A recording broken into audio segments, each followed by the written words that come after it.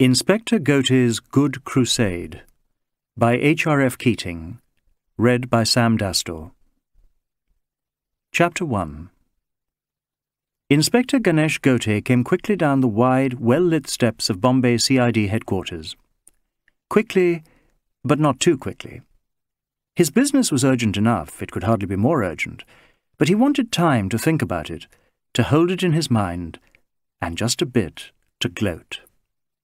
So he made himself pause on the bottom step, and, before going over to the blue Dodge truck waiting with its engine throbbing, he dug his hand into his pocket, took out his loose change, selected with care the smallest coin, and placed it in the ever-ready hand of the broken-legged beggar whose privilege it was, even at this hour, to occupy this post. The beggar, without in the least altering his note of monotonous entreaty, darted his dirt-encrusted claw deep into the recesses of the seamy rag round his waist, and then turned his head from side to side once more to assess the prospects around him. Inspector Ghote crossed the broad pavement and clambered into the waiting truck. Go to the Masters Foundation, Woodhouse Road, he said to the driver, a new and anxious-looking young constable he had not seen before. Very good, Inspector Saab. The young man let in his clutch with a joyous roar. He had been scared stiff at the possibility that he would be ordered to an address he did not know. But this was easy. Everyone had heard of the Frank Masters Foundation for the Care of Juvenile Vagrants. There had been no need for the inspector to say Woodhouse Road. He knew where it was all right. He swung the Dodge roaringly towards a coolie crossing the wide road with a great bundle of firewood on his head. The man scuttled to safety in a satisfying scamper of long, bare legs under the light of the tall, craning street lamps. Watch out, you fool! Ghote said, almost automatically. He had hardly noticed what had happened. His thoughts were miles away. Seeing a succession of newspaper photographs of a young, serious-looking American shaking ministers by the hand, peering down intently at foundation stones, purposefully snipping lengths of ribbon with large pairs of scissors. Frank Masters, the philanthropist. A long, thin-cheeked face with a jutting American jaw and heavy, dark-rimmed spectacles on either side of a long, inquiring nose. Now dead. Murdered, if what Deputy Superintendent Nayak had told him turned out to be the true state of affairs. Symptoms of arsenical poisoning, the report had said. Inspector Ghote bit the inside of his lower lip in momentary vexation. He wished he had had time to make a thorough check on arsenic and its effects. He remembered little enough of the single detective school lecture devoted to poisons, various. And even his trusted Gross's criminal investigation, snatched up from its place of honour on top of his private filing cabinet, had for once let him down. Not a single index reference. He frowned. In the ordinary way, it would hardly have mattered. If, among the dozens of first information reports coming into the office on any one day, there had been a suspected case of arsenic poisoning in any ordinary home, he would have been quite happy to let the local uniformed inspector keep an eye on things while he took a quiet half hour or so to freshen up his store of knowledge and then he would have descended on the scene and straightway snapped out those few questions that mark out the CID man. But this was no ordinary home he was hurrying towards through the night streets. This was the Masters Foundation, and the victim of the arsenic was Frank Masters, the American millionaire every citizen of Bombay delighted to honour. The case was going to attract a great deal of attention. The papers would be full of it. There might well be questions in the State Assembly.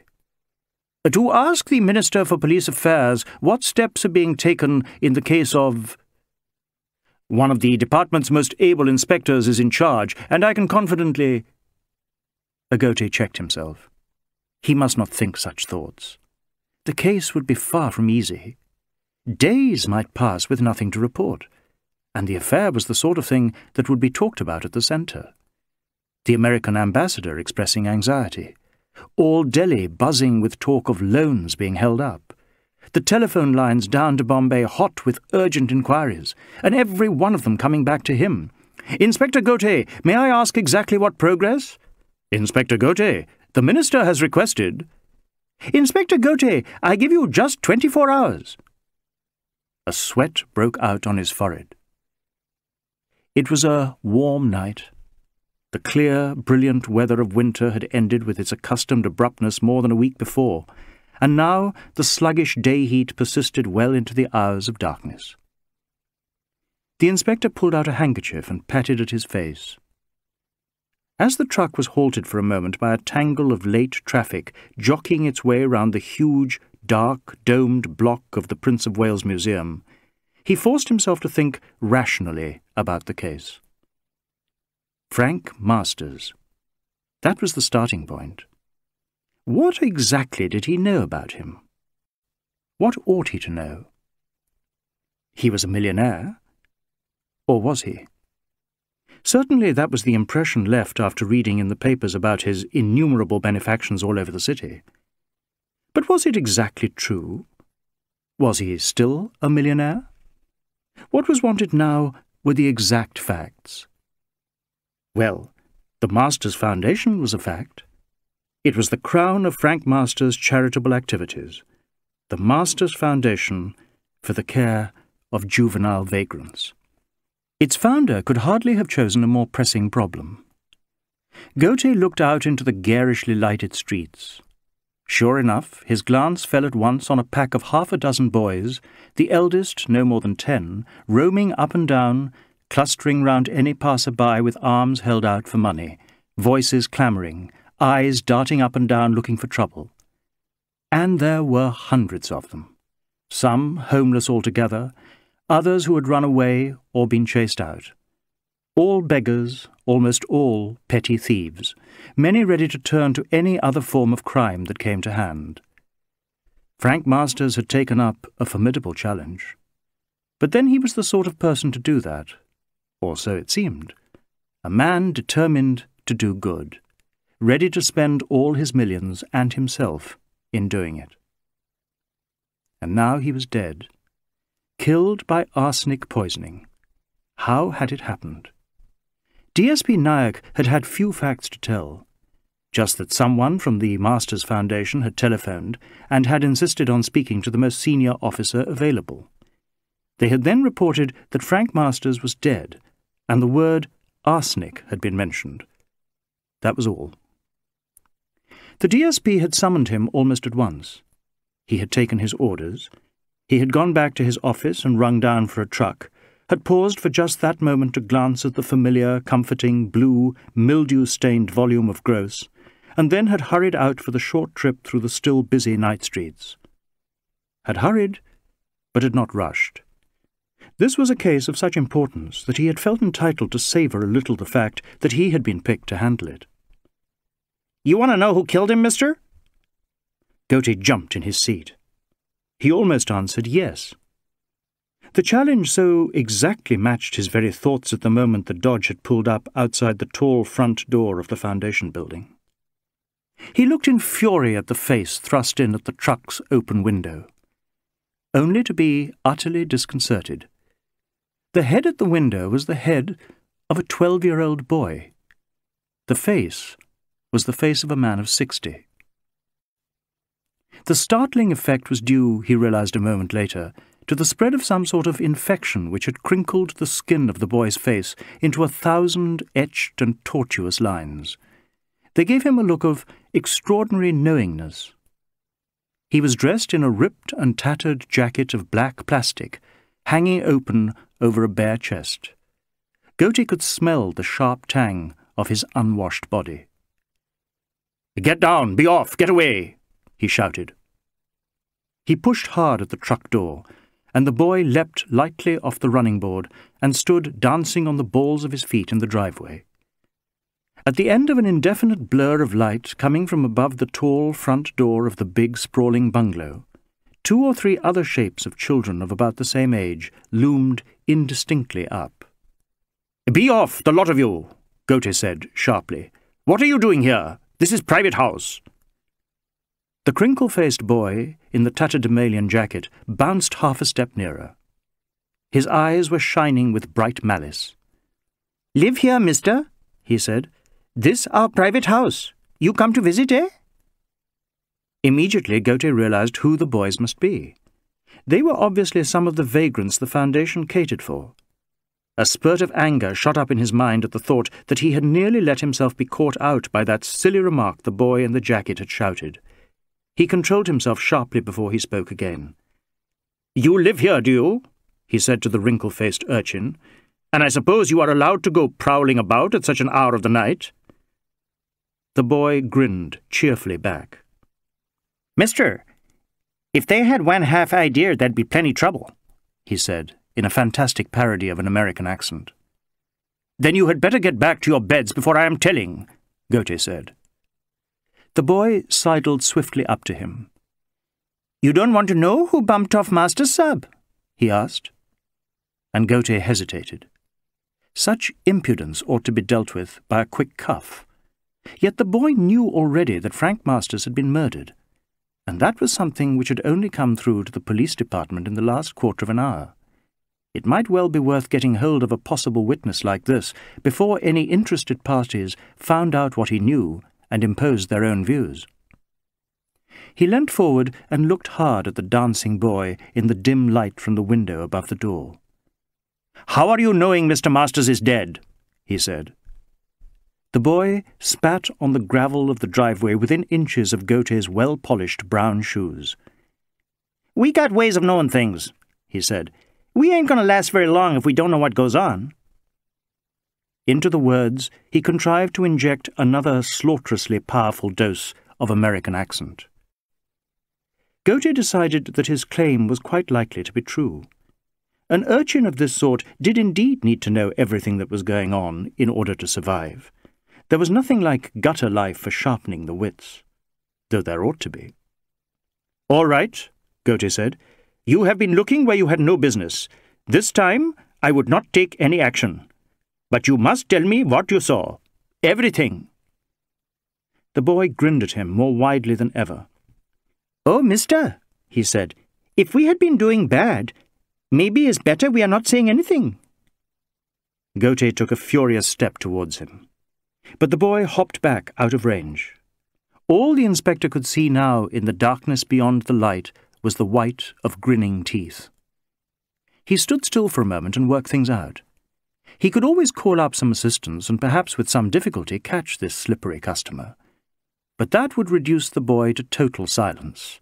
He could always simply turn away and ring at the bell beside the tall front door. And yet...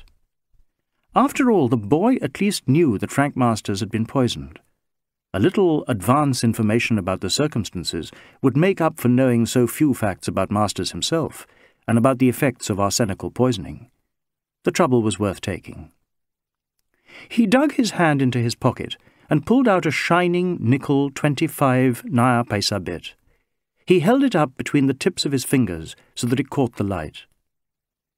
As he had expected, in the pale area lit by the fanlight under the front porch, the black-jacketed boy swiftly appeared. Now, Ghote said, let us talk business. You told you knew why Master Saab had been murdered. You say, and this is yours. Oh, mister, mister. The wrinkled face shook sadly from side to side. Oh, mister, you don't think I would be telling for money? The boy stepped right up to Ghote and looked at him with an expression of total seriousness. Listen, mister, he said. You know what Master Saab done for us? You know what life we lived before he come along with his pickup truck and bring us here? You know what it's like being pavement sleeper in monsoon time? Oh, mister, if we tell who kill him, is not for money. Oh, never no. Slowly, Ghote let his hand fall to his side, still holding the despised coin. All right, he said quietly. You just tell me everything you know. Mister, it was all those women, all those gay girls. And in an instant the boy had snatched the coin from Ghote's limp hand and had danced back into the half-light. What women? What gay girls? Ghote shouted. He advanced a step and then thought better of it. Without help, he would never catch a boy who so obviously knew his way about the garden, doubly dark under the shade of faintly seen trees, just as well as he knew his way round the crowded city streets in broad daylight. All right, he said in a loud voice. I should have known better. He swung on his heel on the loose gravel of the drive and marched up to the front door. His maneuver proved completely successful. Before he had even begun to put out his hand to the bell button, the black-jacketed, crinkle-faced boy was standing beside him. Listen, he said, a lopsided grin sending the wrinkles twisting in a new direction. Listen, Master Sab is millionaire, isn't it? Without turning from the door, Ghote replied, All right, he is millionaire. Then he must have gay girls. It stands to reason, isn't it? That is all you have to tell? Ghote rang at the bell, loud and long. No, sir, no, sir. That was just story. You want to hear truth? Whole bag of tricks? This time I tell. Honest I tell. Ghote did not answer. The boy was obviously an incurable liar. Not a word he said could be relied on. There was absolutely no point in... And yet... And yet he had known about Frank Masters being dead, and this time he had promised to tell the whole story. Ghote turned and walked down the steps to the driveway again. He waited in silence. One by one the whole gang came up. At last, Ghote judged it the moment to speak. Listen to me, all of you, he said. If any of you knows anything at all about the death of Mr. Masters, it is your duty to tell. Your duty. He got a startling enough answer. Chapter 2 Out of the half-circle gathered in the patch of light from the house door, one of the boys stepped suddenly forward. Without a word, he jumped high into the air, flung up his legs with a quick, strong jerk of his naked torso, and stood in front of Inspector Ghote, upside down. It was a good comment on his exhortation to them to tell what they knew about Frank Masters. Perfectly clear and dramatically expressed. Do our duty. In our world, this duty of yours looks pretty different and Ghote could not in his inmost mind deny it. It might be his job in life to see that citizens did their duty and to bring to justice those who failed to. But he had eyes in his head. He knew the sort of conditions the poorest people of the city lived in, the pavement dwellers, the beggars, the homeless like this boy, and he recognized that for them there was only one duty to stay alive. Behind him, the big door of the bungalow opened abruptly. A swathe of sharp light spread out. The boys in the driveway vanished in front of it like so many sweepings. Inspector Ghote turned. Standing on the threshold, a stately, solemn bearer was waiting to take him inside to begin his investigation into the death of the house's master. Quickly, he climbed the steps. A few minutes later, the inspector was being ushered by the solemn, pear-shaped bearer into the doorway of a substantial wooden hut standing at the far end of a big garden, partly hidden by a trellis, on which Ghote had glimpsed in the soft darkness a gnarled wisteria tree thick with swags of blossom. Inspector Ghote, Criminal Investigation Department. Propped on a hard, white surgery couch, Frank Masters was in no condition to acknowledge any announcement. His well-cut white shirt and trousers were splotched and stained with the terrible effects of the poison he had taken. The grave, intent face of all those newspaper photographs was limp and finished. The large-lensed, heavy spectacles had been dabbed down at the bottom corner of the couch, one side piece askew, indispensable a few hours ago, junk now. The bearer, his introduction performed, had quietly disappeared. Standing in the far corner of the room, looking into the mirrored front of a white painted cupboard, was a tall woman of about thirty-five, dressed in a stiffly starched white overall. She had not turned when Ghote had been so solemnly introduced. He coughed apologetically towards her. I presume this is Mr. Masters, he said. She swung round with a sharp bark of a laugh. Mr. Masters, I presume, she said. Yes, you're quite right, Mr. Stanley. Ghote realized with some uneasiness that he had to deal with a Westerner. By her voice, an Englishwoman. Uh, my name is Ghote, actually, he said. Inspector Ghote of the CID. She made no reply, but looked at him steadily. Uh, you are the doctor who attended the patient? he asked. Dr. Diana Upley, she said. She continued to look at him in silence, with a faint smile on her big, pink-complexioned, strongly featured face, and a frankly appraising look in the wide-set eyes under the dark, aggressive eyebrows. She was a good six inches taller than Ghote, and was enabled to direct her stare sharply downwards. When she spoke again, it was in the cool, crisp English which sent a prickle of apprehensive irritation down Ghote's spine. It's hardly likely that anyone else would have attended the patient, as you put it, is it? she said. Uh, well, no. Uh, no, it is not, Ghote said. He licked his top lip. Uh, then you can answer the questions I need to ask, he added. Why else do you think I hung about here? she replied. I'd have left my dispenser to look after things if it hadn't been that someone responsible had to see you people. Uh, yes, yes, of course. He paused to collect his thoughts, a necessary process, and looked round the room. It was painted shiny white and was dazzlingly clean and firmly utilitarian. Besides the examination couch, there was a white, square sink in one corner, a weighing machine with a height measure attached, two green-painted filing cabinets, some hard wooden chairs, and a glass-topped table. At the end of his survey, Ghote came back to the surgery couch. This is the body of Mr. Frank Masters, Esquire, he said. Who else? And, uh, and he is dead? The faint, cool smile came again. Do you want to make sure for yourself? Uh, no, no, of course not. I perfectly trust your judgment. Uh, please do not think I was making aspersion. Well, I think I am just about capable of telling whether life is extinct or not. There wouldn't be much point in ten years' study otherwise. Uh, no, no, I see that, exactly so. Once again, Ghote had to haul back his mind to the well-learned pattern of questioning. And he died here, in this room?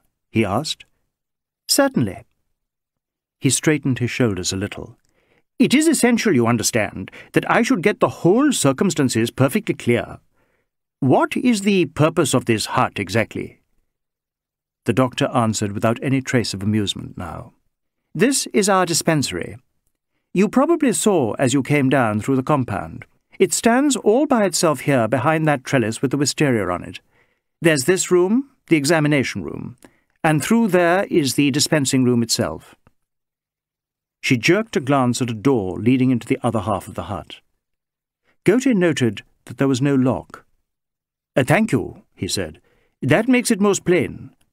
And now, what was the approximate time of death? The approximate time? I take it you'd prefer the exact figure.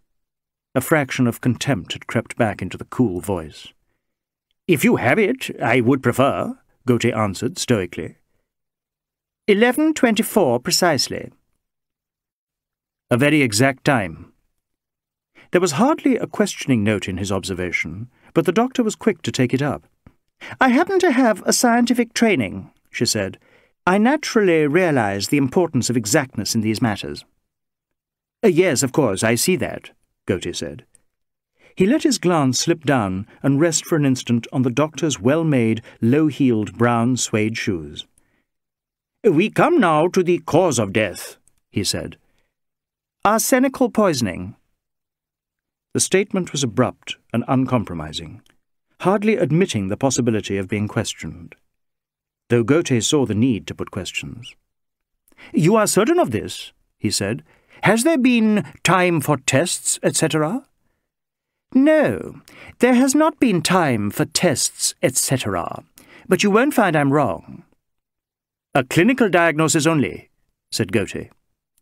The doctor's heavy eyebrows rose a little at this use of the correct term. Yes, she said, a clinical diagnosis. But you'll find I'm right. The symptoms were very clear. There will have to be a check made at the laboratory of the chemical examiner, Ghote said. Of course. A jet of abruptness. But in the meantime, we can certainly proceed along the lines you have suggested.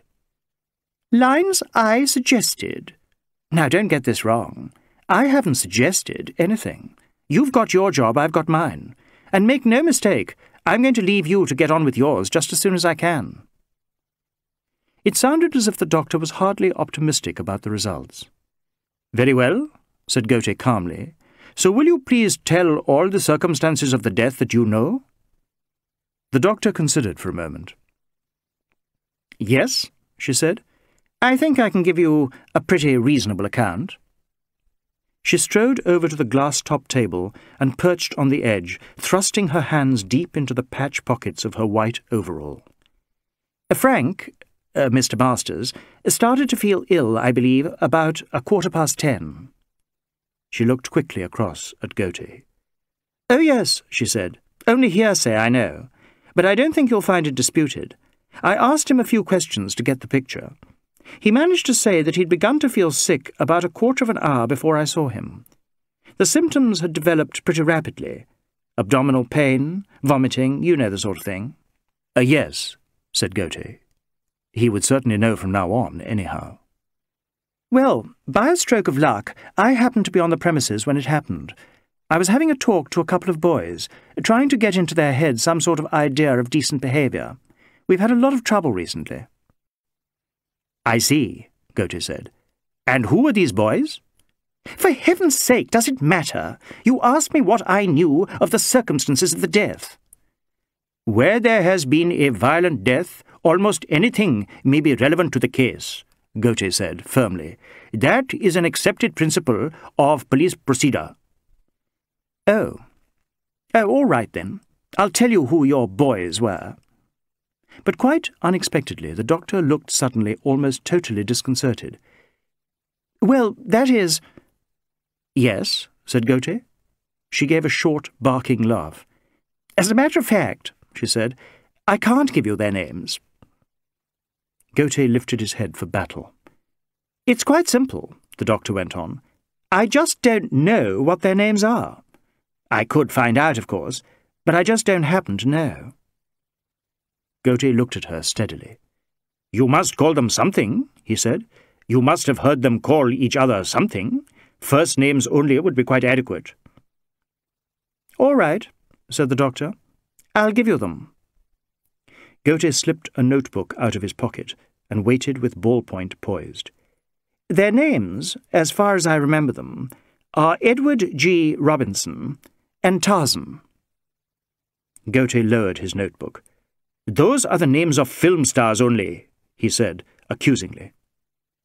The doctor smiled. That's exactly it, she said. They choose to call themselves by those names. There's nothing we can do about it. It's quite a common thing. When they get any money, they waste it at the pictures, and they talk of nothing else. A Tarzan, said Ghote. Tell me something about him, please. He is a very acrobatical boy, about twelve years old? That's him. He goes in for not speaking for some reason or other. I think I have met him, and the other boy you mentioned, Ghote said. Met them? Uh, yes. They were waiting for the truck to arrive, outside the front door. What did they say to you? The doctor asked abruptly. Uh, say? What do you mean? Oh, come, man, I meant what I said. What did those boys speak to you about? Ghote frowned sharply. There were limits. A police officer in the course of his duties did not have to submit to cross-examination of this sort. They did not speak, he said. I saw only. You told you were called to see Mr. Masters at what time? The doctor shot him a quick glance. At the time I mentioned already, she said.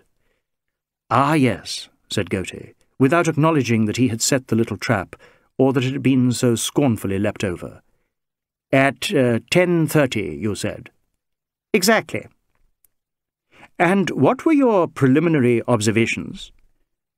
My preliminary observations? I didn't need anything as fancy as that, I assure you. One look, and I saw that Frank was in a pretty bad way. For a bit I thought it might be severe food poisoning, but he kept muttering about a feeling of burning. That was when I began to suspect. That it was poison, arsenic, you had to deal with. That it was arsenic I had to deal with. Ghote ignored the elaborate mimicking of what he knew to be an over-preciseness in his use of English. You commenced the appropriate treatment then? he asked. You administered an emetic or some such thing? Don't be a bloody fool, man. Ghote was unable to prevent himself drawing back in sudden anger. Oh, don't get on your high horse now, for heaven's sake, the doctor said. When you know me better, you'll know I call anyone a bloody fool who says something bloody foolish. Ghote paused for a moment. You were describing the treatment of Mr. Masters, he said. The doctor leant backwards against the glass-topped table, her hands still pushed deep into the pockets of her white coat. I wasn't describing the treatment, she said. You were. That was precisely what I was objecting to. Emetic. You've got a lot to learn. There wouldn't be much point, you know, in giving an emetic when the patient is sicking up his entire guts every two minutes, would there? I am sorry. I am not very well acquainted with arsenical poisoning. No, I can see that. It's a bit of a pity, as this happens to be a case of exactly that. They might have sent someone who knew something about it. Ghote looked at her steadily. Such cases are extremely rare, he said. The police department cannot provide special personnel in such circumstances. The doctor tilted up her chin. Then it won't be much use telling you what treatment I used, will it? she said. Nevertheless, I would like to hear, said Ghote. He turned to a fresh page in his notebook. The doctor shrugged. Very well, she said. As soon as I realized the likely cause of the trouble, I ordered my dispenser to prepare a quantity of ferric hydrate. It's a question of adding alkali to tincture of ferric chloride, a damnably slow business, but by far and away the best thing to do, even with only two of us here. Uh, did you have no ferric hydrate ready prepared? Ghote said. Wouldn't have been any use if I had. It has to be fresh, you know. Ghote did not allow himself to be snubbed. I have already told, he said, I am not highly acquainted with the procedures for arsenical poisoning. No, evidently not. This dispenser you mentioned, what is his name, please? The doctor bounced off the table. Are you intending to check up on me? she snapped. Because if so, you can damn well whistle for his name. Yes, said Ghote. I would naturally ask the same questions to him as I have to you. What is his name, please? The tall, white-coated figure stood looking down at him, legs apart, feet planted firmly on the well-scrubbed floor. At last she spoke. His name's Carstairs, she said. He's an Anglo-Indian. He has a little room over in the bungalow, perched up on the roof, if you want him. I will interview in due course. Please continue your account of events. The doctor slumped back onto the edge of the table. There's not a great deal more to tell, she said. The fact of the matter was that we didn't get the ferric hydrate prepared in time. There's nothing you can do to hurry a scientific process, you know. I suppose it is a case where shouting is of no avail, said Ghote. She darted him a furious look, but made no reply. And at 11.24, Mr. Masters died, Ghote said. Yes, at 11.24. The time I gave you before. As soon as I saw that death had occurred, I left Sonny Carstairs here and went and got in touch with you people. Got hold of a man called Nyack eventually. Seemed to understand what I said, more or less. Ghote decided to pass over such cavalier treatment of the deputy superintendent. It might perhaps be best for his own peace of mind if he forgot the remark had ever been made. Now, he said, we come to the possible causes of poisoning. Murder, said the doctor. She sat unmoving on the glass tabletop, Her hands were once again stuck into the patch pockets of her coat. Eh, that is obviously one possibility, Ghote said. However, we must also consider the possibilities of suicide and accident. There are plenty of easier ways of killing yourself than swallowing anything as unpleasant as that, the doctor said brusquely. And besides, what would a man like Frank Masters want to kill himself for? Ghote pricked up his ears. A man like Frank Masters? he said. What exactly, then, was Mr. Frank Masters like? The doctor gave him a long, steady look. She got up abruptly and strode across the room until she was standing beside the examination couch where Frank Masters' body lay uselessly propped. She looked down. Frank was a good man, she said. Simply that. A good man.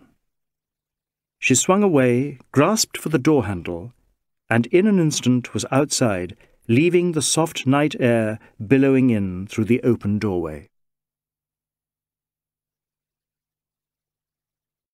Chapter 3 For some minutes, Inspector Ghote stood quite still in the clinically harsh examination room, alone with the broken body of Frank Masters.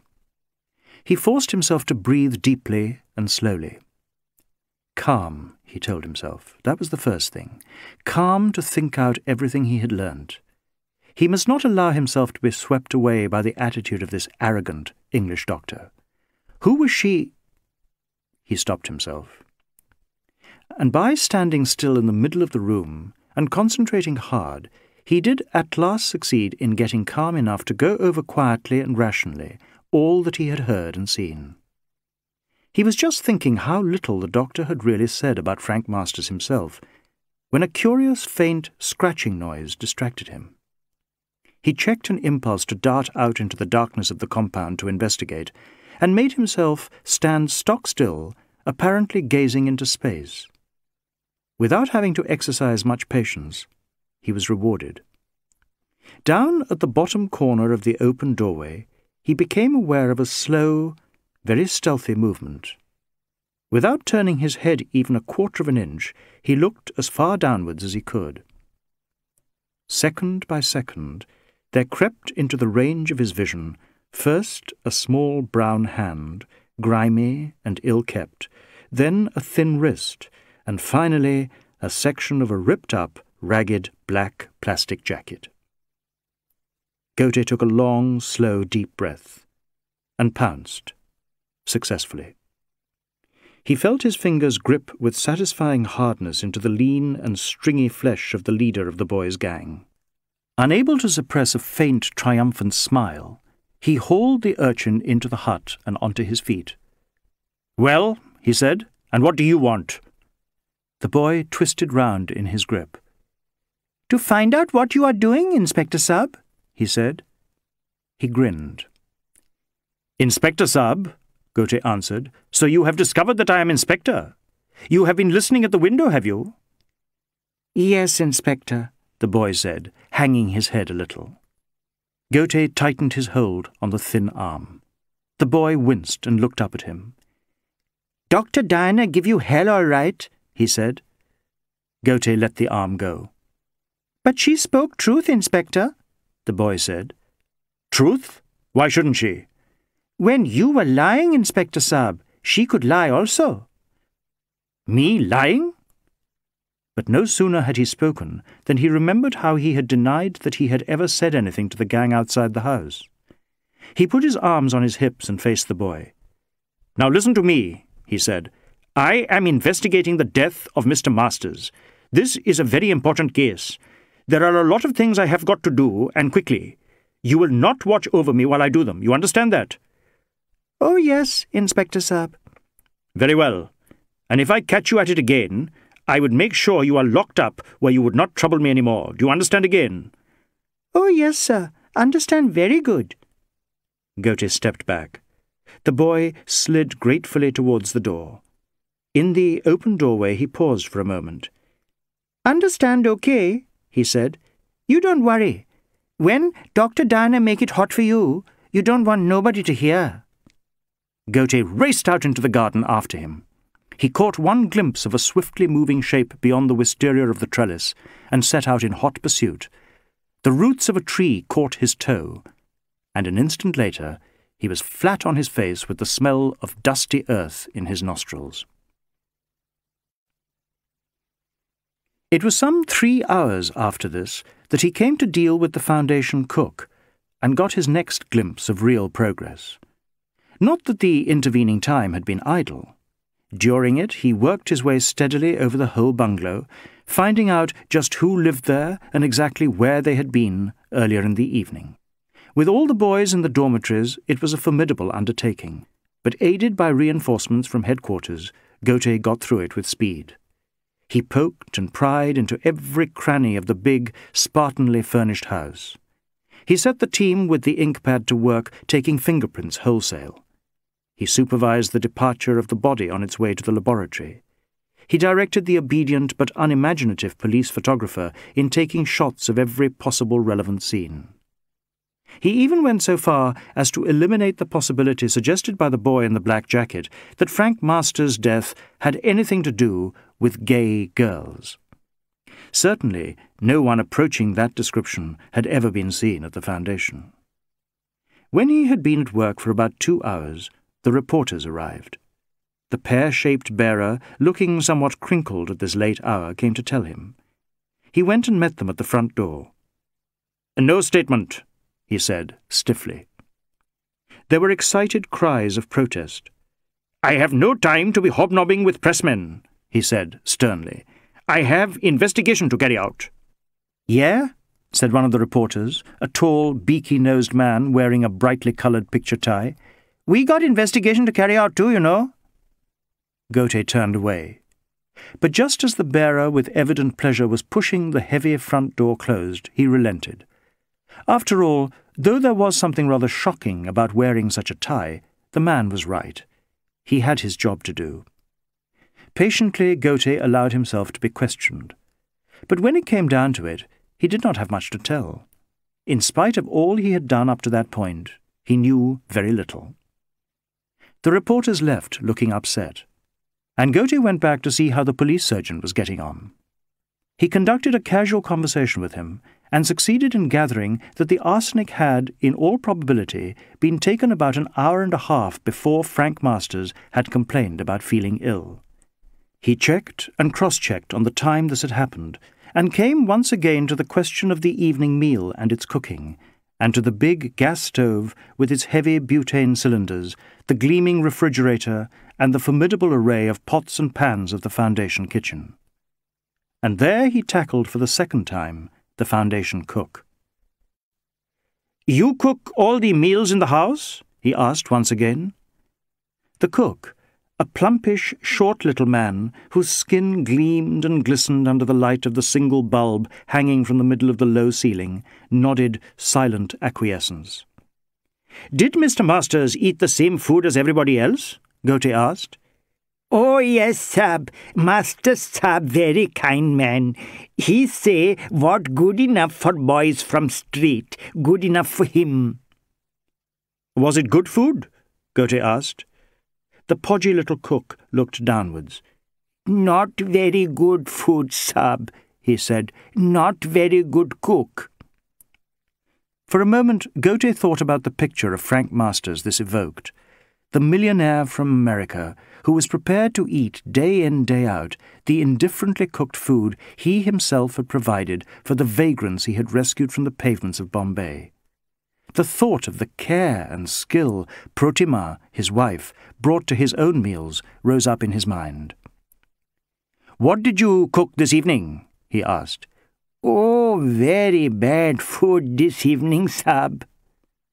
Ghote felt a stab of impatience. I asked what food it was he said. Oh, yes, sab. Very sorry, sab. The cook bowed his head. Ghote could see the plump roll of fat on his neck shining as though it were polished. Well, he said.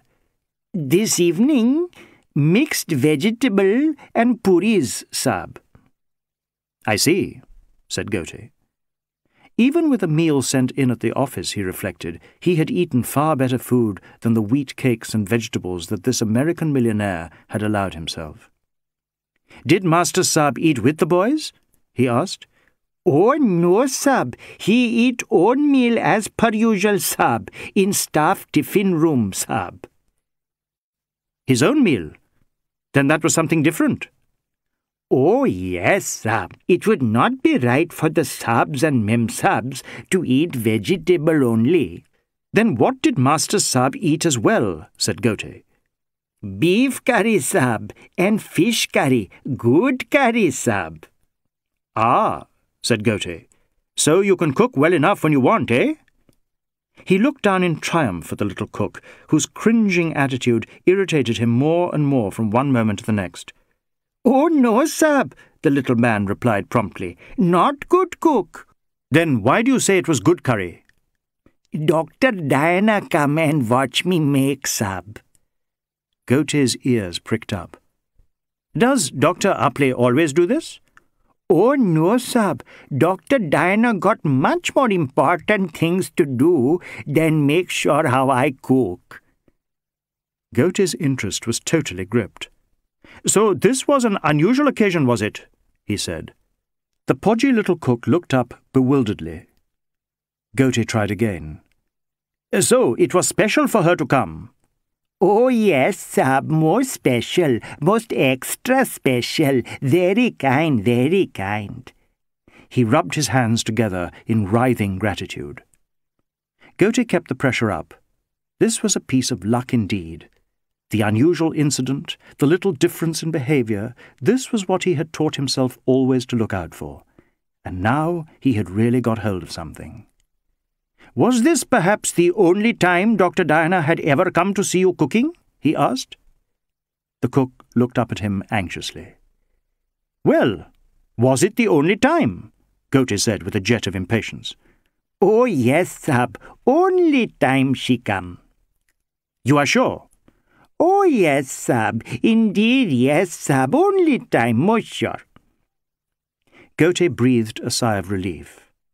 When the meal Frank Masters had eaten was being prepared, the doctor had been, for the first time ever, down in the kitchen pretending to be supervising the cook, and he had got firmly onto it.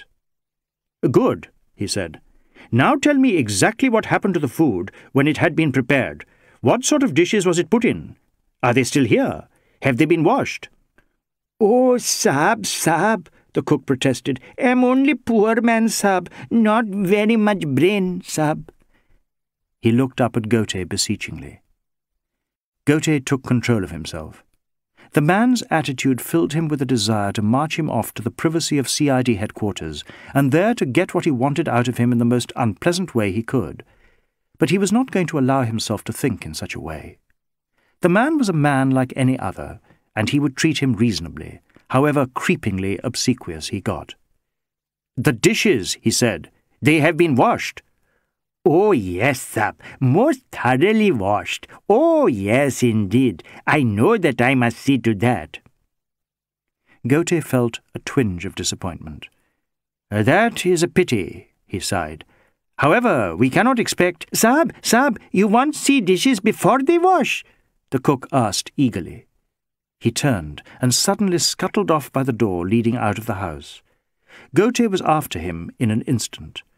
And just as he had expected, there outside the door he found the little cook busy picking morsels out of an open-ended oil drum that served as an extra dustbin. With delicate artistry he was placing them one by one in a clean dish. Ghote felt near to tears. So much for getting hold of the unusual incident, the little difference in behaviour. He had slipped into the oldest pitfall of all.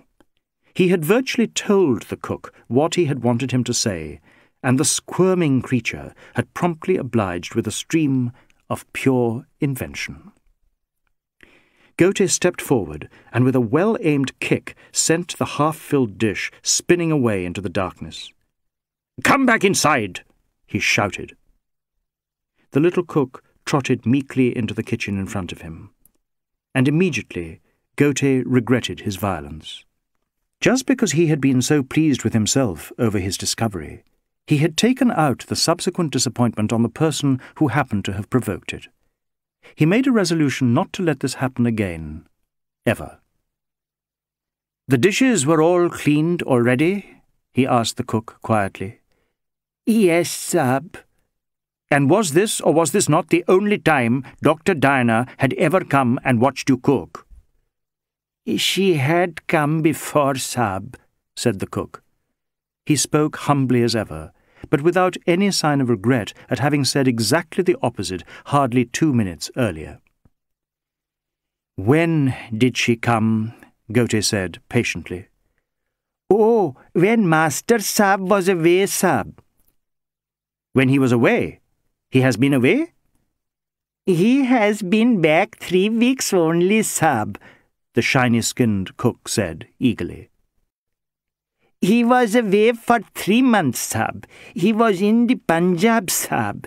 He was very interested in refugees from Tibet, Sab. Very holy men, Sab. Stop, stop! By now, Ghote thought, the wretch had undoubtedly entered the realm of embroidery again, adding to his information piece by piece as it seemed to please or not. And it was while Master Sab was away that Dr. Diana came to see you cooking, he asked. Oh, yes, Sab. Came to make sure I cook a little better. She say I was most appalling cook in whole of Bombay, Sab. The man looked up with something like pride on his plump features. Ghote's toe itched, but he kept himself calm. Why did she not come at other times? he asked. Oh, she was not in charge then, Sab. When Master Sab go, he put Dr. Diana in full charge. She say at least she get some decent meals now, Sab. So she... That's enough. Yes, Sab. Certainly, Sab. I stay quite quiet, Sab.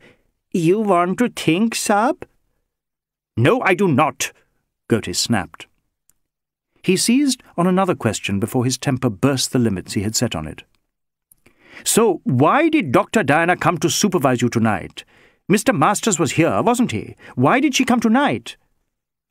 He waited anxiously for the answer. If there was nothing the fertilely anxious to please cook could suggest, this was perhaps, after all, a piece of behaviour well out of the ordinary.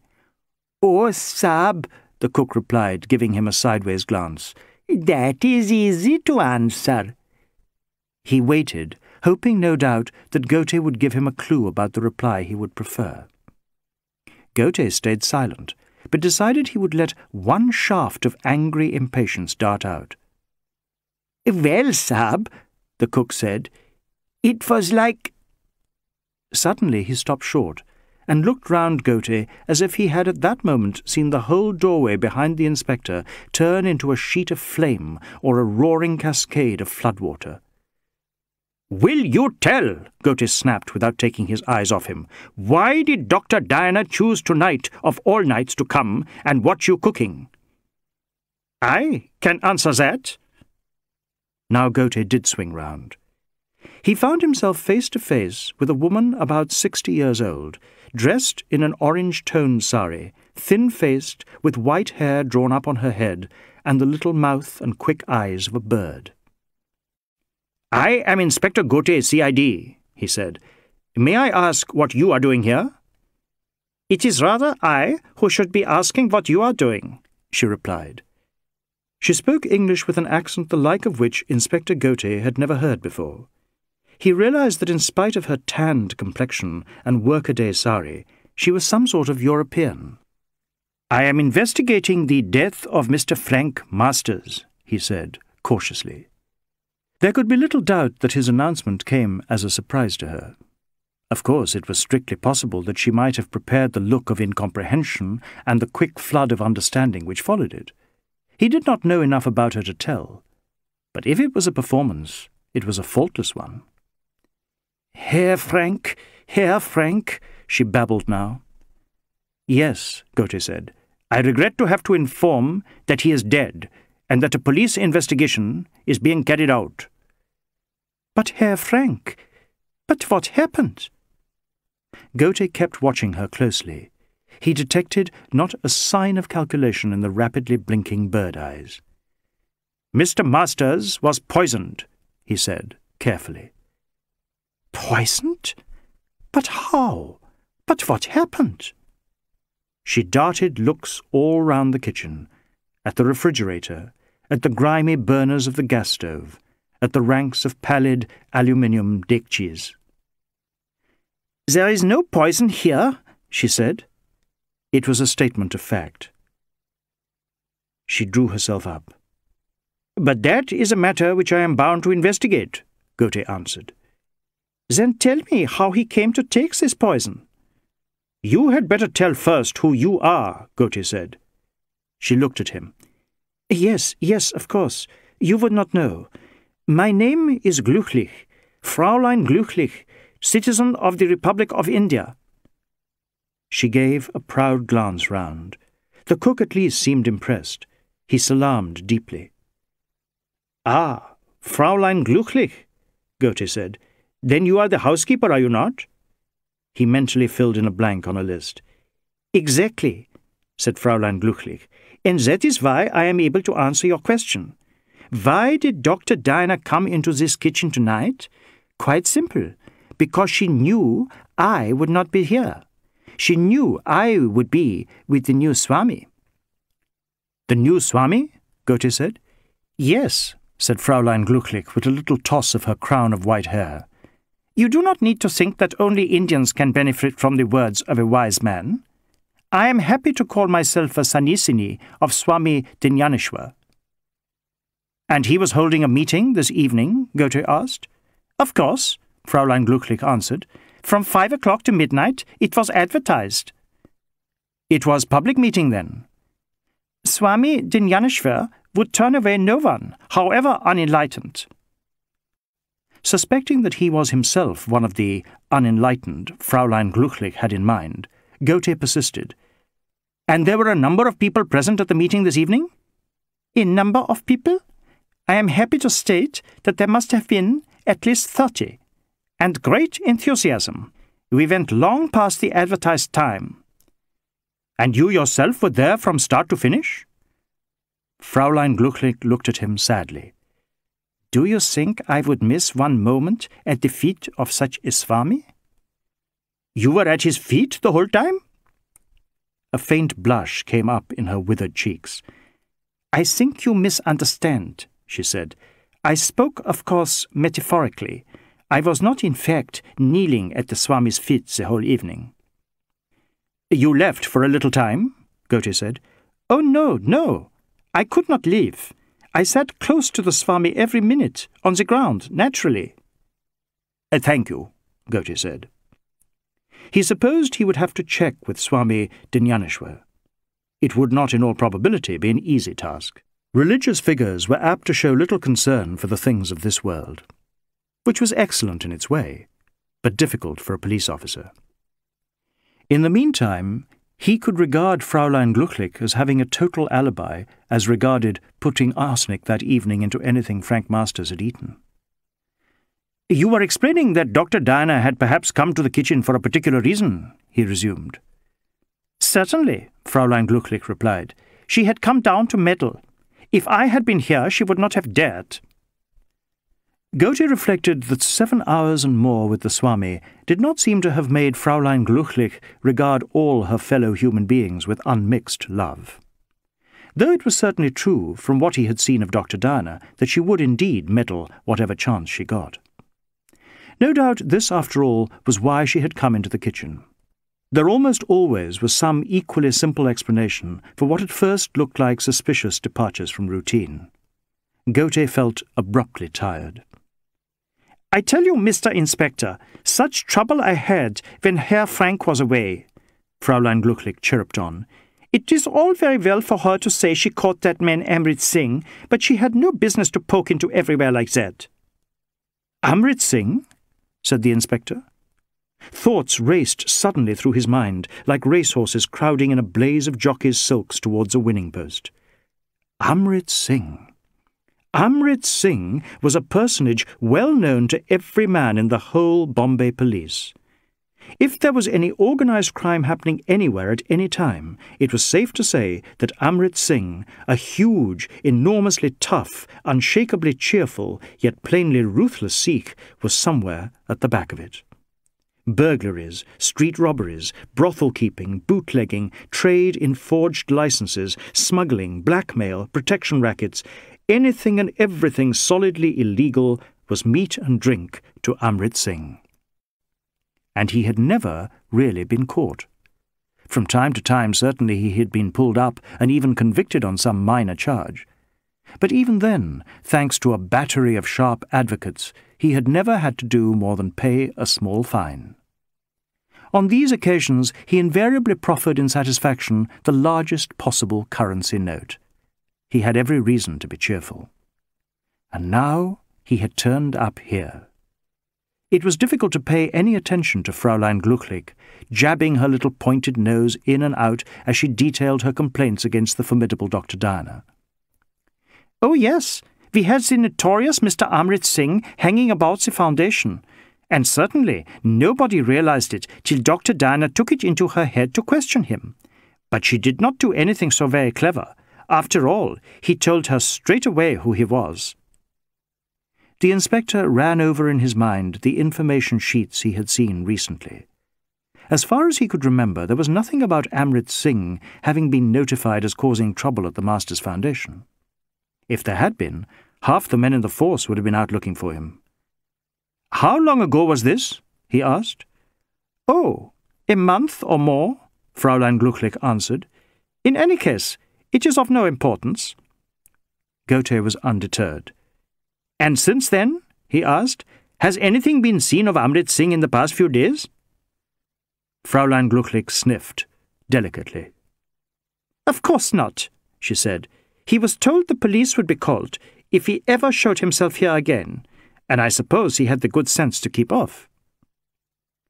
Ghote allowed himself a flicker of inward amusement at this withered-cheeked little European woman's notion that it was necessary only to mention the police to the huge Sikh thug to scare him off once and for all. But this was no time for jokes. If Amrit Singh was involved in something at the Foundation, he had to get after him just as quickly as possible.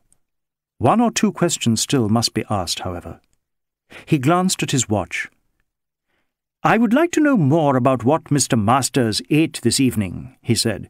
Your cook tells that he prepared on Dr. Diana's instructions beef curry and fish.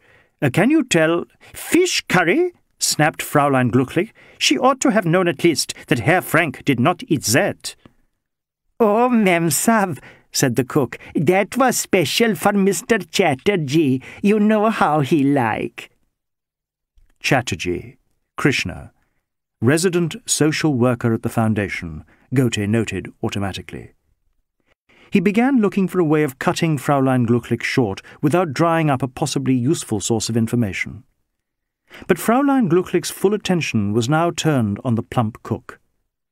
So Master Chatterjee likes fish curry, does he? she said. Oh, yes, Memsab.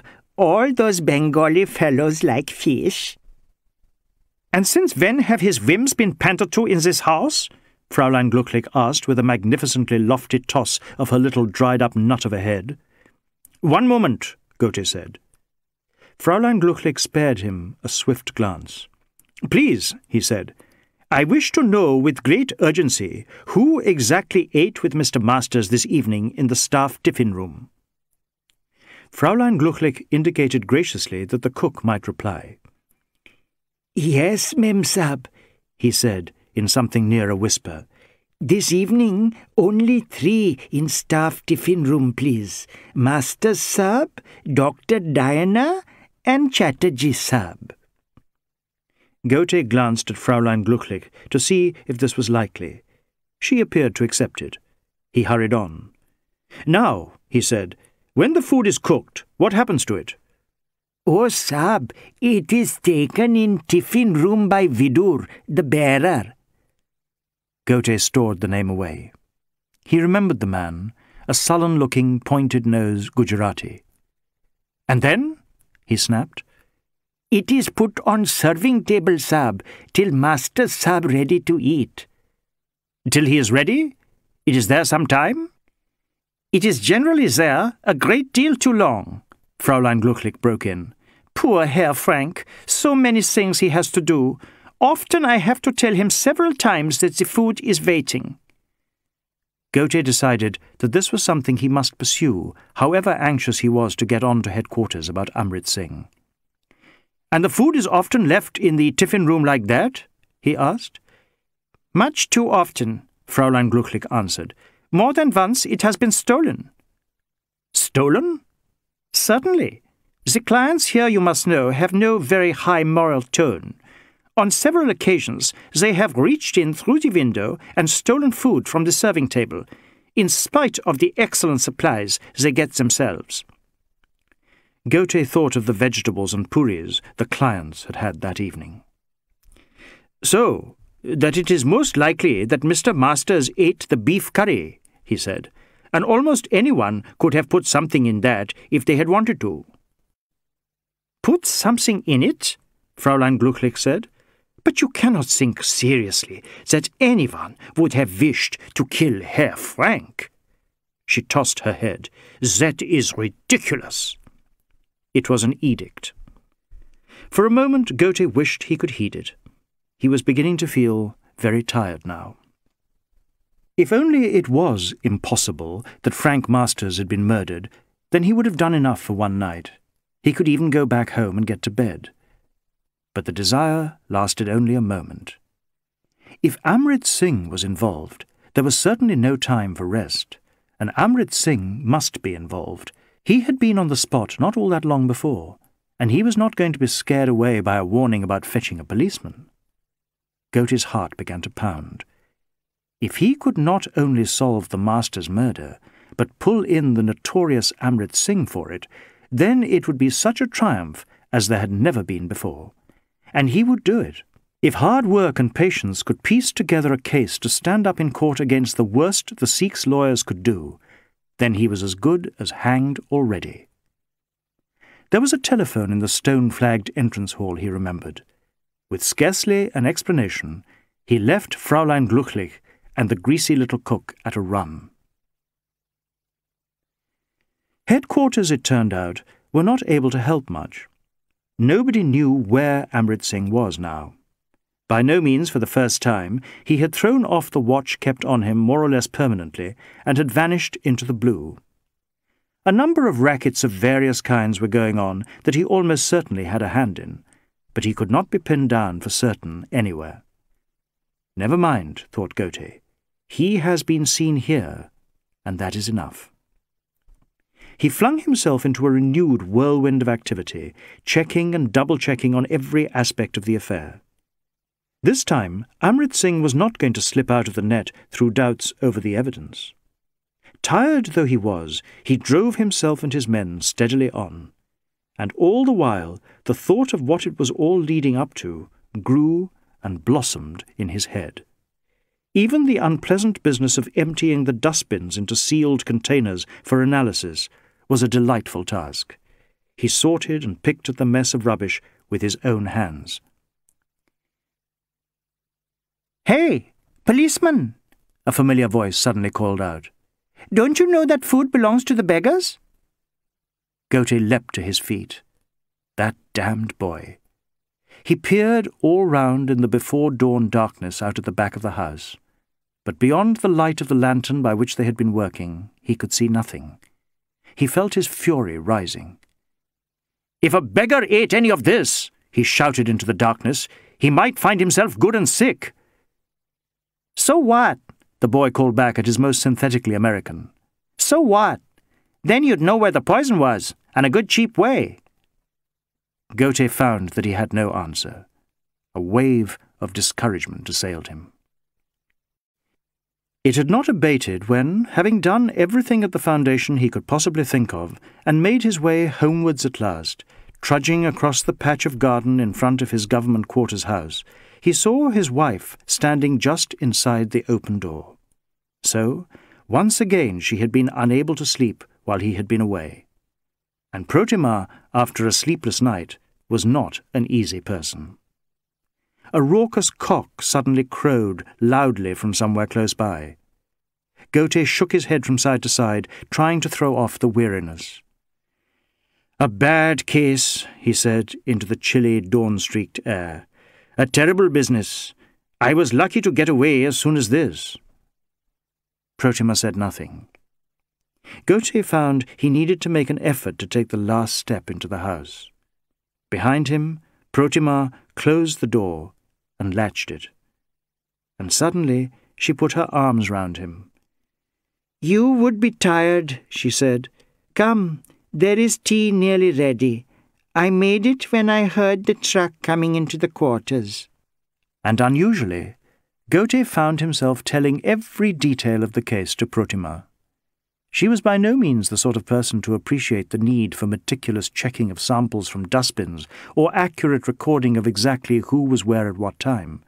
And for this reason, he never gave her more than an outline of what particular job he was on at any time.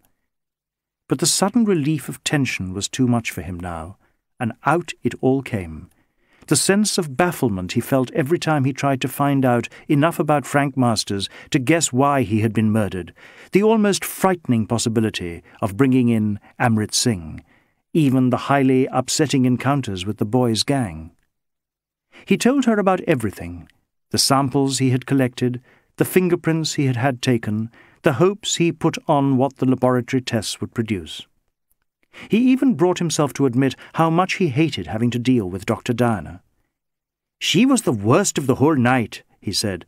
The way she stood there, so tall and big, like a machine woman, and all the time making her judgments. He felt better for having brought it out. He tried a small joke. No wonder she is not married. Protimus smiled back at him slyly. He went over to her and took her in his arms. Through the thin cotton of her white night sari, he could feel her body, warm, firm, protective. Oh, I am so tired, he said. Come to bed, then, she answered. Come to bed and sleep.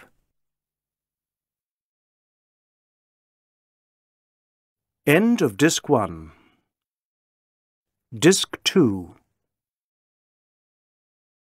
Chapter 4 In the morning, Inspector Ghote's hopes of the laboratory tests were answered.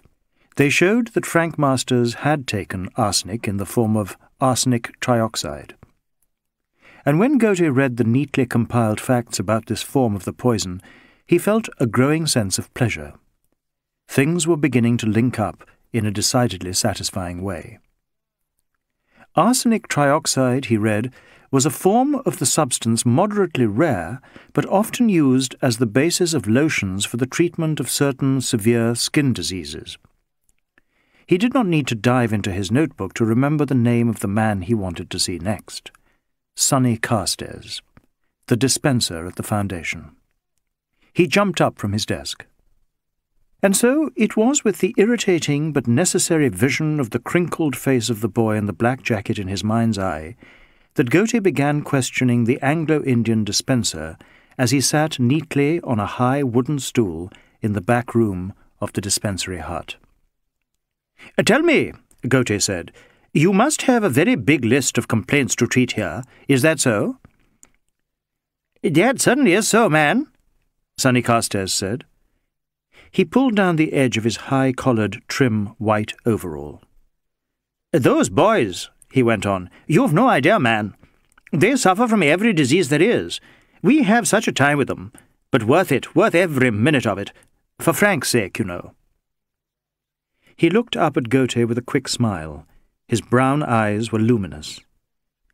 I think I saw one boy with some terrible skin trouble, Ghote said. Is that the sort of thing? Oh, yes. Him I know well. That's a terrible case, man. We're doing our best for him, but it's hard work, hard work. That trouble has got so ingrained. Sonny Carstairs sighed deeply. He took his left hand in his right, examined it for a moment, and pushed down the cuticle on the neatly trimmed nail of his third finger. What treatment do you apply in such a case? Ghote asked. Oh, that's quite simple. We use something called Fowler's solution. It's a slow business, man, but we have to be patient, you know. Fowler's solution? Ghote said. What's that? Sonny Carstairs looked up helpfully. It's just a solution that a chap called Fowler invented, he said. It's basically arsenic trioxide. Suddenly, his look of mild benevolence faded away. Arsenic, he said. You don't think... Do you make the solution up yourselves? Ghote said. Sonny Carstairs slipped from his stool and went across to one of the big, white-painted cupboards hung all round the room. Ghote rapidly repeated in his mind the exact intonation the dispenser had used when he had said what Fowler's solution consisted of. He could detect no falsity. Yet, Sonny Carstairs opened the cupboard and selected one of a number of ranged brown glass jars with black screw-top lids and big white labels. When he turned to face the inspector again, his expression was even more uneasy. Ghote was quick to spot it. Something is wrong with the jar? he said.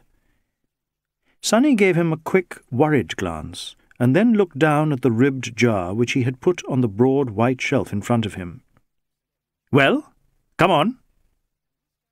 Sonny looked up from the jar, as if reluctant to end a delicate scrutiny. I don't know, he said.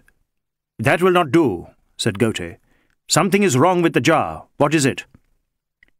He stepped up close to the white overalled Anglo-Indian and looked at him hard. Sonny Carstairs swallowed. For God's sake, Inspector, he said, I tell you it may be nothing. But it may not be, Ghote said. I suppose so. It was a reluctant, shamefaced admission. So, what is wrong? Ghote said. Some may be missing. The jar feels emptier than when I stood it away in the cupboard here. And that was when? It was only yesterday, man when a lot of stuff arrived from the pharmacists. Sonny was almost whispering. What time exactly? In the afternoon. The neat little dispenser stared down glumly at his well-kept hands, resting palm down on the edge of the shelf by the little ribbed glass-brown jar. And quite suddenly he brightened up. It's okay, he said. Okay? You've made a mistake? There is none missing? Sonny looked up. Oh, no, he said. I think it is missing all right, but I can tell you for certain. Just you wait a shako. He bobbed down and opened a big, flat drawer under the shelf. Ghote, looking in over his shoulder, saw a handful of stiff cover exercise books, a couple of chewed pencils, and an old box which had once contained Flor de Dindigul cigars and now held three rusty razor blades. Here it is, he said. Register of purchases. Ghote watched him open it. On the first page only, there was a list of items in precise, rather flowery handwriting, each with the day before's date against it, and two bold initials in another hand, in red. D.U. That was easy. Diana Upleigh. Who else? Even if he had been unable to read, the totally unhesitant assertiveness of the big capitals would have told him. A new book has just been started? he asked. Sonny Carstairs straightened up, with pride. A new system has just been started, he said. We are making a lot of medicines we need now, for reasons of economy. Ah, said Ghote encouragingly. Your idea, I suppose. Oh, no, no. Sonny seemed shocked. We owe this to Dr. Diana, he said. It takes someone of her caliber, you know, to institute real reforms. She saw that we could make a considerable saving. Ghote thought of the doctor's descents on the kitchen in the absence of Frank Masters, and reflected that the actions of a person of such a caliber did not always receive the acknowledgment they got from Sonny Carstairs. He watched Sonny's only faintly brown finger with the neatly pared nail skim down the column of the register. Ah, yes, Sonny said. There we are, just as I expected. Ghote read the entry. One fifty-gram jar arsenic trioxide. Well, he said, how much is left in the bottle? Sonny Carstairs rubbed his hands together smoothly. Just a jiffy, he said.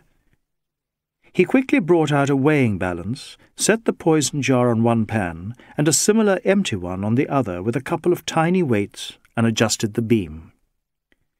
Yes, he said, as the indicator waved to a balance. You can take it definitely, Inspector, that a considerable quantity of this poisonous substance has disappeared. He put the balance back in its cupboard with an air of satisfaction. Ghote flipped over a page in his notebook. I shall require that jar for the purposes of the police laboratory, he said. I am making out receipt in due form. He wrote with diligence. Without looking up, he let a question slip gently out. The keys to the heart, he said. Who else has them besides you and Dr. Diana? It was not until later that he properly reconstructed the sequence of events in the next few seconds. First there came a curious hissing gasp from the little Anglo-Indian. But this was almost immediately blotted out by the sharp crack of breaking glass as the jar of arsenic trioxide slid off the shiny top of the shelf and fell straight onto the cement floor below. Ghote jumped back with the powder wafting up towards him in a venomous white cloud. It's all right, man, Sonny Carstairs said. It won't do you any harm. It may be poison, but a small quantity on your shoes is not going to hurt. Ghote bit his lip with vexation. Destroying evidence is serious offence, he snapped.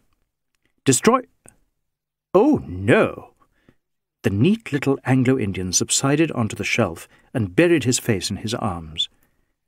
Ghote took a step forward, gripped him hard by the shoulder, and jerked him up. Yes, he said, destroying evidence. Sonny Carstairs shook his head. It was... it wasn't that. Look, man, it was the key, he said. The key? What key? Sonny swallowed. The key of the dispensary. What key is this? There are many keys, but there was only one jar of poison, and there it is. Ghote pointed dramatically to the chunky fragments of thick brown glass in the middle of the patch of exploded white powder. Do not tell me that you have not destroyed evidence, he said. The dispenser's smooth face was creased with conflicting anxieties. Suddenly he darted forward and looked at Ghote with big, pleading brown eyes. Look, Inspector, he said. I'll tell you, I must. I didn't knock that jar off the shelf on purpose. It was shock that made me do it. Shock? Sonny licked his lips. Inspector, he said, I just realized at that moment what it means. You see, there are not many keys to this hut. There is only one, and I am the one who keeps it. He thrust an anxious, sweaty hand into the pocket of the drilled trousers he wore under his white overall and pulled out a flat key of unusual design with a neat piece of white tape through the hole in the top. Ghote took it and looked at it. You are telling that this is the only key to the whole hut? he said. Yes, Inspector, but listen. Sonny stepped half a pace nearer till his neat features were within inches of the inspector's face.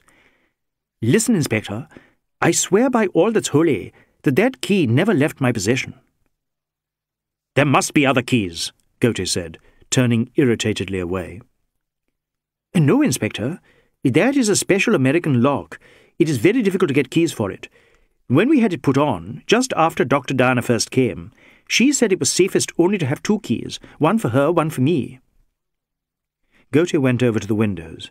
As he had recalled, they were fitted with heavy metal grills well fixed to the surrounds. These windows cannot be forced as easily as all that, he said, and not without leaving very plain marks. Uh, no, Sonny answered. That was Dr. Dana too. When she came, she insisted we improve security all round. Without replying, Ghote turned and went into the outer half of the hut, the examination room. As he had remembered, the windows there were exactly like the ones in the dispensing room, and equally plainly, they had not been tampered with. He came back. Well, what happened to the second key? he said. If this man was telling the truth about never having let the key out of his possession, then it was going to be hard to link the theft of the poison with Amrit Singh, and that was what had to be done. That key was crushed by a tram, Inspector, Sonny said. A tram? Ghote took an outraged step forward. Sonny Carstairs stepped back. It was, it was, Inspector. Honest to God. It wasn't my fault. I'll tell you what happened. Ghote looked at him coldly. It was like this, Inspector. I had just locked up here one day, just after we got the new keys, and I was walking up to the bungalow holding my one in my hand, when I happened to notice some of the clients in the road outside. I looked to see what they were doing, and I found them throwing coins under the trams as they passed the house. Ghote waited impassively. Evidently Sonny felt that his narrative required some comment. Throwing coins, Inspector, he said, earnestly. Yes, I did the same sort of thing myself as a boy, only it was with trains on the railway. Sonny's neat features took on a look of faint disdain. Well then, Inspector, he went on, naturally I went over and pointed out to the boys that they were committing a serious malpractice. Oh, yes?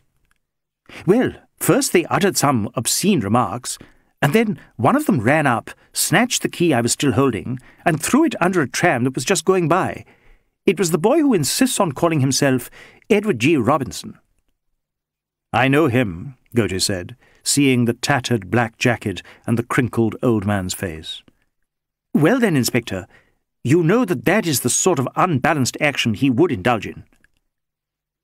Ghote did not answer directly. You are sure there were only two keys in the beginning? he asked. If you don't believe me, go and see Dr. Diana, Sonny said. She will tell you all right, man. Ghote felt a sudden tightening of the muscles in his stomach. No, he snapped. That will not be necessary. Not necessary at all. He swung round and looked at the neat figure of the Anglo-Indian. At the moment, I have urgent work, he said. He hurried out, cursing himself for having shied away from an encounter with Dr. Diana in such an obvious way. He knew he ought to check the key's story with her. If it was true, it was very important. There could be no doubt that the hut had not been broken into. The bars on the windows had plainly not been shifted, the lock on the door had not even been scratched. So that in the time between the afternoon when the arsenic trioxide had arrived and it having been put into Frank Master's curry before the meal that evening, someone must have used a key to enter the hut. The most likely thing was that the dispenser was wrong about there being only one key. There must be another unknown one, or Sonny Carstairs had convicted himself out of his own mouth. Ghote thought suddenly of his room at headquarters, of the familiar scored surface of his desk, the familiar walls and furniture, the very labels on his prized non-issue filing cabinet, songs, dance, piano, sacred, various, presented themselves vividly to his mind. Half an hour of peace there, and he would be ready to tackle anybody. He passed through one of the gaps in the heavy wisteria trellis and set off across the big lawn at something approaching a trot. Inspector! The voice ran confidently out in the hot air. Ghote looked round, knowing inescapably whom he would see. Sure enough, Dr. Diana had just stepped out of a pair of French windows overlooking the big lawn. You called to me? Ghote said. Of course I did, Dr. Diana declared, striding over the dark green grass towards him. Ghote succumbed to the temptation to play for time. If I can just get away from her for the moment, he thought, until I have got a plan of campaign fully worked out. It is no use rushing into things without a proper plan of campaign. You have some information to give? he asked, as Dr. Diana reached him. If I'd had any information, I'd have given it to you last night, she said. I merely wanted to know whether you were making any progress, what you might call a friendly inquiry. She stood, her feet in flat brown brogues planted wide apart, looking down at him. Progress is satisfactory, Ghote said. No, he decided abruptly, to put off asking about the keys even one moment longer would be utterly ridiculous. He coughed, putting his hand up to his mouth. There is one matter, he said. All right, then, Dr. Diana replied. She glanced at the little gold watch fastened delicately to her strong, muscularly pink wrist, flecked with a down of golden hairs. But I warn you, she added. I haven't got all day. This was a temptation Ghote resisted. What I have to ask may take some time, he replied, feeling each word cutting off any means of flight. But it is most important matter. Out with it, then, Dr. Diana said. Can you then tell, please, how many keys there are for the dispensary hut? For a moment, Dr. Diana did not answer. She glanced at Ghote with a look of calculation. So, you've got on to that, she said at last. I regret, Ghote replied, the course of the investigation cannot be disclosed to all and sundry. Dr. Diana laughed. My dear man, she said, I can think things out for myself, you know. You can't expect me to believe Frank Masters contracted arsenical poisoning from working in a smelter's shop or acting as assistant to an animal stuffer. Is he your idea of an under gardener? Can you see him messing about with a fruit spray or something? We admit that the case is being treated as one of murder. Splendid. And how about admitting, while you're at it, that you were busy just a moment ago asking my dispenser about what arsenics we had in that hut? Well, we had some arsenic trioxide. It arrived just yesterday afternoon. Did he tell you that? As a matter of fact, yes, said Ghote sulkily. And is any missing? That is impossible to say, Dr. Diana put her arms akimbo on either side of her billowing white blouse. Listen, she said, you can carry this reticence business too far. I'm a doctor, you know. I happen to be aware of what the lethal dose of that stuff is. And what's more, it's my stuff, or as good as. So cough up, dum. Madam, Ghote said, you are not in position to give orders. It so happens that the jar of powder in question became accidentally spilt Dr. Diana burst out laughing. She stood with the sun shining steadily down on her in the middle of the big back lawn and hooted with laughter. You Indians, she said at last, how you manage it I'll never know. To get hold of the source of the poison and then to go and spill it all. I suppose it just slipped out of your fingers. You're wonderful, wonderful. Uh, please, Ghote said, with an edge of sharpness, please, Will you be so good as to tell whether you formed this opinion of Indians from the behaviour of your dispenser, Mr. Carstairs? Mr. Carstairs? Mr. Carstairs? Dr. Diana seemed to find this as funny as anything else. She had to wipe away a tear before she could add to her reply. No, she said.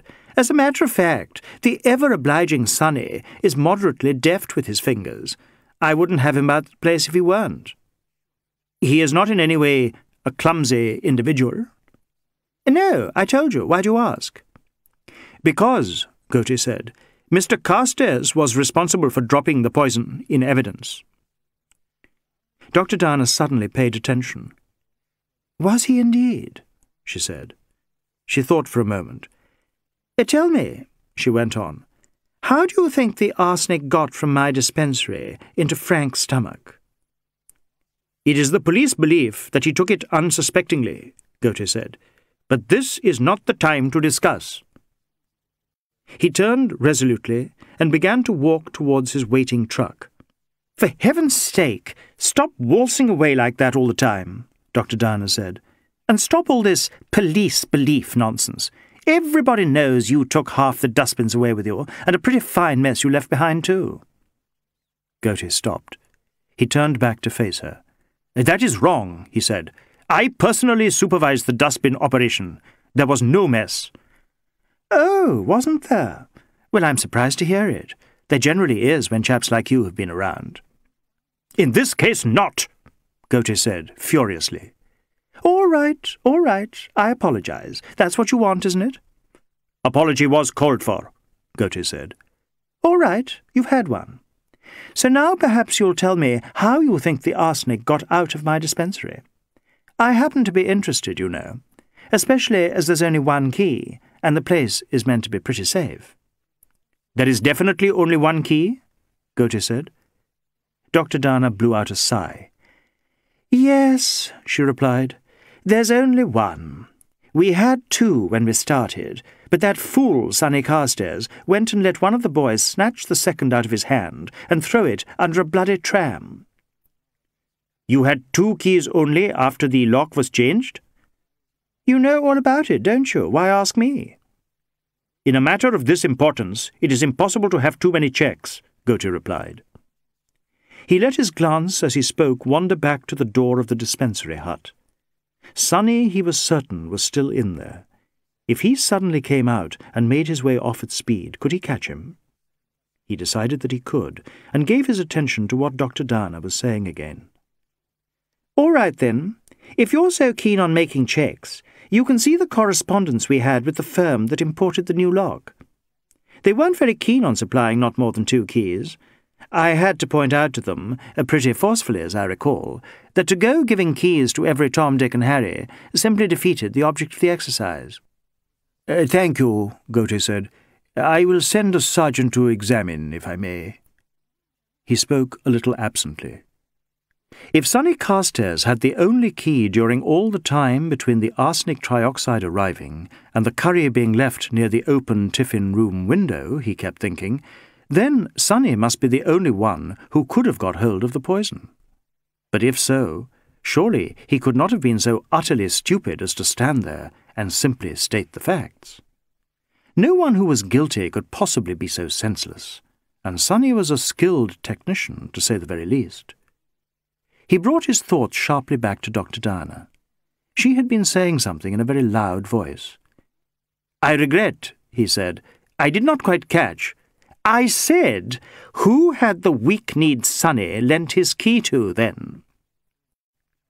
Why did I miss it? Ghote asked himself. Why did I miss that Sonny, in spite of what he had said, must have let the key out of his possession?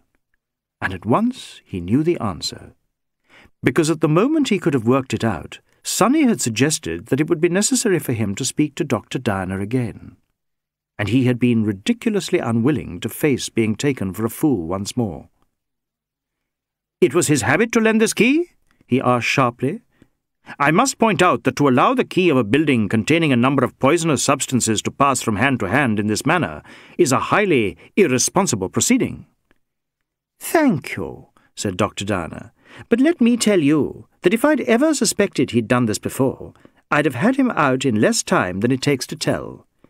And may I add, it's not particularly responsible to have missed asking him that question for yourself. But if it was not his habit to lend the key, Ghote answered, feeling himself growing hotter, then why do you say he did this? He may have kept it all the time. And sat there and waited for you to find out he was the only one with access to the poison. Sonny may have his faults, but he's not that stupid. There was nothing else Ghote could do. It was no use claiming now that he had already thought of this. Dr. Diana would simply not believe him. Very well, he said. I would go and ask. He turned towards the gap in the laden trellis through which he could see the door of the dispensary. And you think he'll tell you? Dr. Diana said. He will tell, Ghote replied. All right, all right. Don't sound so cross. I dare say you'll have the poor chap beaten up in some out-of-the-way cell or other. He'll talk fast enough then. He will talk when I want. But will he tell you the truth? I will see he does, however long it may take. Even if there's another way of getting to know? A simple and easily made check? Ghote swung round. The doctor was standing, looking towards him, wearing an expression of amused tolerance, like a placard round her neck. With an effort he conquered a desire to shout something, anything at her. If you can suggest such a way, he said, I would be delighted. That's better. Dr. Diana turned and began pacing sternly up and down the big lawn. Ghote walked beside her, adjusting his steps as well as he could to her formidable stride but beyond that he would not let her get away with anything. You told you had something to help, he said firmly. Dr. Diana looked at him. It's just this, she said. It so happens the dispensary was being watched last evening, on my instructions. Her announcement, which was made with no little impressiveness, fell singularly flat. Because just as she produced it, the inspector became aware that at that very moment a watch was being kept on him. All along the top of the wall which hid the house's dustbins discreetly from the garden, he perceived a row of heads. Two of them he recognized at once. At one end was the boy who called himself Edward G. Robinson. At the other end was the young acrobat, Tarzan. Between were four other gang members. And it was plain that every word of Dr. Diana's clear English tones must have fallen sweetly and easily on those six pairs of pricked-up ears, even from down by the wisteria-laden trellis. Inspector Ghote took hold of himself. One deep breath, two, three. Then he put a question without the least tremor of the mortified anger that had first seized him. The dispensary was being watched on your instructions? He looked intently at the doctor. Why was that? Did you expect such a theft? Dr. Diana laughed, the short bark of a well-trained English sporting dog. No, I didn't actually expect the theft of poison from my stocks. If I had, I can assure you I'd have done something about it pretty quickly. But as a matter of fact, the dispensary was only being watched as a sideline, so to speak. Please explain, Ghote said. He tried, by keeping his voice low, to influence Dr. Diana to drop her own tones to a point where every syllable at least would not come clearly to the listening boys. But his quietness seemed only to make her louder. It's really perfectly simple, she enunciated. It so happens I keep my car down in a little shed right at the bottom of the compound. You get into it from a lane at the back. Well, a couple of times recently someone, or some people, have bloody well desecrated it. Her shocked tones rang through the big garden. From the quick flurry of movement up by the dustbin wall, Ghote deduced quickly enough that the desecration had been the work of the listening gang, and that they were delighted with the reaction it had got. I see, he said, in a properly impressed manner. Yes, said Dr. Diana, and I had a pretty good idea who was responsible. So you know what I did? Ghote realized what she would have done. Have told off a couple of the gang to watch the car themselves to stop them interfering with it. What did you do? He asked. Dr. Diana drew in a good breath. I told off a couple of members of that particular gang to watch the car, she said. Stop them interfering with it themselves. She glanced at Ghote with an air of triumph. A most ingenious manoeuvre, he said. And who were these boys? Dr. Diana's face hardened. The couple I mentioned last night, she said. The ones they call Edward G. Robinson and Tarzan. The worst of the lot. I've some hopes for Tarzan sometimes, but I utterly despair of the other. Ghote was interested in this division. Why have you hopes for Tarzan? he said.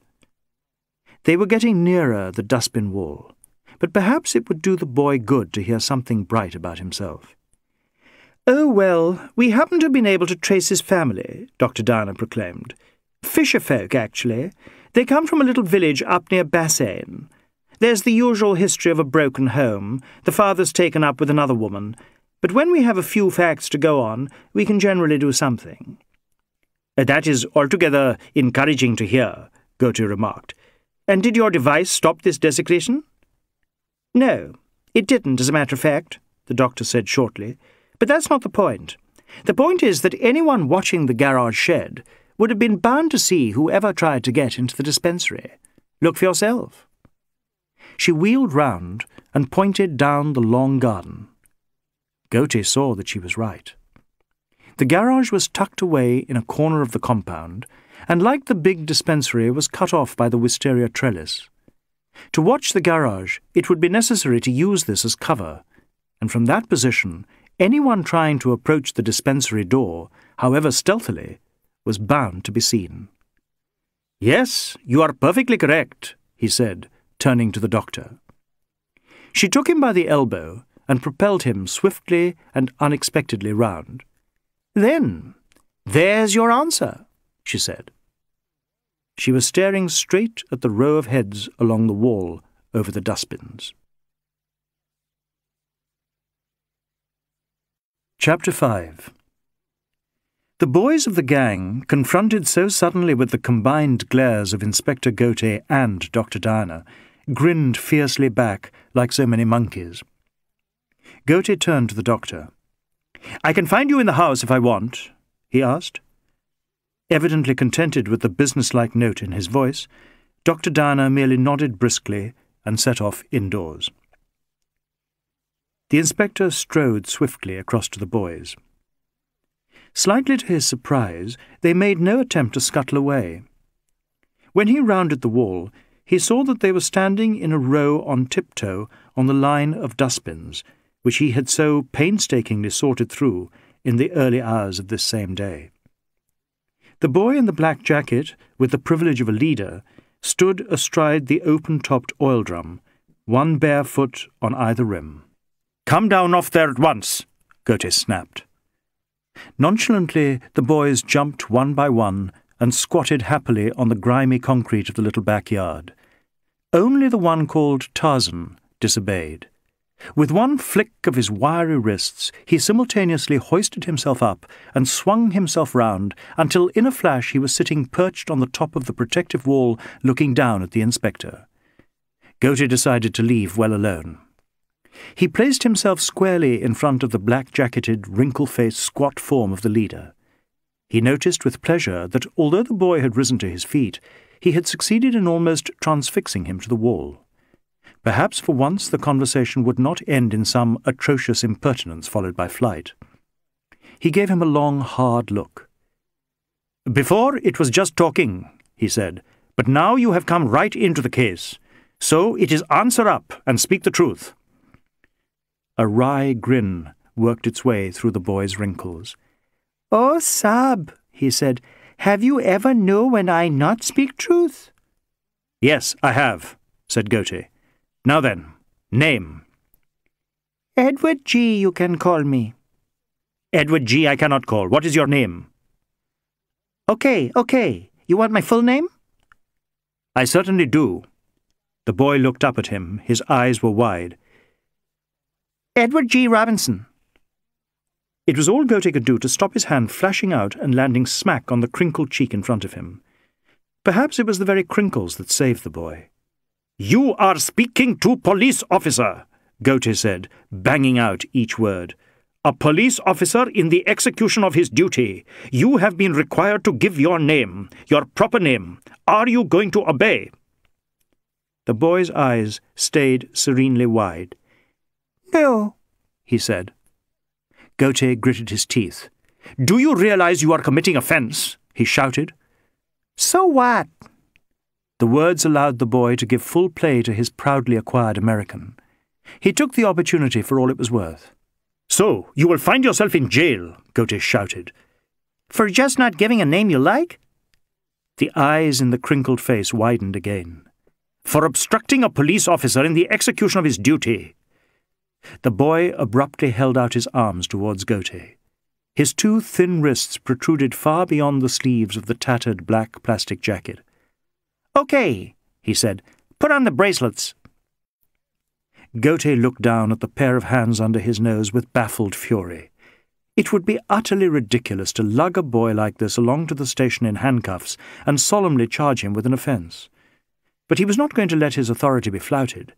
He was dealing with an important case, perhaps the most important case that would ever come his way, and this pipsqueak of a gutter urchin was holding him up. He felt a wave of red rage come spurting up, ready to burst in a deluge of frenzied action.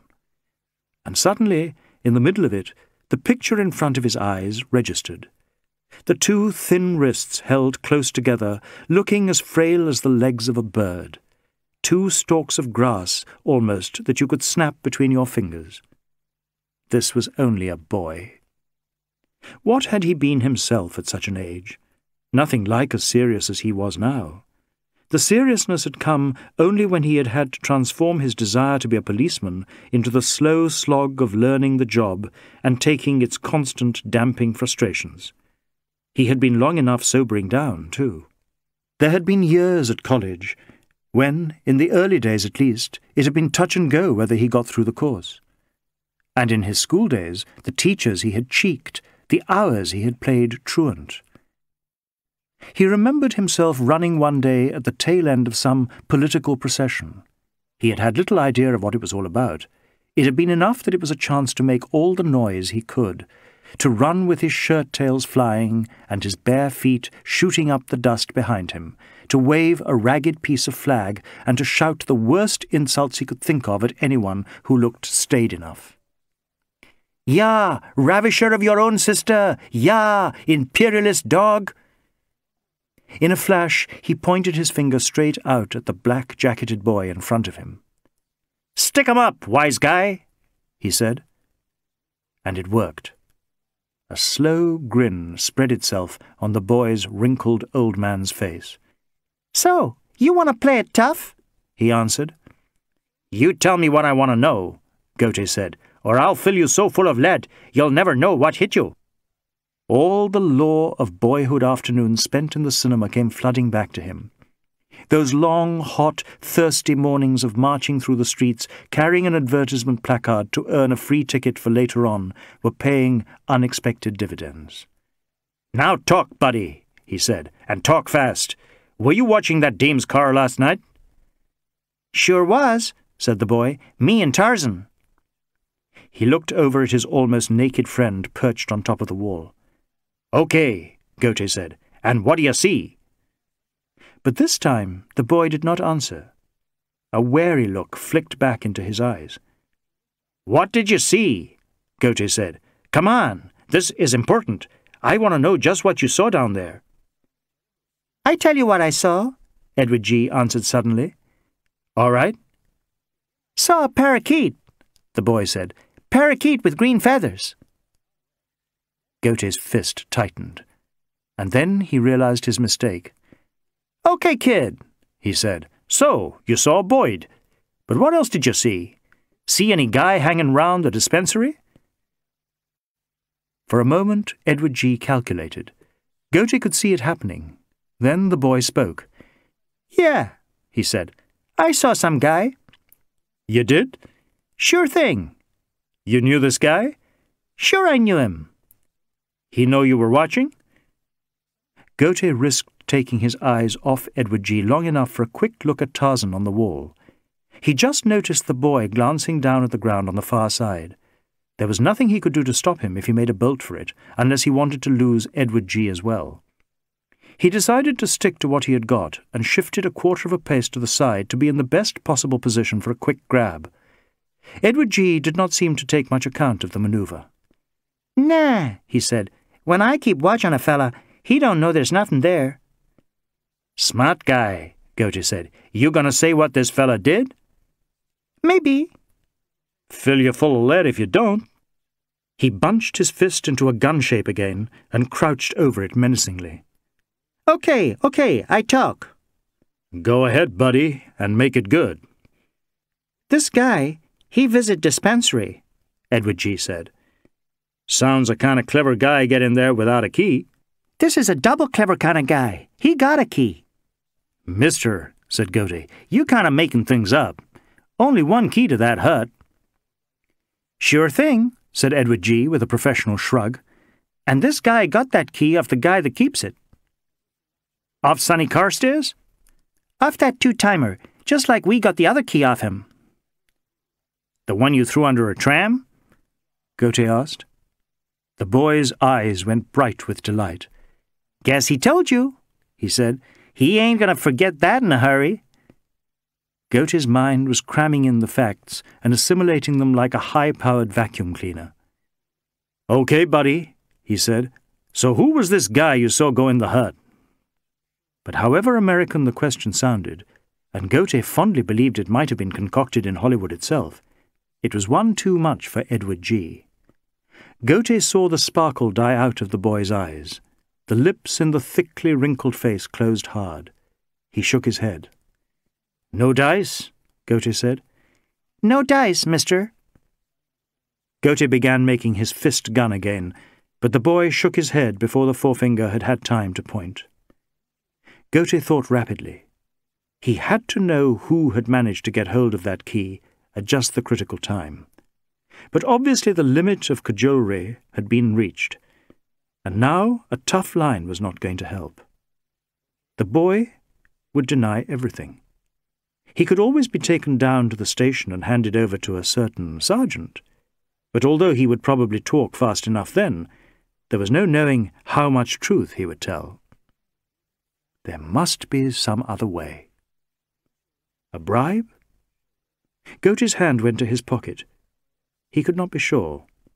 The boy would take the money all right, but would he... Then he relaxed.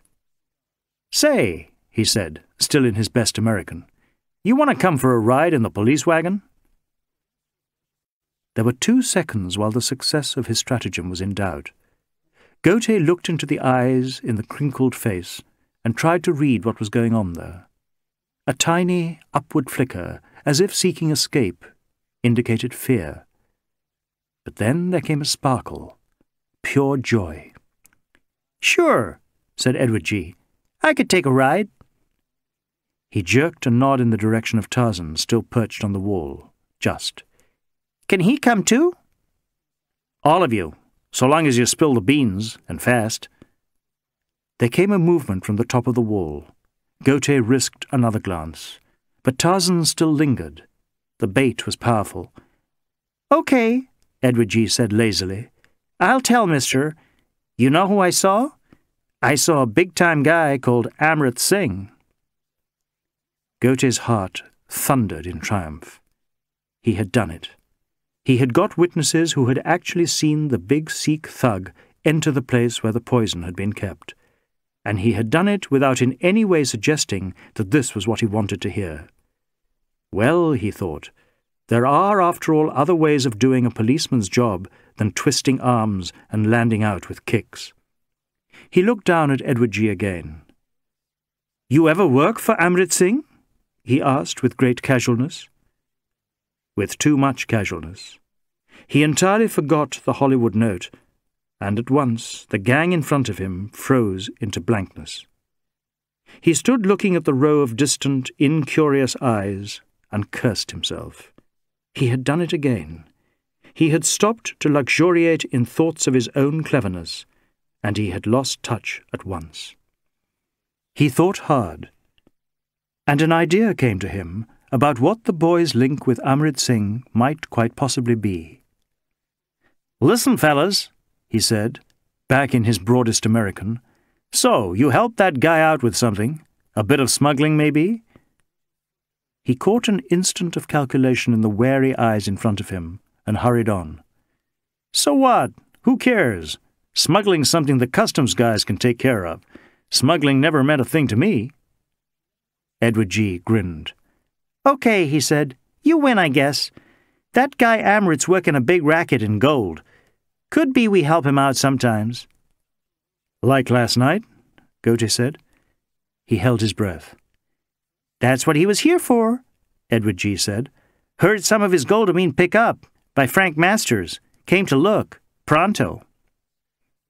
Ghote felt himself getting nearer and nearer the heart of the matter with every word he heard. Frank Masters. Here was the beginning of finding out how the good American was linked with the Bombay badman. Amrit Singh was looking for gold? he asked cautiously. Sure. The big boss locked the gold he found in the dispensary hut. Best place to lock anything. Is one place we can't get in. We tried, but we can't. Inwardly, Ghote recorded with pleasure the advanced state his relations with the gang had reached. When Edward G. could happily admit to attempted theft in this way, things had certainly improved. So, Amrit Singh was coming to get the gold back? he asked. Guess so. How did he hear it was there? Ghote asked. From one of you? Who passed on a message? Was it you? He looked at the black-jacketed figure in front of him. No, not me. Guess the news was all around the joint. Even they knew. They? The other big shots, them. Ghote nodded. Why did the big shot himself hide the gold? he asked, feeling his heart beat faster with every mention of Frank Masters. Edward G. began to shrug this one off. Then, suddenly, his attitude changed. He looked up at Ghote with eyes bright in his old man's face.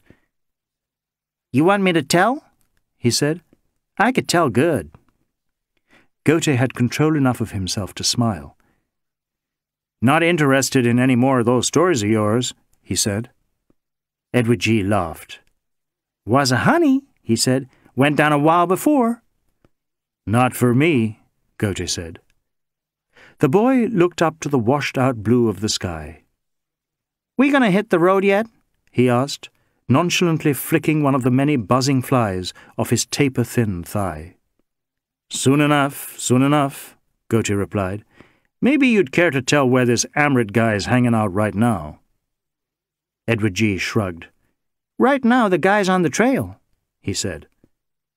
Ghote experienced a sudden vision, triggered off by this unlikely jumble of film talk, of the big Sikh loping along a dust track, dressed in a ten-gallon hat, smoking a big cigar, and with a submachine gun tucked under his arm.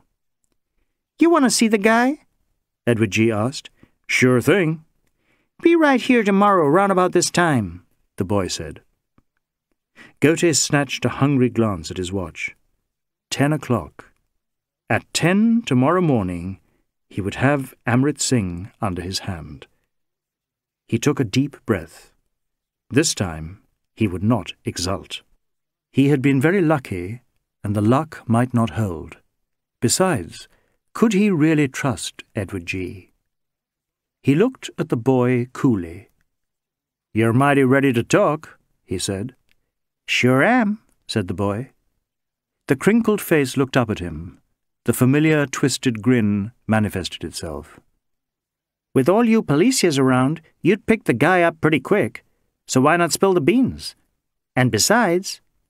A dangerously thin hand was held out, cupped. Ghote knew better than to take his new friends completely on trust. Hardly had the police truck disappeared down Woodhouse Road in the direction of the Afghan church with the gang clustered in the rear and the rigid back of the young driver signalling utter disapproval, than he had turned and sprinted for the telephone. CID records confirmed that Amrit Singh was still nowhere in sight. Yes, it was most likely he was out of Bombay. So far, so good. He asked to be transferred to the Fingerprint Bureau. Yes, they had got a lot of prints from the dispensary at the Masters Foundation, and a bloody waste of... Amrit Singh? The tone of the conversation changed rapidly. There was a remarkably short pause, and then an excited voice. Yes, sir. Definitely, yes, Inspector. Prints of Amrit Singh's in the dispensary, quite definitely. Thank you very much, Inspector. Ghote asked whether the Sikh's prints could also be found on the packet of broken brown glass or the black screw top he had brought in later. They would check. It would take time, but they would check. If it wasn't that the defence would insist on every precaution, they would find them there in five minutes. No? All right. They would play it the inspector's way. Ghote banged down the phone and stood for an instant thinking. What next? Yes, another of the facts he had stored away during his productive talk with Edward G. The key. Amrit Singh had entered the dispensary with a key, a key he had got from that two-timer, Sonny Carstairs. Ghote thought about Sonny for a few moments and evolved a plan of action. About an hour later, an hour spent mostly in allowing the reporters waiting at headquarters to extract a cautiously optimistic statement, Ghote watched two constables march into his little office in a great clatter of heavy boots and swinging, brawny arms.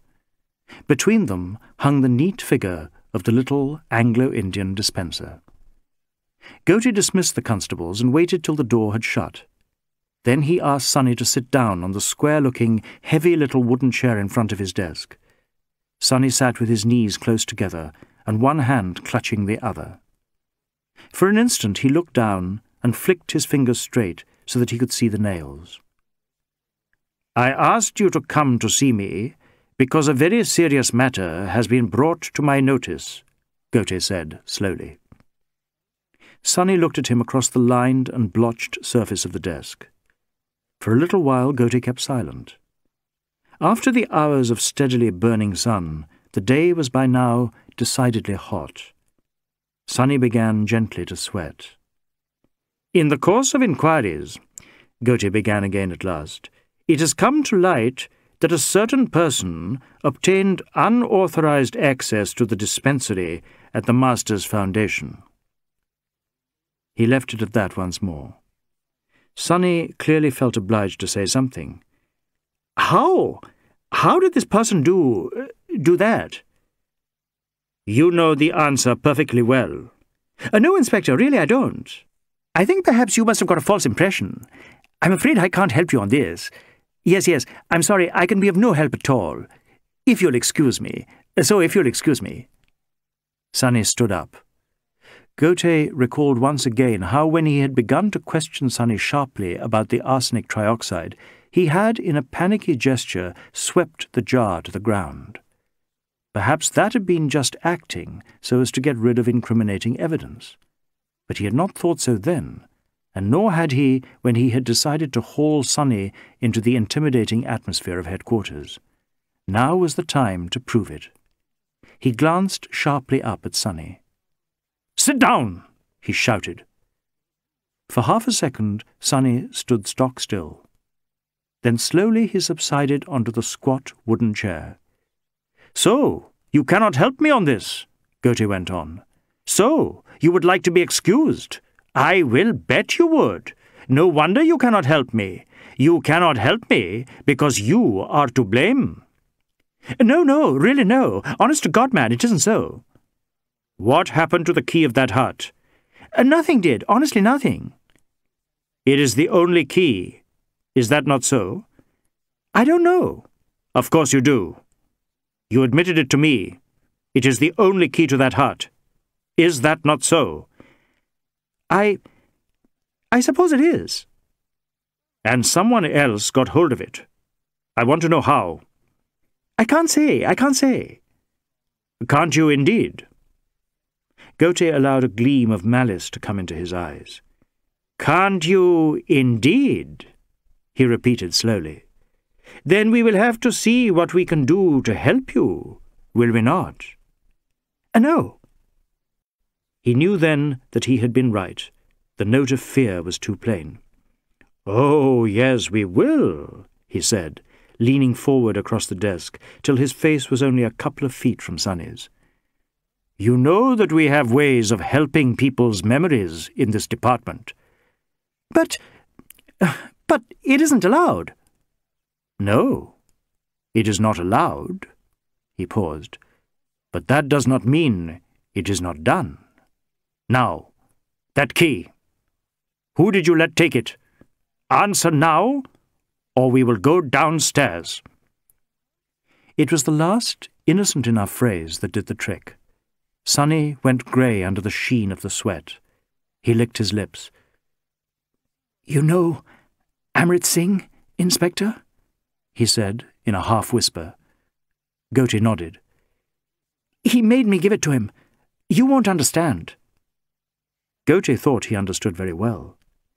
Sonny was not a difficult man to make do what you wanted. When did he take it? he said, not letting the pressure up. It was going on for eight o'clock last night, Inspector. I was just up in my little room on the roof. He suddenly came in. It was through the window. I knew him. He'd been consorting with the boys. I'd heard them talking about him. I knew what sort of man he was.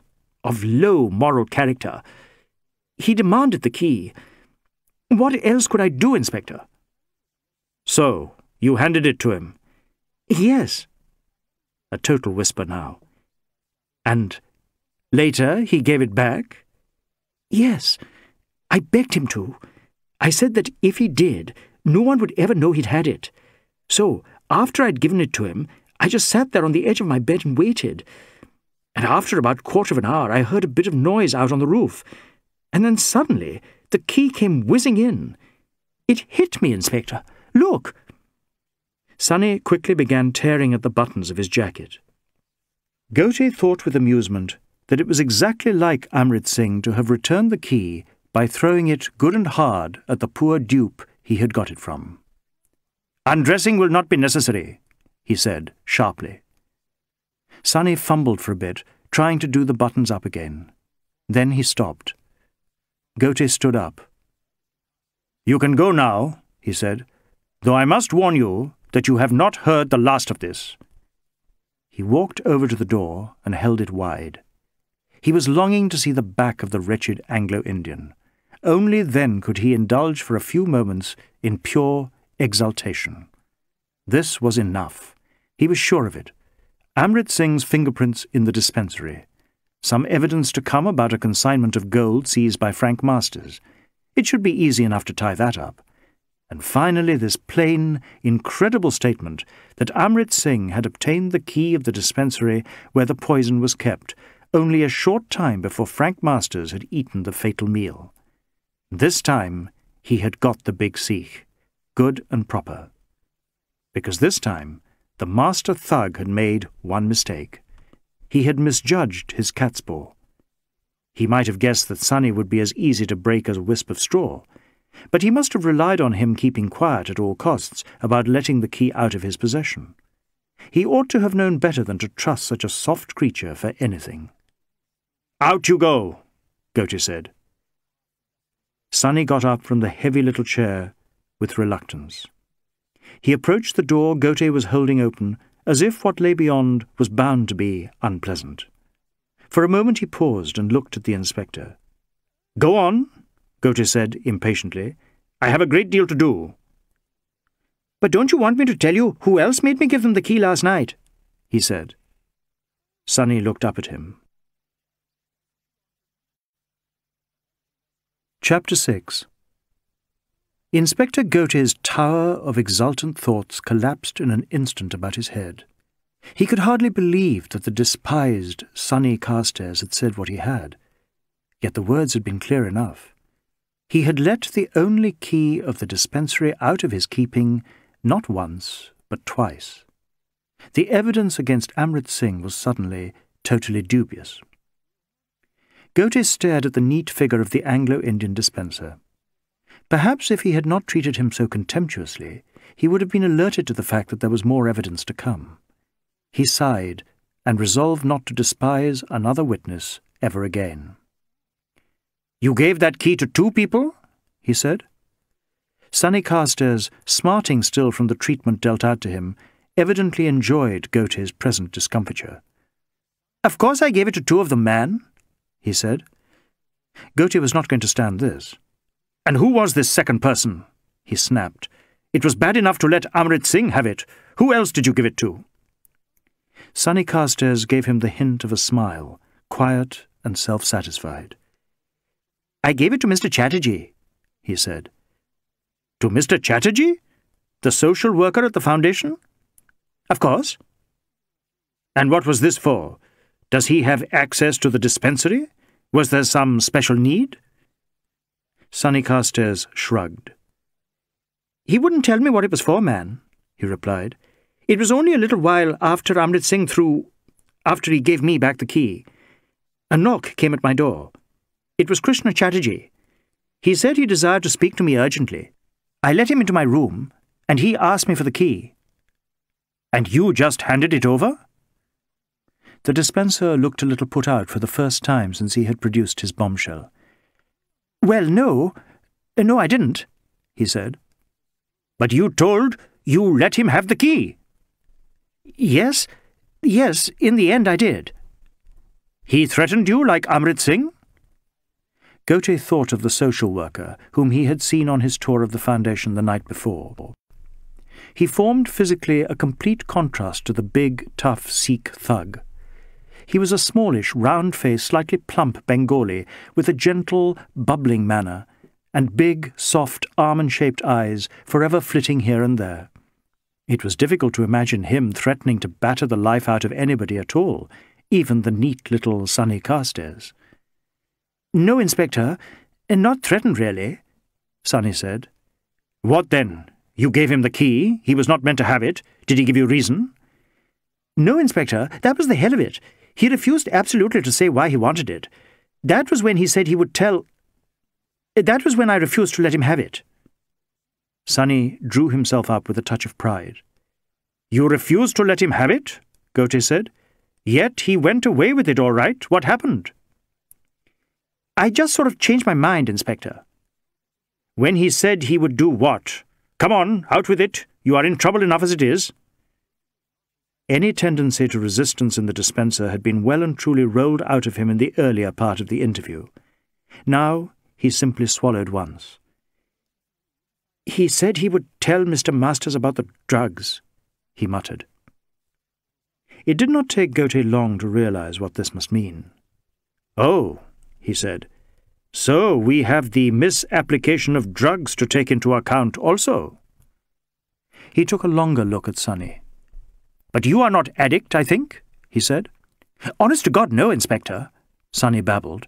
But just sometimes I used to take a sniff of ether or something, till Mr. Chatterjee caught me one day, and he said if he ever suspected I was doing it again, he'd have me sacked, dismissed. I see. And he threatened to have you sacked again if you did not hand over the key. Yes, sir. Yes, Inspector. But he did not tell you why he wanted it, not at all, not a hint even. No, Inspector, honestly. Then I will have to ask. But before Ghote put his question to Krishna Chatterjee, he got a chance to ask another which had worried him perhaps even more. If the social worker had gone to the trouble of bullying the key out of Sonny Carstairs, surely he must have used it. After all, he had returned it in time for Sonny to open the dispensary up again when Frank Masters had had to receive treatment. So two people would have entered the hut that evening. But Edward G. and the gang had said nothing about a second visitor. Ghote felt let down. After all that he had done to come down to the level of these boys, after all those silly games, they still had not been fair with him. As soon as he had got rid of Sonny, he had rushed down to his truck and told the driver to get round to the Masters Foundation as fast as possible. The Dodge drew up in the gravelly drive with a great screeching of brakes. As Ghote had half hoped, the noise and dust of their arrival immediately conjured up the familiar apparition in tattered and torn black plastic jacket. The boy evidently believed that his relations with Ghote were still in the same comfortable state as when he had set off on the promised jaunt in the police truck. He sauntered carelessly up. Behind him, the gang approached in an equally happy-go-lucky way. Hi, said Edward G. Ghote waited till he came right up close. Then his hand shot out and closed firmly round the battered black jacket. You, he said, you are just the one I want. The boy blinked at him in utter astonishment. There could be no doubt that this time the inspector had the upper hand. Now, Ghote barked, just what do you mean by not telling that Mr. Chatterjee went in the dispensary also? For an instant, the question really worried the boy. Then the old, wry half-grin sent the deep wrinkles of his face off into new convolutions. You never ask, he said. You want to learn that fella? Don't ask, don't get. I'll teach you to fella me, Ghote shouted suddenly. All the rage at his disappointment over having had Amrit Singh so neatly trapped boiled unexpectedly up. He gathered up the tattered black jacket in his fist. But Edward G. had enraged too many people in his short life not to know the signs to a hair's breadth.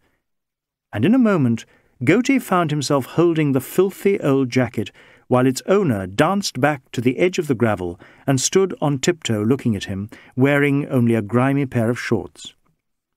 Ghote glowered. You knew it was important if anyone got into dispensary, he said. I asked you specially about Amrit Singh, and you had the damn cheek to say nothing about Mr. Chatterjee. His reply did not come from Edward G. himself. As if by some signal, he deputed the task to his lieutenant, the boy called Tarzan, and the reply was characteristic. With a sudden wild whoop, the boy launched himself high into the air, and with the tips of his outstretched fingers caught hold of the edge of the beam supporting the roof of the front door porch. From there he swung forward without a break. His legs were extended, his bare toes pointed. he came flying towards Ghote before the inspector had time to realize what was happening. A long, sharp, extremely dirty big toenail just perceptibly flicked him on the nose. And then the boy was swinging back, and a moment later had dropped lightly to his feet and had darted off with the others out of sight round the back of the house. Ghote stood forcing himself not to put up a hand and rub the place on his nose. So, when he had found Krishna Chatterjee, resident social worker at the Masters Foundation, it was with no very subtle method that he went to work. The door of the office had a wooden nameplate on it with Krishna Chatterjee painted in spidery black letters on a white background. Ghote gave the panel just underneath one perfunctory bang and opened the door. The room was very narrow and long, like a cupboard, except that at the far end there was a tall window. The cupboard-like look of the place was added to by the shelves along both walls, running from the door down to the window. They were crammed with books, new and old, tall and squat, some fat and glossy, others thin, starved, and paper-covered. They pushed and strained against each of the partitions fitted at intervals along the shelves. For some reason, the sight of them only inflamed Ghote the more. What would anyone want with so many books? Spending a whole lifetime with their head buried in useless old tomes. What was the point of that? There were things to be done in this world. Frank Masters had not wasted his time reading books. A figure stooping over an enormous sheet of paper spilling over the edges of a rickety typist's table looked up. In the dim light of the tall, narrow room, Ghote could make out little more than a pair of enormous brown eyes, glistening like some disturbed night animals. And as frightened. So he began in a fashion that surprised even himself. All these tomes, he said, all these tomes. He gestured towards either wall. What do you want with all these tomes? Krishna Chatterjee stood up, still stooping slightly, as if the position was habitual. Well, it is Inspector Ghote, he said. He seemed relieved. Yes, it is Inspector Ghote, and Inspector Ghote is wanting words with you. Mr. Chatterjee bustled round his desk, which in the confined space between the two book-lined walls was not an easy thing to do. Uh, come in, come in, Inspector, he said. Won't you sit down? The chair is not unsafe. I can guarantee that. Absolute unconditional guarantee. You see, I have evidence. This chair is regularly sat upon by innumerable small boys while I talk to them in very imperfect Marathi or Gujarati. What better evidence of essential stability could you have than that, eh? He held the chair in front of him with both hands and looked up at the inspector with his big eyes bigger than ever. Certainly the chair did not look strong. It was a plain wooden one with a crude pattern of a lotus stamped on the seat. The rungs of the back were tilted slightly out of true. Never mind chairs, Ghote snapped. We have more important matters than chairs to talk. Mr. Chatterjee lowered the offensive chair to the ground, peered at it for an instant, and shrugged his rounded shoulders. Yes, he said, the books, all the books, the tomes, you want to discuss them. Well now, Inspector, I must confess that you strike me on the raw there. Yes, definitely on the raw. I do not need so many books, I realize it. And yet, you know, I cannot seem to help myself buying them. And really, there is very little room left for new acquisitions. Very little indeed. He turned to examine anxiously the long rows of shelves. But I promise you one thing, Inspector, he said. Bibliophile that I am, I think I can say with perfect honesty that I do not let my passion interfere with my work. Indeed, it sustains it. Yes, sustains it. I think I can say. You see, Inspector, it is absolutely necessary in a profession like mine to have the widest possible grasp of human nature. And what can enlarge one's grasp of the infinite peculiarities of one's fellow creatures than the study of the many and varied books that have been written about them? What indeed?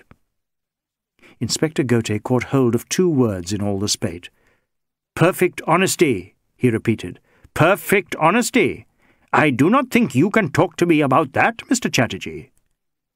The two big brown eyes in the round face in front of him suddenly were flooded with pain. Mr. Chatterjee held out his two hands wide. Inspector, he said, that is an accusation I hoped never to hear. I am dishonest, of course. I recognize that. I talk of perfect honesty, but I recognize that there are states to which we can never attain. But, Inspector, I promise you, without one iota of unnecessary self praise, that I do make an absolute point of keeping the ideal of honesty always in the forefront of my mind. It is not easy, you know, not easy at all. But dealing with the sort of young people who fall to my daily lot, I believe it is absolutely essential. Absolutely. So, you practice honesty with the sweepings of the pavements, Ghote said, and forget all about it when you are talking with a police inspector. But no, my dear sir. Are you saying that I have been dishonest with you? Inspector, there has been some dreadful error. The big eyed Bengali was every bit as voluble as ever, but Ghote thought that somehow he was beginning to lack the full torrential flow of assurance. Nevertheless, he said, I am accusing. End of Disc 2 Disc 3 Krishna Chatterjee looked round his book-lined retreat in plainly growing dismay.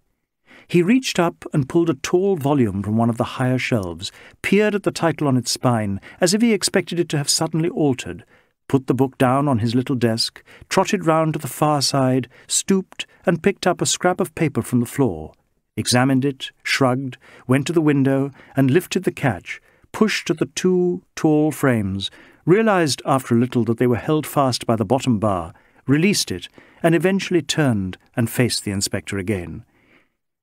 It seems most appallingly hot all of a sudden, he said.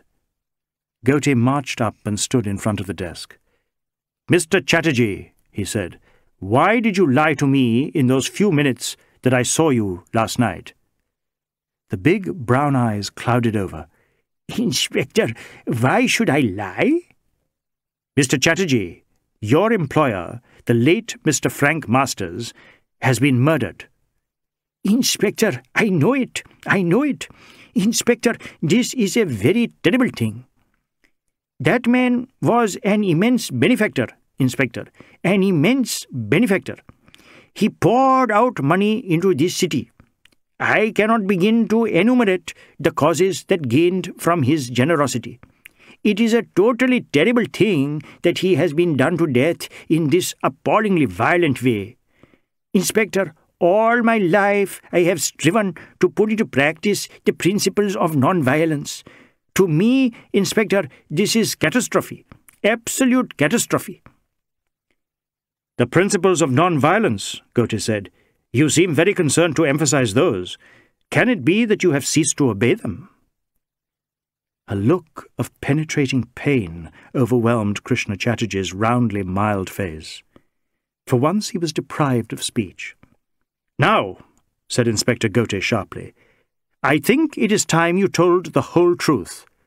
What did you want with the key of the dispensary yesterday evening? Krishna Chatterjee clasped his hands tightly together. He swallowed. Inspector, I do not know what you are saying. What key of the dispensary is this?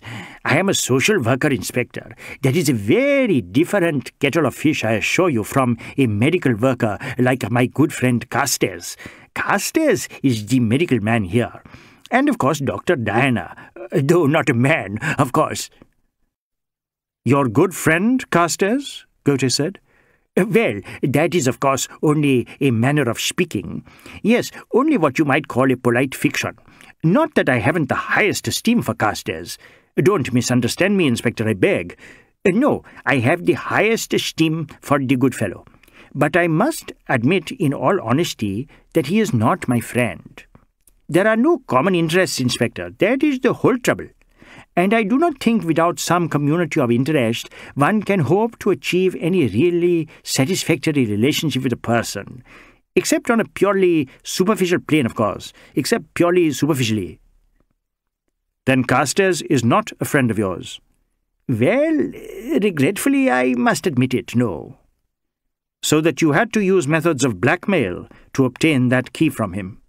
Inspector, I do not know what you are saying. Mr. Chatterjee, you know very well. You obtained the sole key to the dispensary from Carstairs. You entered the hut, and you took from it the poison that was subsequently found in the body of Frank Masters. You administered that poison. The round-shouldered Bengali glanced desperately from side to side. He opened his mouth to speak, but no sound came.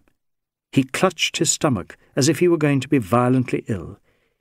Inspector, he said, Inspector, you must understand. I will make an admission. Having got the word out at last, he seemed happier. He stood up straighter and let his hands fall to his sides. Yes, Inspector, I see that I can no longer attempt to hide the truth. I see indeed that it was foolish of me to contemplate doing so. I hope you will believe me when I say that I think it was truly the first time in my life I have ever attempted to practice flagrant deception. And I fear I was not particularly adept. Well, no, I suppose I am grateful for that, in the long run. The truth, said Ghote implacably. Uh, yes, the truth, I must tell it very well. Krishna Chatterjee stroked at his round cheeks with the tips of his fingers to brush away some of the beads of sweat that had collected there. Uh, terrible humility, he said. Ghote looked at him unblinkingly. Uh, very well then, Inspector. I must confess that I did indeed obtain that key from the unfortunate Sonny Carstairs. I am afraid I took advantage of a piece of info. All right, Ghote cut in. I know all about what you said to Carstairs. We need not go over all that. Yes, yes, I see that a person in your profession must avoid unnecessary and repetitious statements. Time is of the essence, doubtless. It is. Come on.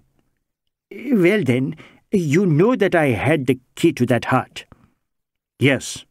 And that in due course I returned it. Yes. Well, then, I think that is all I can tell you, Inspector. Yes, with the greatest possible goodwill, I do not think I have the right to add a word to that. No, not a word. You took the key from Carstairs, and what did you do with it next?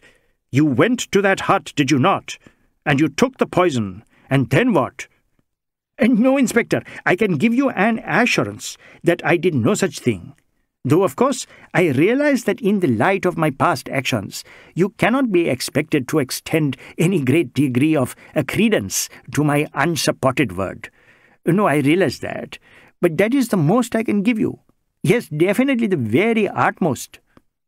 Mr. Chatterjee, I want to know what you did with the poison.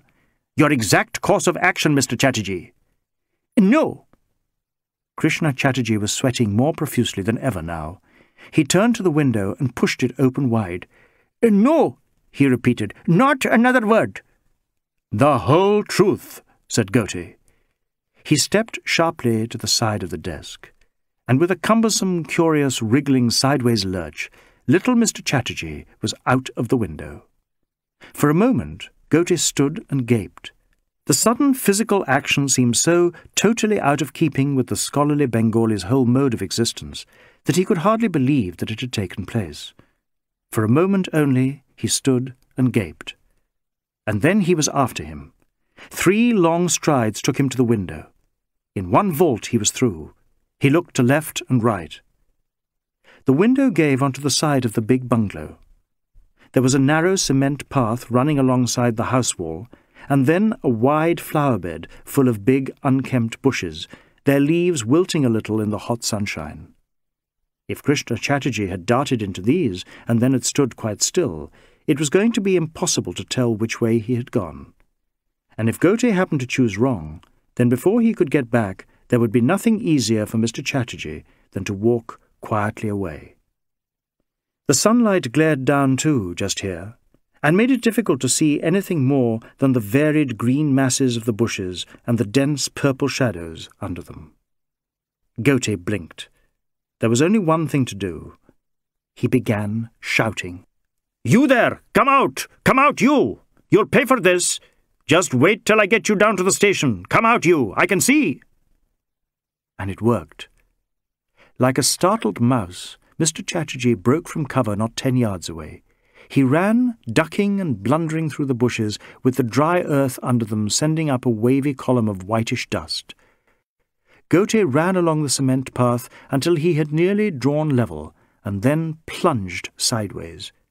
You stop! he shouted once again. Mr. Chatterjee stopped. Run, Sab! Run away! A sudden shrill voice darted out from just behind Ghote. He turned in fury. Krishna Chatterjee began to run again, with little waddling steps hardly faster than a walk. As Ghote had expected, standing at the corner of the house, once again clothed in the abominable black jacket, was Edward G. Robinson. You wait! Ghote shouted at him. He turned to pursue Krishna Chatterjee, and suddenly went sprawling into a prickly, wiry-branched, flowering shrub. He rolled, cursing, out of it, and looked down to see what he had stumbled over. A thin noose of rope was neatly caught round one brown shoe. He followed its length back. And there was Tarzan, grinning with great cheerfulness. Ghote jumped to his feet. In a flash, Tarzan disappeared round the side of the building. Ghote tugged at the rope till it came off and set out in the direction Mr. Chatterjee had bumblingly taken. A few quick steps brought him to the driveway. The Dodge truck was standing there in a patch of shade. The driver was sitting at the wheel, bolt upright and quietly snoozing. Krishna Chatterjee, for all the ineffectiveness of his run, was just leaving the house gate. In Woodhouse Road outside, a bus was slowing to a stop. There was nothing to prevent the little Bengali jumping on board and then getting off again wherever it pleased him. Ghote ran a pace or two forward. But it was hopeless. Stop! he shouted. And abruptly, Krishna Chatterjee stopped. He stopped, turned round, saw Ghote, and began coming towards him. He was bending a little at the waist from the violence of his exertion. Ghote did not have the strength of will even to go to meet him. He just stood, hoping the round-shouldered Bengali would not change his mind. He did not. In a few moments he was standing in front of the inspector. My dear sir, he said, I owe you a most profound apology. Chapter 7 Krishna Chatterjee apologized. He stated at length how wrong it had been of him to try to run off. He hinted that it was only the unusualness of his situation which had made him act in this way. But he did not offer the least explanation of why he had persuaded Sonny Carstairs to hand over the key of the dispensary. Nothing Ghote could say would budge him. I am very sorry, Inspector, but I just cannot divulge my reasons. I can only state, as positively as possible, that I did not in any way harm Mr. Masters. It was the very last thing that I would wish to do. But you took the poison. Inspector, I did not. But you went into the dispensary. Mr. Chatterjee hesitated. Yes, he said, I did. Then, if it was not to take the poison, what was it for? Inspector, I regret profoundly, but I decline to say. I could arrest you on the evidence I have. Eh, then you must arrest me, Inspector. But if you say you did not kill Frank Masters... I do say so, most emphatically. But I realize that you cannot, in the nature of things, proceed to act on my unsupported word alone. You would be perfectly within your rights in carrying out my arrest. But, thought Ghote, I will not do it. Not however much I can see how, in spite of your strangely honest denials, you could really be the murderer of Frank Masters, a man of truth until the moment comes for the one lie. But I cannot bring myself to arrest you, because I no more know for certain you are guilty than I know that Amrit Singh is. The evidence balances up to a grain. Amrit Singh forcing Sonny Carstairs to hand over the dispensary key, Krishna Chatterjee blackmailing him into doing the same thing, Amrit Singh hurling the key back after keeping it for just the time needed, Krishna Chatterjee returning the same key before it was wanted for the emergency of Frank Master's illness. Amrit Singh's fingerprints discovered in the dispensary, Krishna Chatterjee confessing to having been there himself. The balance was exact. There remained one hope. The Fingerprint Bureau was still testing the mess of brown glass fragments that had been the arsenic trioxide jar. If they could definitely find one of Amrit Singh's prints on one fragment, or one of Krishna Chatterjee's, but not both, not both, Ghote prayed. Nor did a rare evening at home, spoilt only by four separate phone calls from newspapers, none of which Ghote now found easy to answer, do anything to resolve his dilemma. He arrived at the office next morning, Sunday, hoping passionately that the report from the Fingerprint Bureau might be there to provide the answer. And as soon as he opened the door, he saw it. A single sheet of foolscap paper in the familiar style with a dozen lines typewritten on it, and the heading, For the Attention of Inspector Ghote. He crossed the little room in two strides, picked up the sheet, twirled it round, and read. His spirit slumped. Sonny Carstairs' prints had been identified on the glass fragments, and so had Dr. Diana's. There was one other set, unidentified, doubtless belonging to someone at the pharmaceuticals factory, but not a trace of Amrit Singh's. And equally, not a trace of Krishna Chatterjee's, since the Bureau had his prints along with all the others taken at the Foundation. There was worse to come, a little. Underneath the Bureau's report lay another one, it was from the sergeant detailed to check the key business, and it entirely confirmed what Dr. Diana had said. The sergeant had seen her correspondence with the lock importers. Something of the awe with which she had come to be regarded by the firm seeped through even in the formal words of the report. And the facts were clear.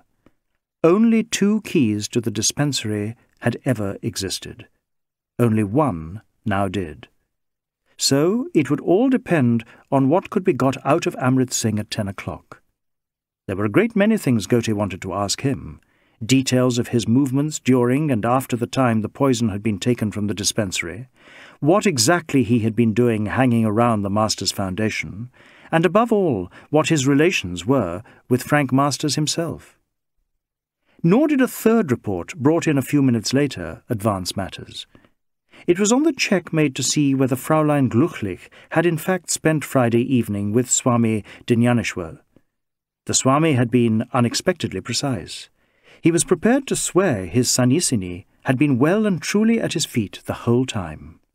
Definitely. Ghote looked at his watch. A long while to go yet before it got near ten o'clock. He went over in his mind arrangements made the evening before to have the big bungalow in Woodhouse Road surrounded at the appropriate time. It would be a tricky business. Put too many men into the area before Amrit Singh was due, and it was almost certain he would spot something and be scared off. On the other hand, if it came to an arrest, there could never be too many hands waiting to grab a character like the big Sikh. Resolutely, Ghote set himself to tackle what routine work he could find to do. But it lasted all too short a time. He picked up the telephone and spoke to Chavan, the uniformed inspector in charge of the ambush party. Chavan simply made it clear that he resented being fussed over, and Ghote put down the receiver with a sigh. He looked at his watch again. It would still be absurdly early to set off. He took out his copy of the Times of India Sunday edition. He had already read the meagre report of the case and the long obituary of Frank Masters. For all its length, the latter had not helped him one little bit to understand the American. There had been the lists of charities which had benefited from his wealth. There was a reference to his education in America, but the names of the school and college he had attended meant nothing to Ghote. There was a more detailed account of the origins of the master's fortune.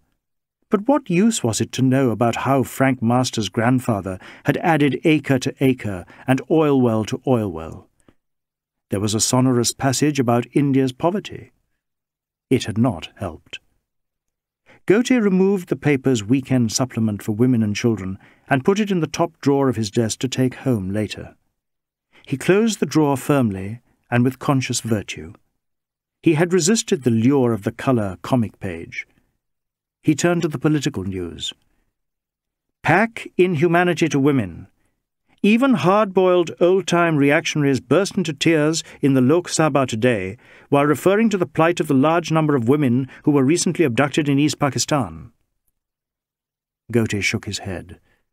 There was a limit to the amount of that that he was prepared to read. Something a little more down to earth would be needed to take his mind off Amrit Singh until the moment he could decently set off. Opposition parties accused, Stating that the Congress today was as strong as ever, a party spokesman said opposition members were magnifying small differences to vilify the organization. Party members should not be frightened by such tactics of the opposition, but work with redoubled energy and in a selfless manner for the good of the people. Ghote looked up. Was there something he should be doing with selfless energy at this moment to make certain of pinning that enemy of the people, Amrit Singh? He looked all round his little office. A flicker of movement caught his eye down in the dark corner by the filing cabinet. He got up and went over. Sure enough, at the bottom of the small glass-fronted bookcase in which he kept copies of current information circulars, a tiny lizard had contrived to get itself trapped. As he approached, the little beast flung itself into a maniac whirl of activity, trying to penetrate the thin sheet of glass that cut it off from escape but within a few seconds it had fallen on its back on the bottom of the shelf, palpitating and exhausted. Ghote took a sheet of paper from the top of his desk, rolled it into a tube, opened the drop front of the bookcase, and flicked the little creature out. For an instant it lay on the floor, its beady eyes still. Then suddenly it appeared to realize what had so mysteriously happened to it. With a twist of its tail, it righted itself, paused just long enough to gulp once, and darted straight into the safety of a small crack between the floor and the wall. Ghote walked back to his chair, picked up the Times of India again, and flapped over the pages.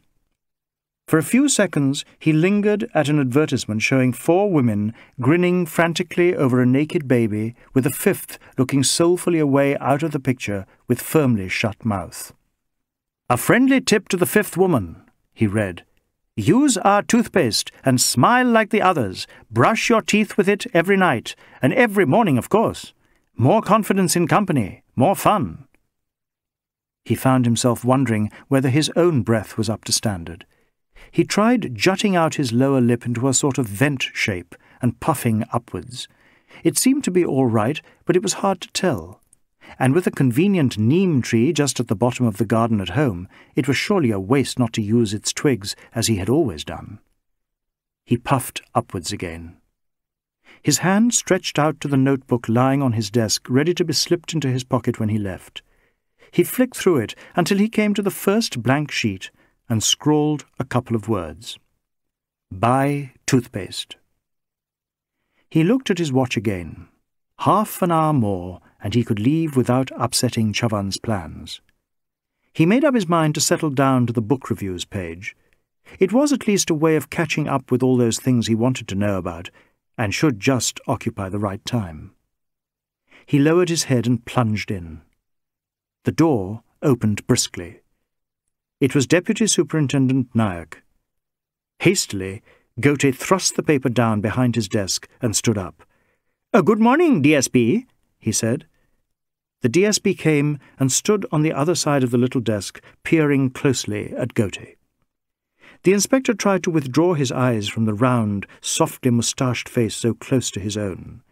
He could detect a slight asthmatic note in the DSP's breathing, and it was evident, too, that here was someone who was thoroughly modern in the matter of dental care. A faint, minty tang in the air was quite unmistakable. And now then, the DSP said, are you making progress, my dear fellow? Ghote quickly debated the wisdom of telling the DSP his exact dilemma. He decided to say nothing. So much still depended on what he was able to get from Amrit Singh. If he could screw just one admission out of him, then he could justify pulling him in. But there was no point in handing the defence points on a plate by acting without enough evidence. And unless he had something concrete to put before the DSP, it would be much safer to say nothing. Rouse no expectations.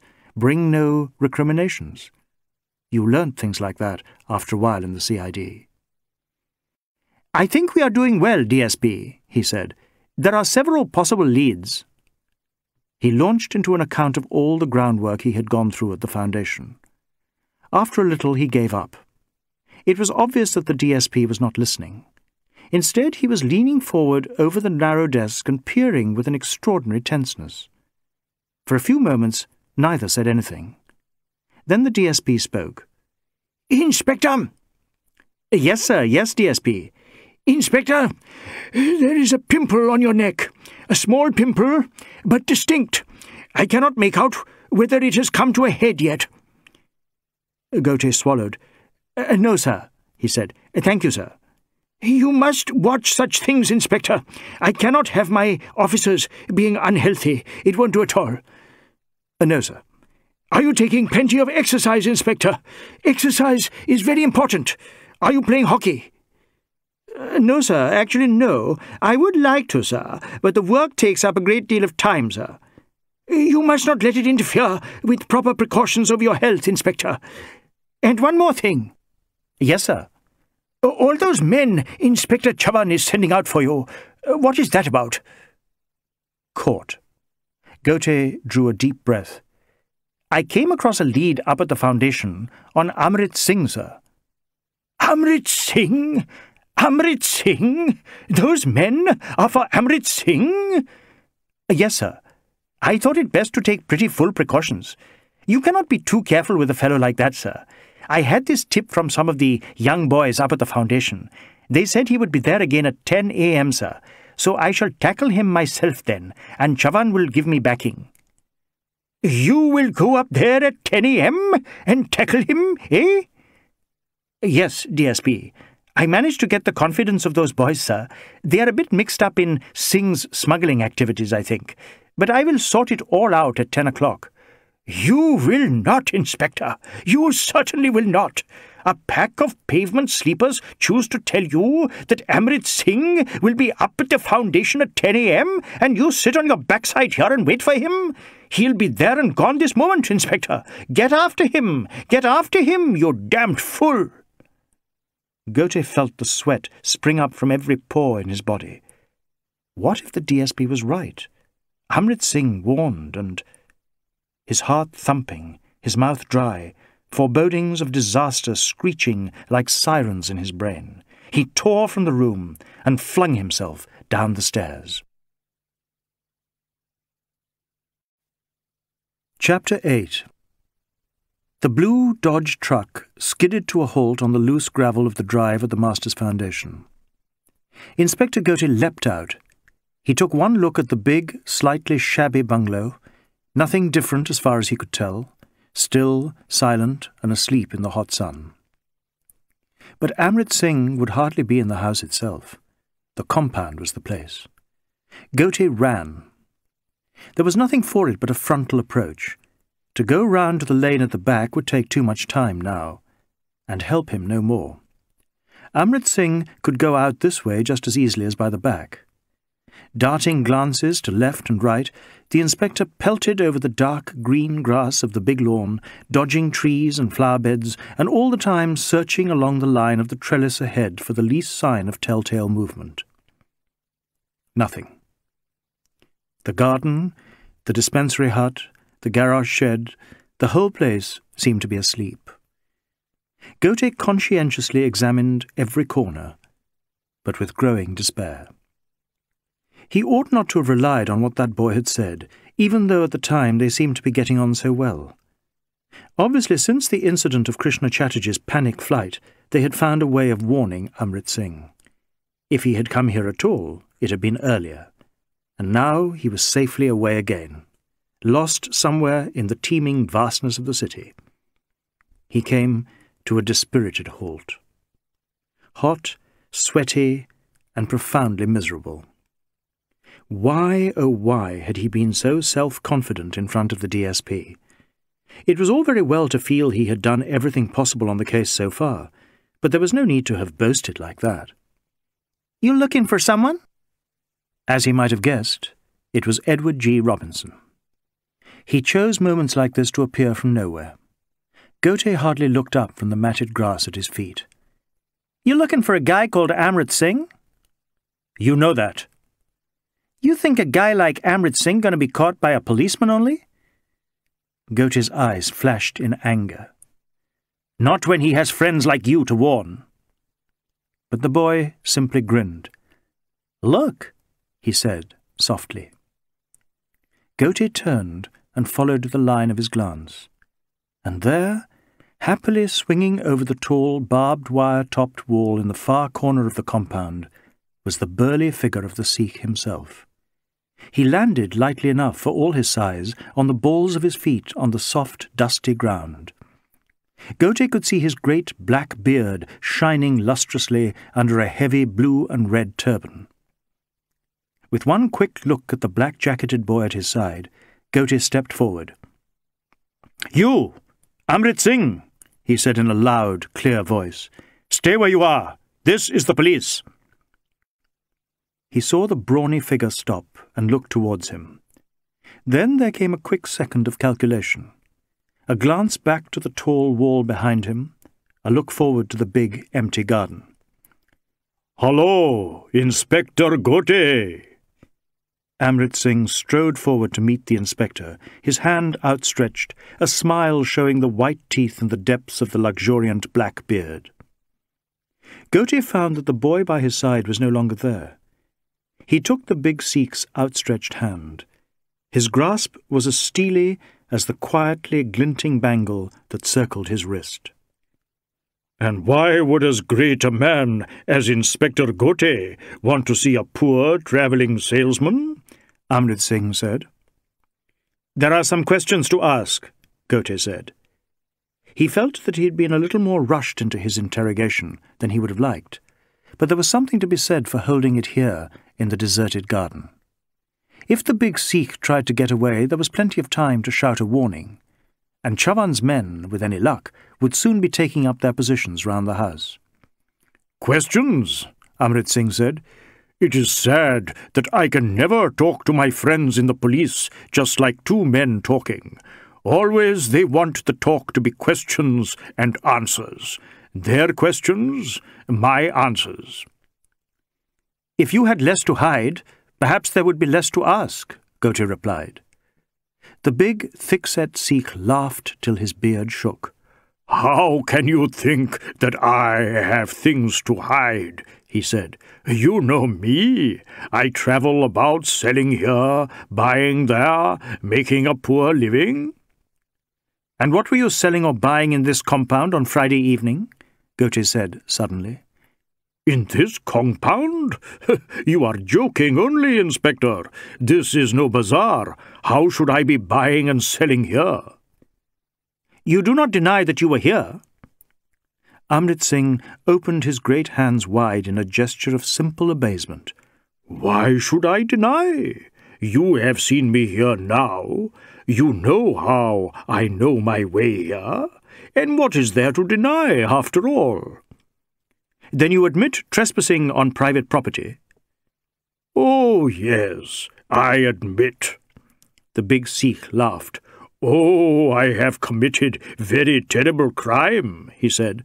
No wonder it is a CID inspector himself they have sent to arrest me. Trespassing. Will it be hanging matter, do you think, or seven years R.I. only? Ghote felt the sting of a defeat. It is not rigorous imprisonment matters only that I am wanting to talk, he said. How did you get the key to the dispensary hut there? He glanced over at the long, low hut with its crisscross of heavy wires at the windows and stout wooden walls. The Sikh laughed again. Hanging matters, is it? he said. To have a key to an old hut? Oh, you policiers, you are getting more strict every day. Once they did not want to hang you for every little mistake, but now the least thing you do, and already a policeman is there with a rope ready to put round your neck. You have not answered my question, Ghote said. How did you get that key? There are so many keys, Amrit Singh said, with a shrug of his broad shoulders. How can I remember each one? There are not so many keys. There is one only. The lock on that door is no ordinary one. It is American type. There is one key only for that, and you had it. Perhaps it was given to me, Amrit Singh replied. His eyes were bright and dancing under the jutting black eyebrows. And who should give you the key to the dispensary at the Masters Foundation? You, a notorious thug. Who knows who might give it, the Sikh said. Master Saab himself it could have been. Ghote felt his blood begin to race. Was there really some link between the Sikh and the mysterious American millionaire? Or was it, after all, only the big thug's particular brand of humour? Master Saab, Ghote said cautiously. What do you know of Master Saab? Oh, he is a very generous man, the Sikh replied. Everybody knows that, Ghote said. You have to read the papers only to see that. Then, if he is so generous, why should he not give me key? Amrit Singh leant back on his heels, delighted with this simple piece of wit. What did Frank Masters know about you so that you had to make sure he could not speak? Ghote snapped suddenly. But Amrit Singh was too old a hand to be caught this way. How should I know a man like the great Master Saab? he asked. I, a poor travelling salesman. What were you doing so near his house on Friday, then? Ghote said. A dark glint of humour came into the Sikh's eyes. I suppose you have witness who saw me, Inspector Saab, he said. It is not for me to tell you of the nature of the evidence that the police department has, Ghote replied. Perhaps you are not sure yet that your witness will say the right things, Amrit Singh answered quickly. Perhaps he has not yet had enough teaching in his part. I do not find it necessary to use evidence of that sort, Ghote replied stiffly. Ah, no, I beg your forgiveness, said the Sikh. I forgot I was speaking to the great Inspector Ghote, the one who never bribes his witnesses, the one who can never be bribed himself. Infuriated as he was by the big thug's cheerful contempt, the inspector could not help feeling at the same time a quick-running vein of pleasure. So, he had got a reputation for not rigging the evidence, for not taking any sort of bribes. It was a tribute, the Sikh laughed. Though it is pity that you will always be so poor, he said. If it is necessary to be poor, I am happy to be so, Ghote said, the words tumbling out before he had time to check them. My rate of pay is enough to live on. There is no need for luxuries and refrigerators and air conditioning and all those sort of things. The Sikh inclined his head in solemn agreement. Oh, no, he said. No need, no need at all. But it is pleasant to be cool, and to drink beer from the ice, and to have your own car to ride in. That has nothing to do with it, Ghote stormed. I am asking you questions, important questions. What food did Mr. Masters have to eat on Friday? Iced beer he had to drink, that I will bet, the Sikh replied. I asked what he had to eat. The Sikh shook his head from side to side till his big beard wagged. Oh, Inspector, he said, I have heard the news, you know. Master Sahib is dead. They say he was poisoned. Am I going to tell you what food he had, even if I knew? Then you do know. Amrit Singh stepped a pace back and held up his right hand as if he was taking an oath. I am not knowing one thing, he said. I think you are. Tell me, did you have to open the window, or was it open already? The Sikh's eyes widened enormously. What window is this, Inspector Saab? I know of no windows. The curries on the serving table, Ghote said. How many were there? What table, Inspector? What curries? You refuse to answer? Inspector, how can I answer? I am knowing nothing of all this. Then what were you doing in this compound on Friday? The Sikh bowed his great turbaned head. Inspector, I was trespassing. But I asked why. Why were you trespassing? Inspector, I am a very bad fellow, a deplorable fellow, Inspector. Why were you in the garden? Such a bad fellow, Inspector. Ghote looked at him in silence for a moment. There are ways of making you answer, he said. Oh, yes, said the Sikh promptly. Very terrible ways, I know. Many have been tried on me. He leant forward a little and winked. Hard. But not by the good Inspector Ghote, he said. Inspector Ghote does not do such things. And again Ghote felt the little quicksilver dart of pleasure, but he did not let it deter him from his object. Did Dr. Diana eat the fish curry or the beef? he snapped. Ah, now, said the Sikh, that Dr. Diana I am knowing. A very fearful person, Inspector, is it not? Most terrible, enough to make the heart of a man tremble. He filled his lungs with air, letting the big muscles swell. But with the curries, he added, I cannot help.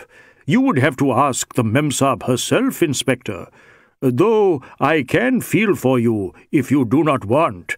Even I am a little afraid of Dr. Diana. Inwardly, Ghote fumed. Had Amrit Singh really divined his own timidity about Dr. Diana, or was he just striking at a venture? There is nothing to be afraid, he snapped out. Dr. Diana is just resident medical officer at Masters Foundation. What is there to be afraid in that? Under the tangle of bushy black eyebrows, the thick-set Sikh's eyes gleamed with sudden dark lights. Oh, there is nothing, nothing at all, he said. Only it is not given to everyone to be as brave as a police inspector. It is not everyone who would face a gun and think nothing of it. His hand slipped down towards the heavy sash round his waist. Ghote calculated that he almost certainly did have a gun concealed there. What is this facing of guns? he demanded. Do you think Dr. Diana threatens me with gun?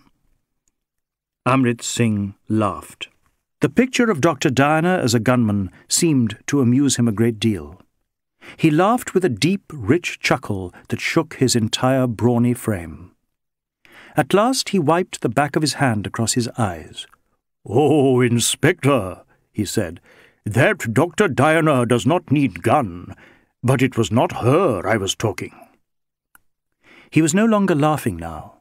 No, he said, it is not her who would be threatening the good Inspector Ghote with a gun. Not her at all. He looked steadily at the inspector and quietly patted the folds of his cummerbund. The motionless, intent eyes. Ghote felt a flicker of pure apprehension down in his stomach, an uncontrollable flicker of apprehension. Enough of this, he said with sudden briskness. Amrit Singh, I am asking what you were doing in this compound on the evening of Friday last. Inspector, said Amrit Singh, I am not telling. What were you doing in that hut? Ghote pointed at the long, dark brown shape of the dispensary. Inspector, you would have to prove for yourself. Why did you kill Frank Masters?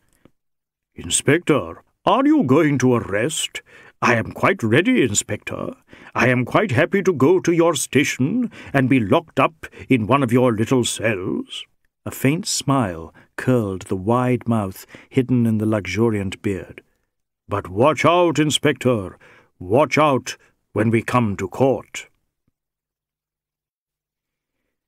Ghote knew that he had to let him go. If he was going to get him in the end, he must not rush in and spoil everything. No doubt Amrit Singh had realized from the drift of his questioning that there was still something needed to make a reasonable case. Otherwise, he would have more likely made a bolt for it than have offered himself so happily for arrest. It would be a bad moment when he got to know about Krishna Chatterjee. His defence team would make a terrible amount out of that. Ghote resolved that come what may, he would get at the truth quickly. But until he had got out of his dilemma, he was hamstrung and the balance was still exact. On one scale, the quiet little man who could so easily have been pushed by his own virtues into murder, and on the other scale, the big bad man, a real killer, for all his joviality. Ghote went home for something to eat rather than face Inspector Chavan and explanations about why the careful net of uniformed men had not been called into play. He was still thinking about what he would say eventually as he stepped into the little square of garden in front of his small white house. The smell of cooking tickled his nostrils. He hurried in, suddenly devouringly hungry. Protima was busy kneading dough for chapatis, her bangles jingling rhythmically. Have you made enough for a husband to have some? he said. She did not look up from the soft, whitish, slack piece of dough. Oh, she said, you thought I would not know you were back, you policeman with your thumping shoes? Already I have put in more flour. Ghote smiled. I am ready to eat all you have made, he said. What a terrible morning I have had. And so I am going to hear all about it, Protima said all about how this old fingerprint matched that one, and that there was some dirt of a most interesting colour under the toenails of some poor man you have hauled into your big headquarters. From where he stood, Ghote could just see the smile lifting the corner of her cheek. He stooped and put his arm round the curve of her bending back. Oh, stop your nonsense, she said. You see I have work to do. Ghote stepped back. He thrust his arms out in a great stretch. Well, he said, some fingerprints would have been useful to me today. And he told Protima what hopes had been dashed by the lack of Amrit Singh's prints on the ribbed brown glass of the broken jar. This time she did turn away from her dough. But my clever Mr. Policeman, she said, so near to catching a man like that Amrit Singh, in no time at all, they will have to be thinking of promotion for Inspector Ghote. Uh, no, no, said Ghote hastily. I tell you, I am far away from catching Amrit Singh. And besides, I am very low in seniority. There is no question of promotion for a long time.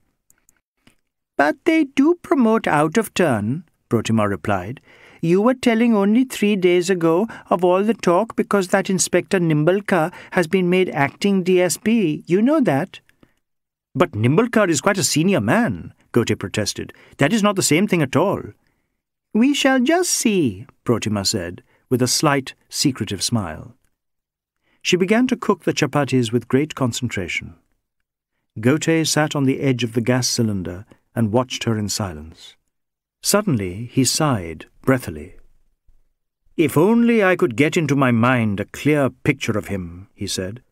Oh, but you have a very good brain, Protima replied a little absently. But he is so far from anything I have ever known. It is so difficult with a man like him, Ghote said. Protima looked round from the whining flame of the gas burner for an instant. What man is this? she asked. But Frank Masters, Ghote said. Who else could it be but Frank Masters? If I had a clear picture of him, then perhaps I could see why either Amrit Singh or Krishna Chatterjee wanted to poison him, whether it was the bad man because he stood in his way, or the good man from some twist in his goodness. Oh, Frank Masters is only rich, Protima said. Rich people are like all the others underneath. But it is not that he is rich, Ghote said. If it was that only.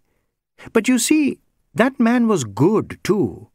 All that money he gave up to live on just the same food as he provided for those vagrant boys he took from the pavements. He checked himself. Or nearly the same food, he added. Well, if it pleased him to do such things. Under her dark blue and green sari, Protima shrugged her invariably elegant shoulders as she rose from the gas rings. Come along with you, she said. The meal is ready now. But do you understand such a man? Ghote asked. Protima looked him full in the face and smiled, a slightly mocking, provocative smile, above the wide brass dish she had put the food on. I understand the man I have got, she said, and I would rather have him than all your millionairing, vagrant rescuing ones put together. In spite of his anxieties, Ghote smiled back. Then you do not want more money, little Hindu wife? he said. You do not want, for instance, refrigerator? Before she could set down the dish and get at him, he dodged nimbly away out of the kitchen giggling like a schoolgirl after a mild reference to the difference between the sexes. Not a minute later than his due time, Inspector Ghote was back at headquarters. He felt he owed that to himself. But he waited till he heard voices in Inspector Chavan's room and went past the glass-panelled door in a swift glide. When he was seated at his own familiarly blotched little desk, a sudden wave of discouragement swept up on him. He thought over the whole Frank Masters affair, and whichever way his thoughts turned, they seemed in no time at all to run up against a blank wall. The fact of the matter was that he had done everything there was to be done. He had been utterly conscientious, he knew it. And all that his every effort had been able to turn up was this appalling balance between the possibility that Krishna Chatterjee a man whose very goodness might have turned somehow sour was the one he was looking for, and the simple desire to fix the business fairly and squarely on Amrit Singh, who had already got away with murder more than once. There must be something he had forgotten. He pulled open the lowest drawer on the right-hand side of his desk, where he kept his supply of paper, and took out a hefty wad. From the little enamelled brass tray, he took a pencil and with the utmost care he set himself to write an account of the whole business from start to finish. It must show some new line somewhere. About an hour later, just as he was getting to the end, the door opened. Ghote looked up quickly. It might be Chavan. But it was Deputy Superintendent Nayak. Hastily, Ghote put the sheet he was writing face downwards on the pile in front of him and stood up. Sit down, sit down, Inspector. I am just looking in to see what progress you are making. You are letting him cool off a bit? Ghote felt he had no time to think. If it had been Chavan, he knew some reasonable excuse for not picking up Amrit Singh would have come to him in time. But the very sight of the DSP, entering so unexpectedly, had driven every coherent thought from his head. He only knew that his careful account of the case, so nearly finished, had not done a thing to give him a new lead. The DSP plumped down on the squat little chair in front of the desk, puffing heavily. He cocked an eye up at Ghote. Uh, cool off, DSP? Ghote stammered. Well, that is, in a manner of speaking, yes, sir. The DSP leant slowly forward. That pimper, he said, it does not seem to be getting any better. It is larger than when I saw it before. Ghote smiled uneasily. You are not having digestive troubles? the DSP asked. That is often the root cause of blood disorders, you know. Uh, no, no, thank you, sir. Really, my digestion is very good, considering. Considering? The DSP slewed round in the heavy little wooden chair and gave Ghote redoubled attention. Considering what? he said. You have some chronic complaint? A duodenal, perhaps? I have often thought you were underweight, Inspector. Uh, no, no. No, it is nothing like that, DSP. It was just a joke, really. Ghote swallowed. It was just a joke, sir, he said.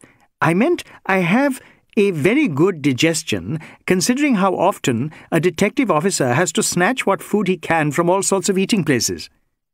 The DSP looked grave. Yes, uh, that is a very serious consideration, he said. Very serious. His hand strayed out to the papers on Ghote's desk.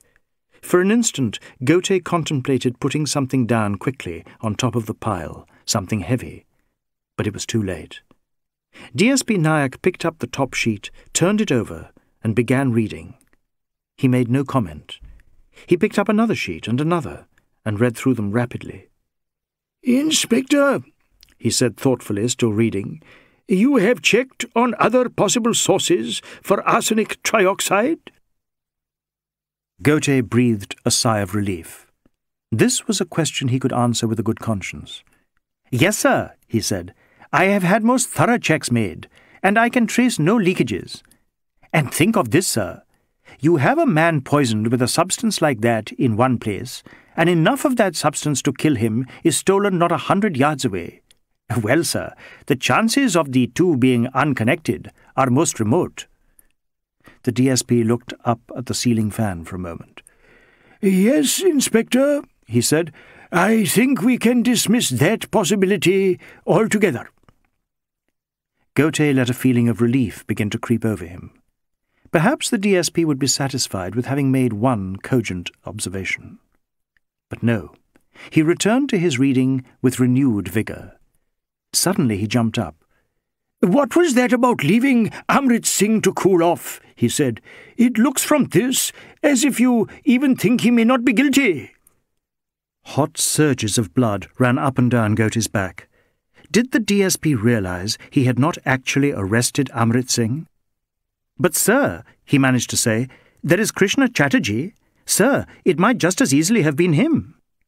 The DSP put his hands on the front of the desk and leant over towards Ghote. Inspector, he said, I am surprised any officer working under me could be so ridiculous. But, sir, it is fact that Chatterjee went into the dispensary at just the crucial time. Sir, social workers can be killers too. I dare say they can, said the DSP, so you must just take very good care to see no one ever finds out about your Mr. Chatterjee. Uh, that is all. Ghote made no reply. He was not shocked. No one could have been in the service as long as he without realizing that at times likely evidence was suppressed. But one way and another he had drunk too deeply at the springs of different approaches to crime and justice to feel that the DSP's attitude was one that, when it came to it, he could ever copy himself. Up till now he had always succeeded in letting his acquiescence be taken for granted, and had avoided compromising himself. But now Thanks to this silly business of allowing the DSP to think he had actually brought in Amrit Singh, he had let himself get caught fast. The DSP wheezed more loudly. Inspector, he said.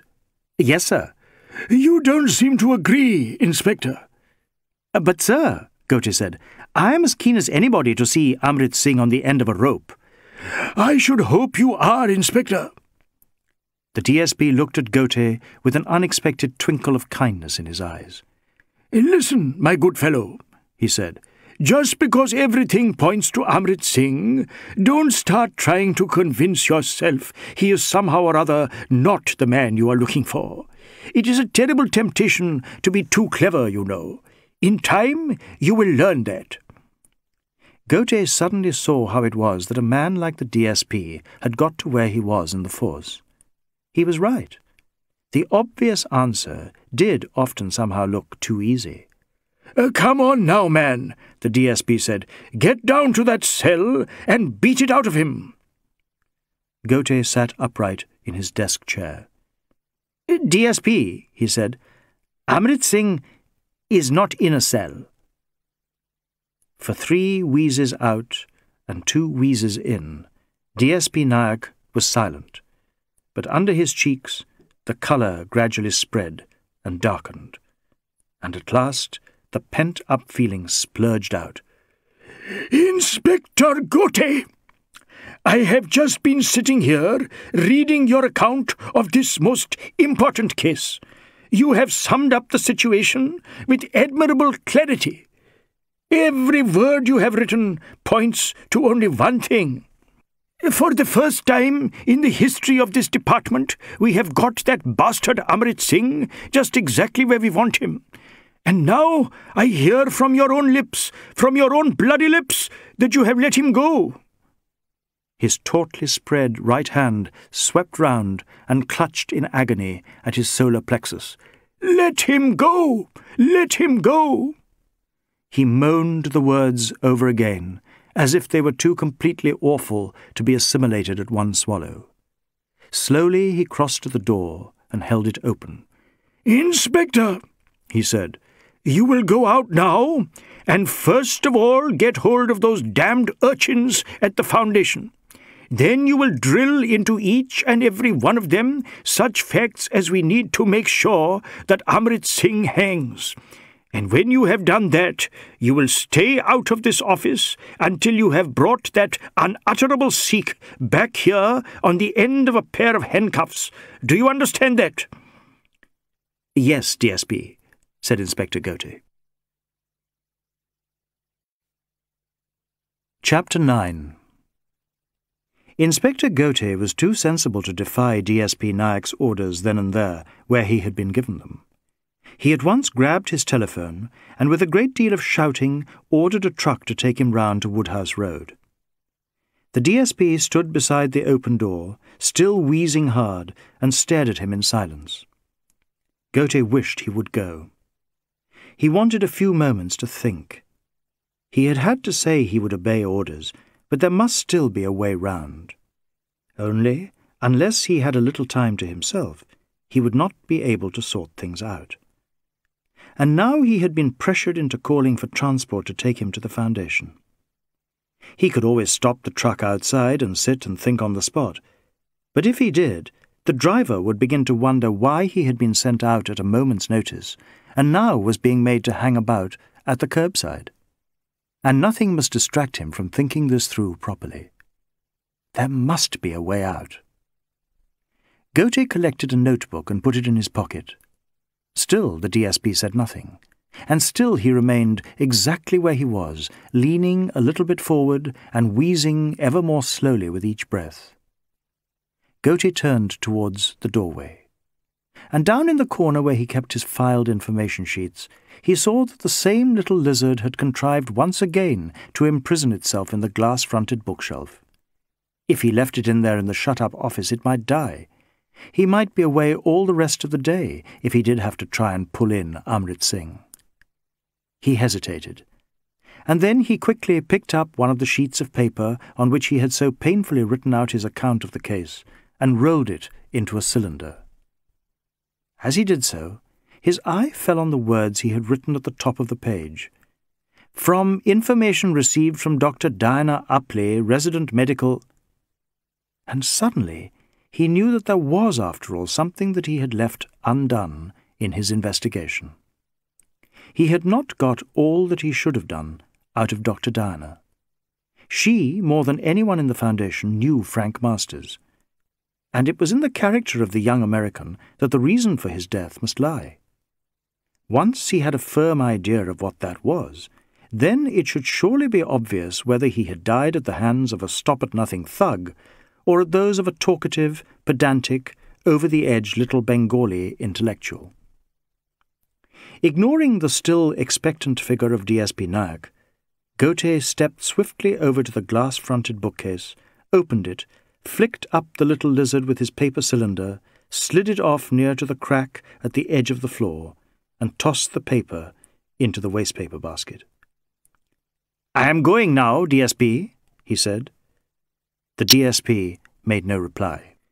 He was staring at the empty patch of floor where an instant before a tiny lizard had blinked its two beads of eyes twice and had darted incredulously to safety once again. The stately, pear-shaped bearer of the Masters Foundation showed Ghote, when he asked for Dr. Diana, into the doctor's private sitting room. Ghote had glanced into the room when he had made his first tour of the bungalow just after the crime, but now he stood in the doorway and looked with care. It was cool and quiet for all the unrelenting brightness of the sun outside. At each of the windows, a heavy split cane blind hung, letting in only broken and jumbled bars of light. They caught the flowered pattern on the material of the soft armchair in which Dr. Diana sat. They caught, too, the real flowers in a blue pottery bowl on a low table of dark wood, carved with heavy scoops in a curious rough pattern. Ghote had seen such work in the homes of other Britons. It always made him feel it came from somewhere very distant, where the people were as brutally decided as the thick strokes of the carving. He looked up from the low table with its bowl of soft-bloomed flowers. On the walls there were a mirror and two photographs. Each was in a dark frame, carved in the same fierce style. He looked away. Dr. Diana, who had been reading an illustrated magazine sent from England, laid it down. Ghote registered the smell of the thick, shiny paper and the sepia-brown squares of the photographs of clumps of Englishmen and women standing about in ungainly but determined poses. Well, Dr. Diana said, and what can I do for you? She looked up at him from the billowing mass of her flower-covered armchair. She was wearing a frock in much the same pattern as the chair material, though the flowers were smaller and more tightly bunched. Her face was aggressively pink and white. The rather coarse eyebrows were raised in an attitude of direct inquiry. Ghote braced himself. I have come to you, he said, because I think you are the one who can most help me in the next stage of my investigation.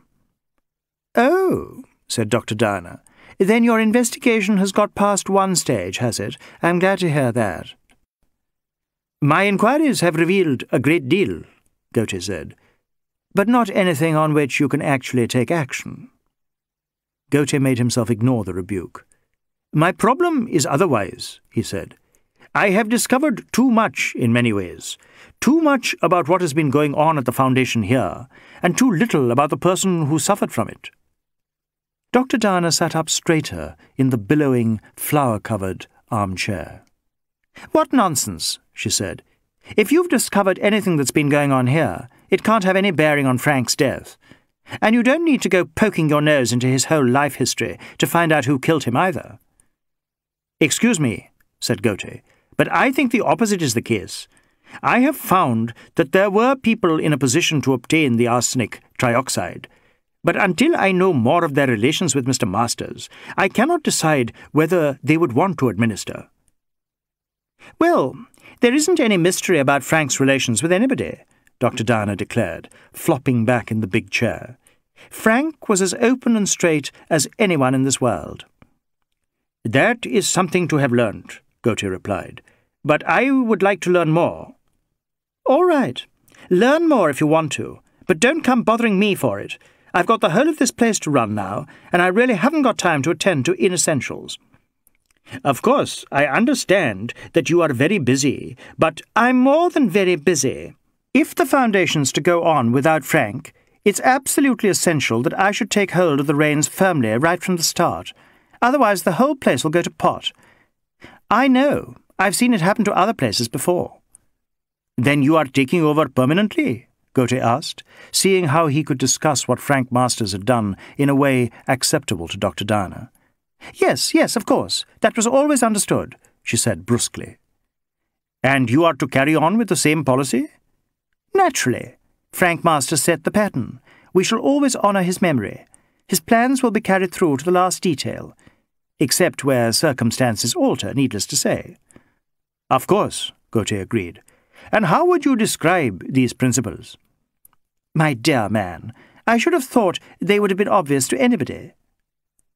Ghote said nothing and as he had hoped, Dr. Diana, after a short pause, did go on to explain the self-explanatory principles on which the Masters Foundation had run during the lifetime of Frank Masters himself. Eh, Frank was a very rich man, she said. He had had great advantages, but he knew that he must share them with those less fortunate than himself. You've got to give sometimes in this world, you know. She looked at Ghote challengingly. The thought came into his head that he himself gave very little. He remembered the beggar on the office steps. The last time he had given him anything was when he had wanted a few moments to think about the master's case the night he had come out here for the first time. But Dr. Diana was continuing with her exposition of the principles behind the foundation. She rose like a lioness from the big, chintz-covered armchair and strode up and down the cool, dark room. We in the West have got to give to those countries that need help, she said. We have all the advantages. We have got to share them.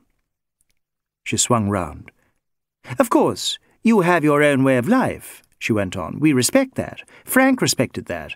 He went up to the Punjab, you know, a month or two ago, and did a lot of work studying the religious outlook of the Tibetans and all that sort of thing.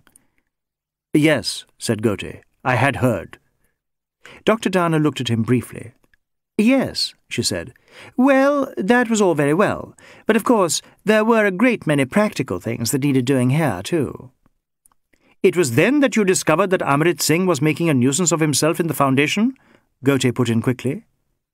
He was delighted that a chance to introduce the Sikh's name had come up so easily. Perhaps he could get on to mentioning his possible links with Frank Masters. Oh, him, Dr. Diana said shortly. Yes, I dealt with him. But as I was saying, Frank did more than simply give money. He could have stayed at home in America and done that. Or I could have stayed back in the UK and organised a few raffles and things for the Church Missionary Society.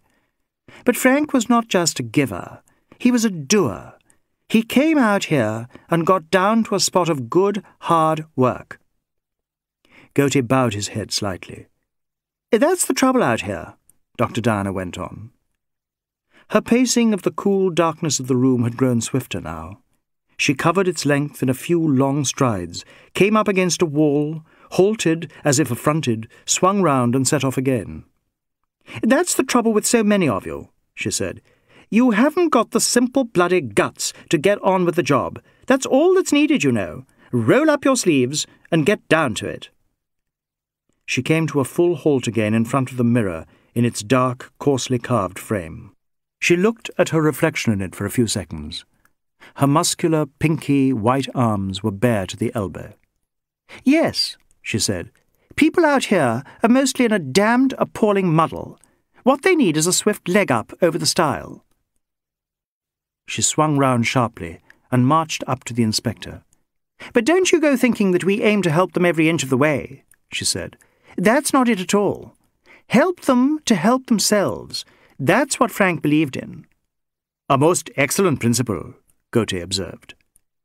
He felt he was at last beginning to get a grasp of the hitherto totally enigmatic figure of Frank Masters. It was not helping him to see why he had been killed yet, but it was filling him with a certain awe. He himself was so much below this. Well, there it is, Dr. Diana said tersely. That's what Frank believed. Heaven knows, I don't want to be a nursemaid to anybody myself. It just so happens I've a good, clear mind, and I can see what has to be done. And when I do, I go ahead and do it. She had come up against the mirror again. She swung away from it after a few instants. And that was what Frank was like, too, she said. He had a clear mind. He saw what was to be done and did it. And this city has a lot to be thankful for because of that. Ghote could only agree. Uh, that is most true, he said, most true. A niggling thought reared up. But Amrit Singh, he added, Mr. Masters did not realize that Amrit Singh was bad influence? Dr. Diana looked shocked. Now just you listen to me, she said. Frank Masters had the widest open eyes of anybody I ever met. He was no sloppy, sentimental fool, all think beautiful thoughts and do nothing. When he saw that something was wrong, he got up on his two feet and darn well did something about it. Uh, yes, said Ghote. He left Dr. Diana seated once more in her billowing chair turning over again the thick, odoriferous leaves of the English magazine. He felt doubly oppressed now. To begin with, nothing that she had said seemed to indicate clearly one way or the other whether Krishna Chatterjee or Amrit Singh was most likely to have poisoned Frank Masters. But more than this, the thought of Frank Masters himself was oppressive. The picture of someone with so much, not only giving and giving abundantly of what he had, but getting up, in Dr. Diana's expressive phrase, on his own two feet, and doing what needed to be done in this world, made him feel simply inadequate. He decided, in spite of DSP Nayak, to seek refuge in his office and try to pull himself together and decide what to do. As the truck approached the headquarters building, he leant forward and told the driver he would get out where they were. The man shrugged and stopped for him. Ghote waited on the pavement till the Dodge was well out of sight, and then set off towards the office on foot. It had occurred to him that he stood a much better chance of reaching the sanctuary of his own little room if he went in by the back way. He made his way through the jostling crowds on the pavements, thinking over and over the details of Frank Master's life as Dr. Diana had recounted them to him. And suddenly he stopped in his tracks. A thought had struck him. By going round this back way, he was once more avoiding the beggar on the front steps. He turned and marched back the way he had come and round to the front of the building. At the steps he stopped, took out all the coins in his pocket, and selected the largest. He went up to the monotonously whining figure crouched at the edge of the white steps. And then he stopped again. He plunged his hand into his pocket and brought out a second coin. Quickly he thrust them both into the beggar's grimy paw. The man swept them away out of sight even more quickly. He did not look at the inspector. His begging whine continued unchanged and unabated. End of Disc 3 Disc 4 Ghote crept into the building and up to his room. Although the DSP was nowhere to be seen, he still did not feel very happy. He sat at his desk, but he could not bring himself even to contemplate the complications of his life. He knew that in fact once he did begin to think, there was only one thing to work out. DSP Nayak had ordered him in the clearest possible terms to prepare a number of witnesses with false statements as a preliminary to getting up the case against Amrit Singh. Well, Amrit Singh might well be guilty. He probably was. But equally, he stopped himself going on. He must not think about the dilemma. The two equal blank walls would oppress him to desperation. Almost stealthily he fished the newspaper out from behind his desk. It was at least a way of preventing himself thinking of anything else. West silent on Pak guilt. Many members of the Lok Sabha referred today to the sad fact that the world had displayed an incredible indifference to the sufferings of the East Pakistan minorities.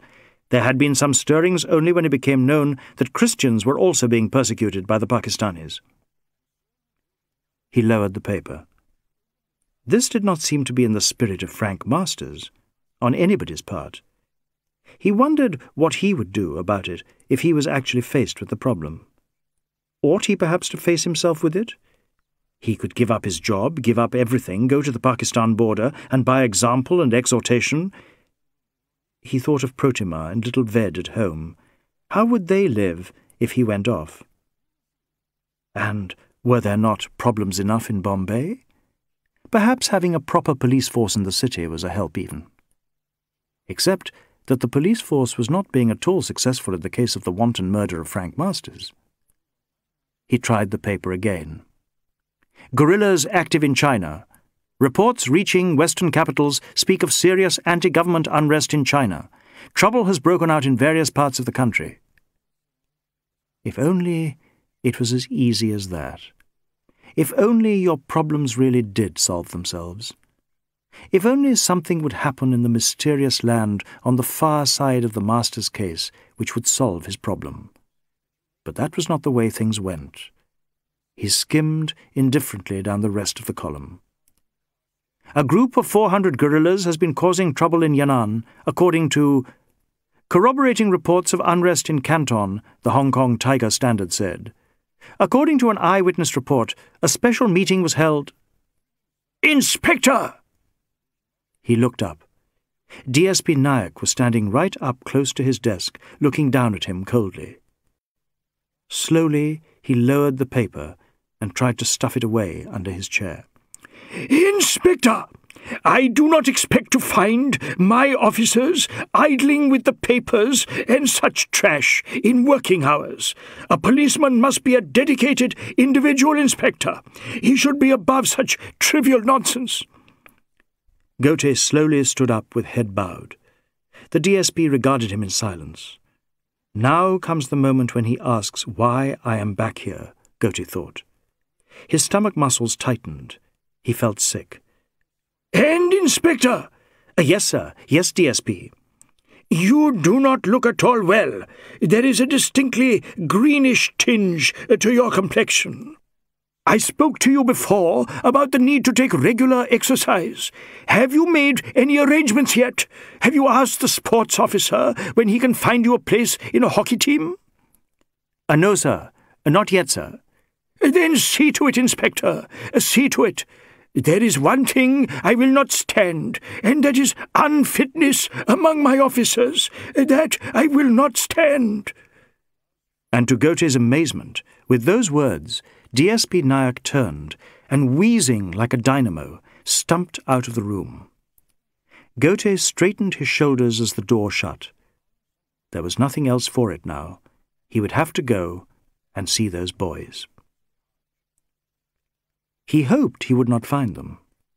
The Foundation's clients were supposed to take jobs when they could, and Ghote hoped that this would be a day when all the boys of the gang would be employed somewhere in the city, and that no one would know where. It was possible. It was possible, even, that they would all choose just this day to drift mysteriously away from the temporary security the Foundation offered. This was something that could happen.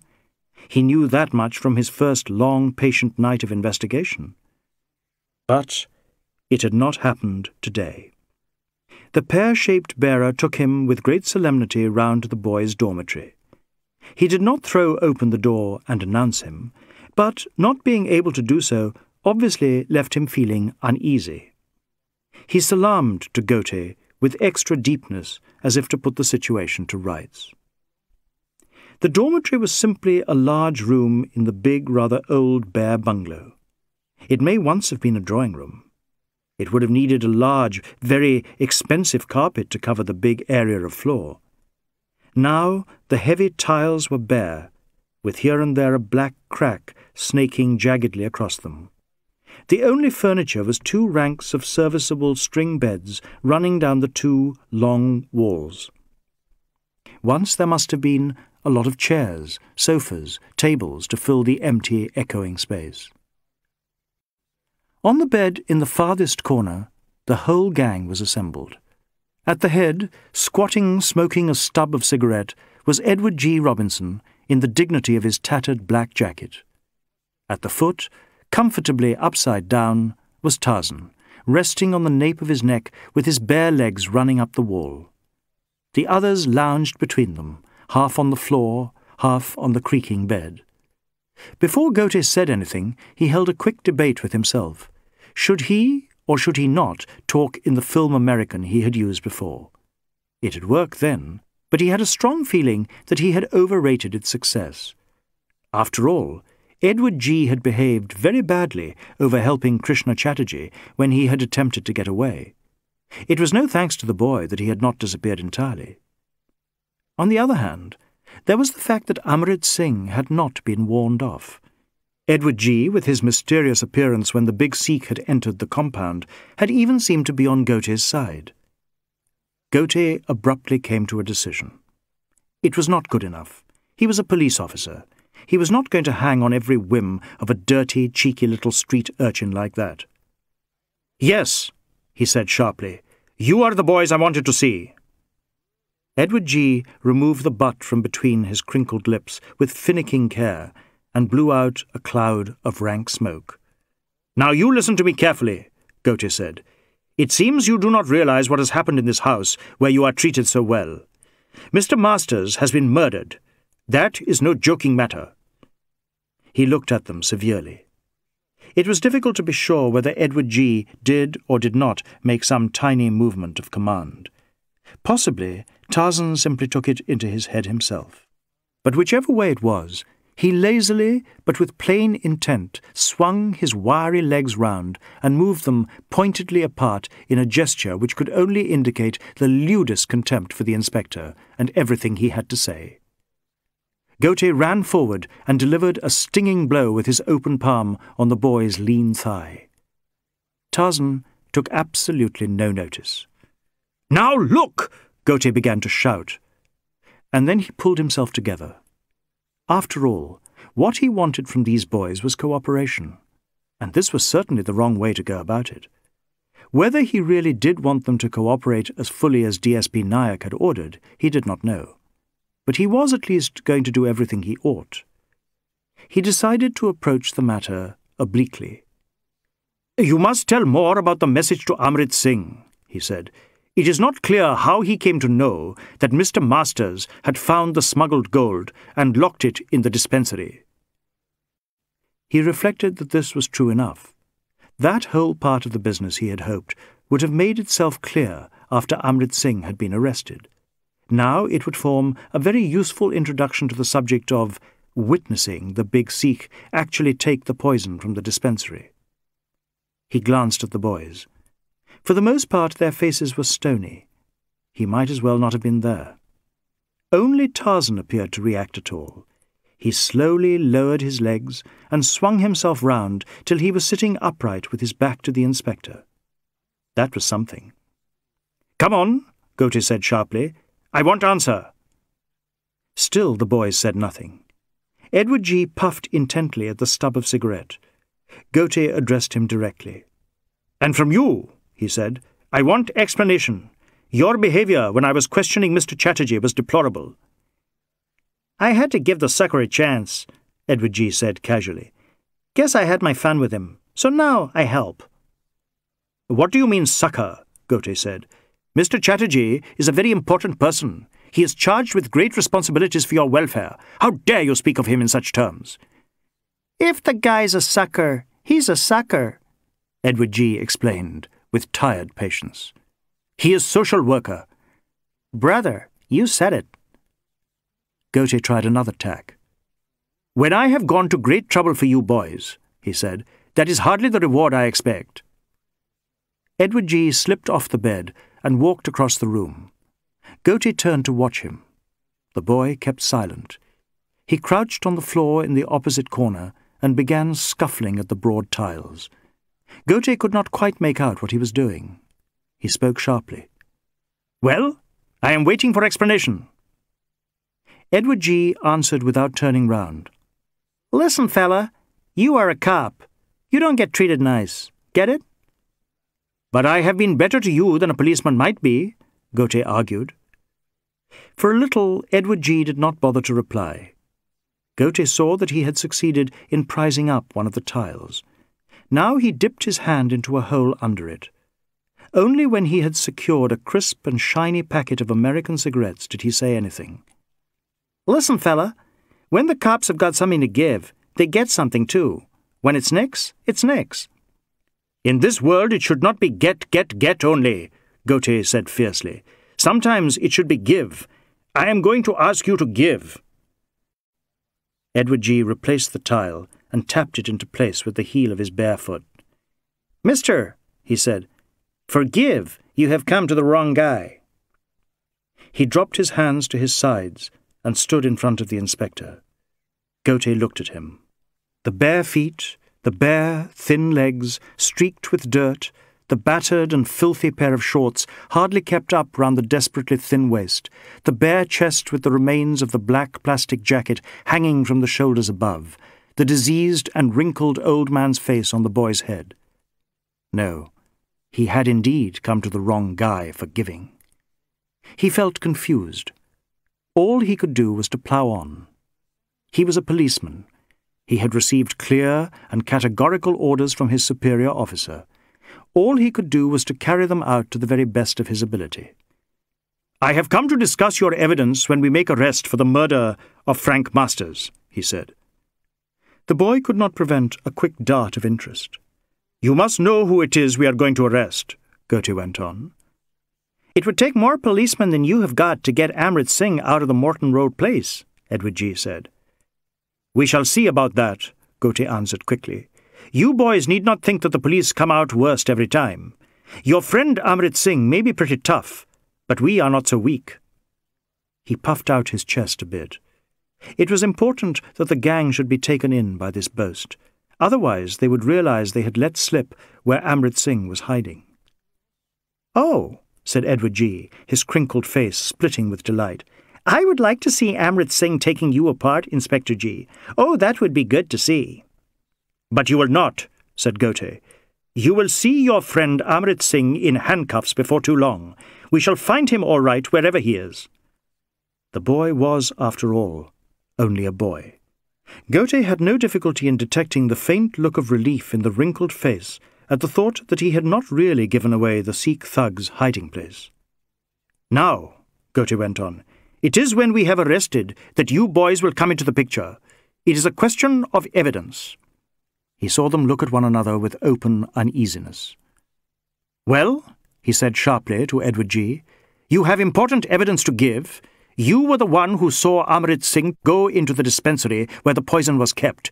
It will be your duty to state that fact in court. Mister, said Edward G., casually taking out one of the American cigarettes, I ain't going to court. You are, Ghote said. You will be called as witness. It is too late now. You call away, mister. We would do more than call. If you did not come by yourself, you would come in handcuffs. Ghote thought again of how he had threatened to use handcuffs before, and how ridiculous he had felt when the boy had held out his stick-like wrists. But perhaps he had been wrong to have allowed himself to be influenced by the thought of the ridiculousness of the situation. After all, DSP Nayak expected him to get his witnesses, and if this was the only way... You would have to find first, Edward G. said.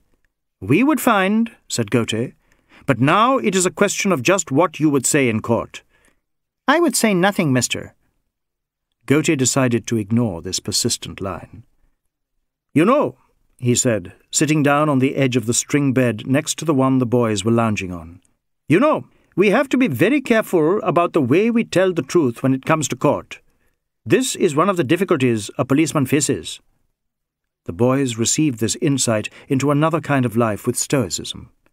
Yes, Ghote went on, it is all very well to come out with the simple truth, but the defence employs lawyers, very clever lawyers. If we are not careful, they can make the simple truth look like simple lies. That is bad, Edward G. stated.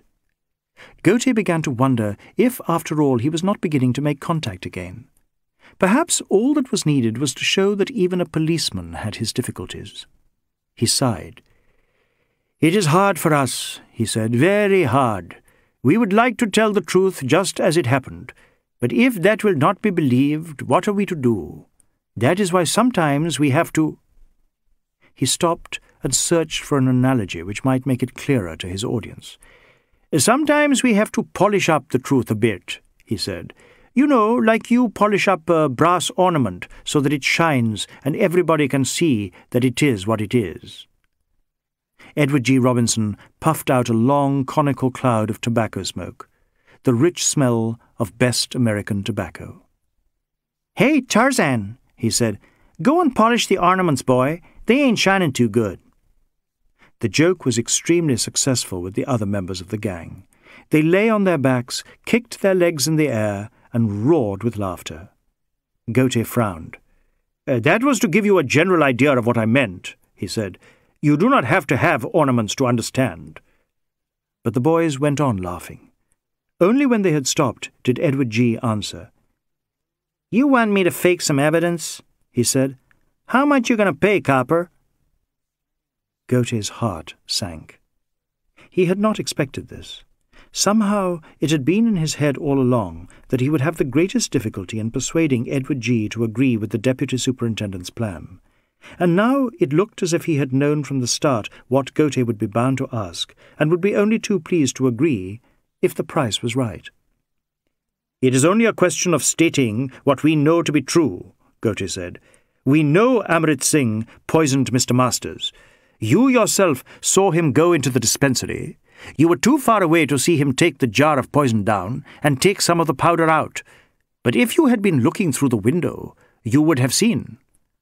Oh, but I did see, mister, Edward G. said.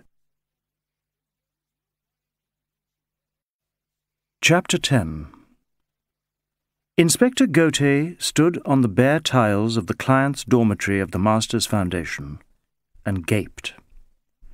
On the string bed in front of him, the boy called Edward G. Robinson sat with his legs tucked underneath him and his half-smoked, fat American cigarette dangling from the puckered lips of his raddled and diseased face. There was a look of utter candour in his eyes. You saw Amrit Singh take the poison?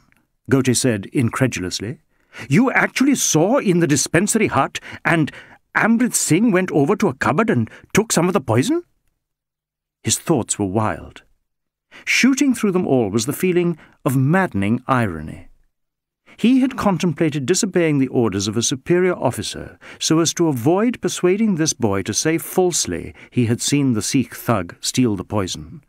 And all along, the boy had actually watched him do it and had chosen to keep silent. Mixed with this were surges of plain fury. Why had the little devil taken it into his stupid head to say nothing about going up to the window of the dispensary hut when he had been on watch at the bottom of the compound? The fury might have overridden everything else, except for one thing. Amid all the inconsequent jumble in his head, Ghote could not entirely suppress a strain of growing triumph. Never matter how it had come out, the fact remained that he had now got his evidence against Amrit Singh and he had got it without cheating. Here was something he could put up in court without the least hesitation, and it was something which, by all the laws of reason and justice, should hang Amrit Singh.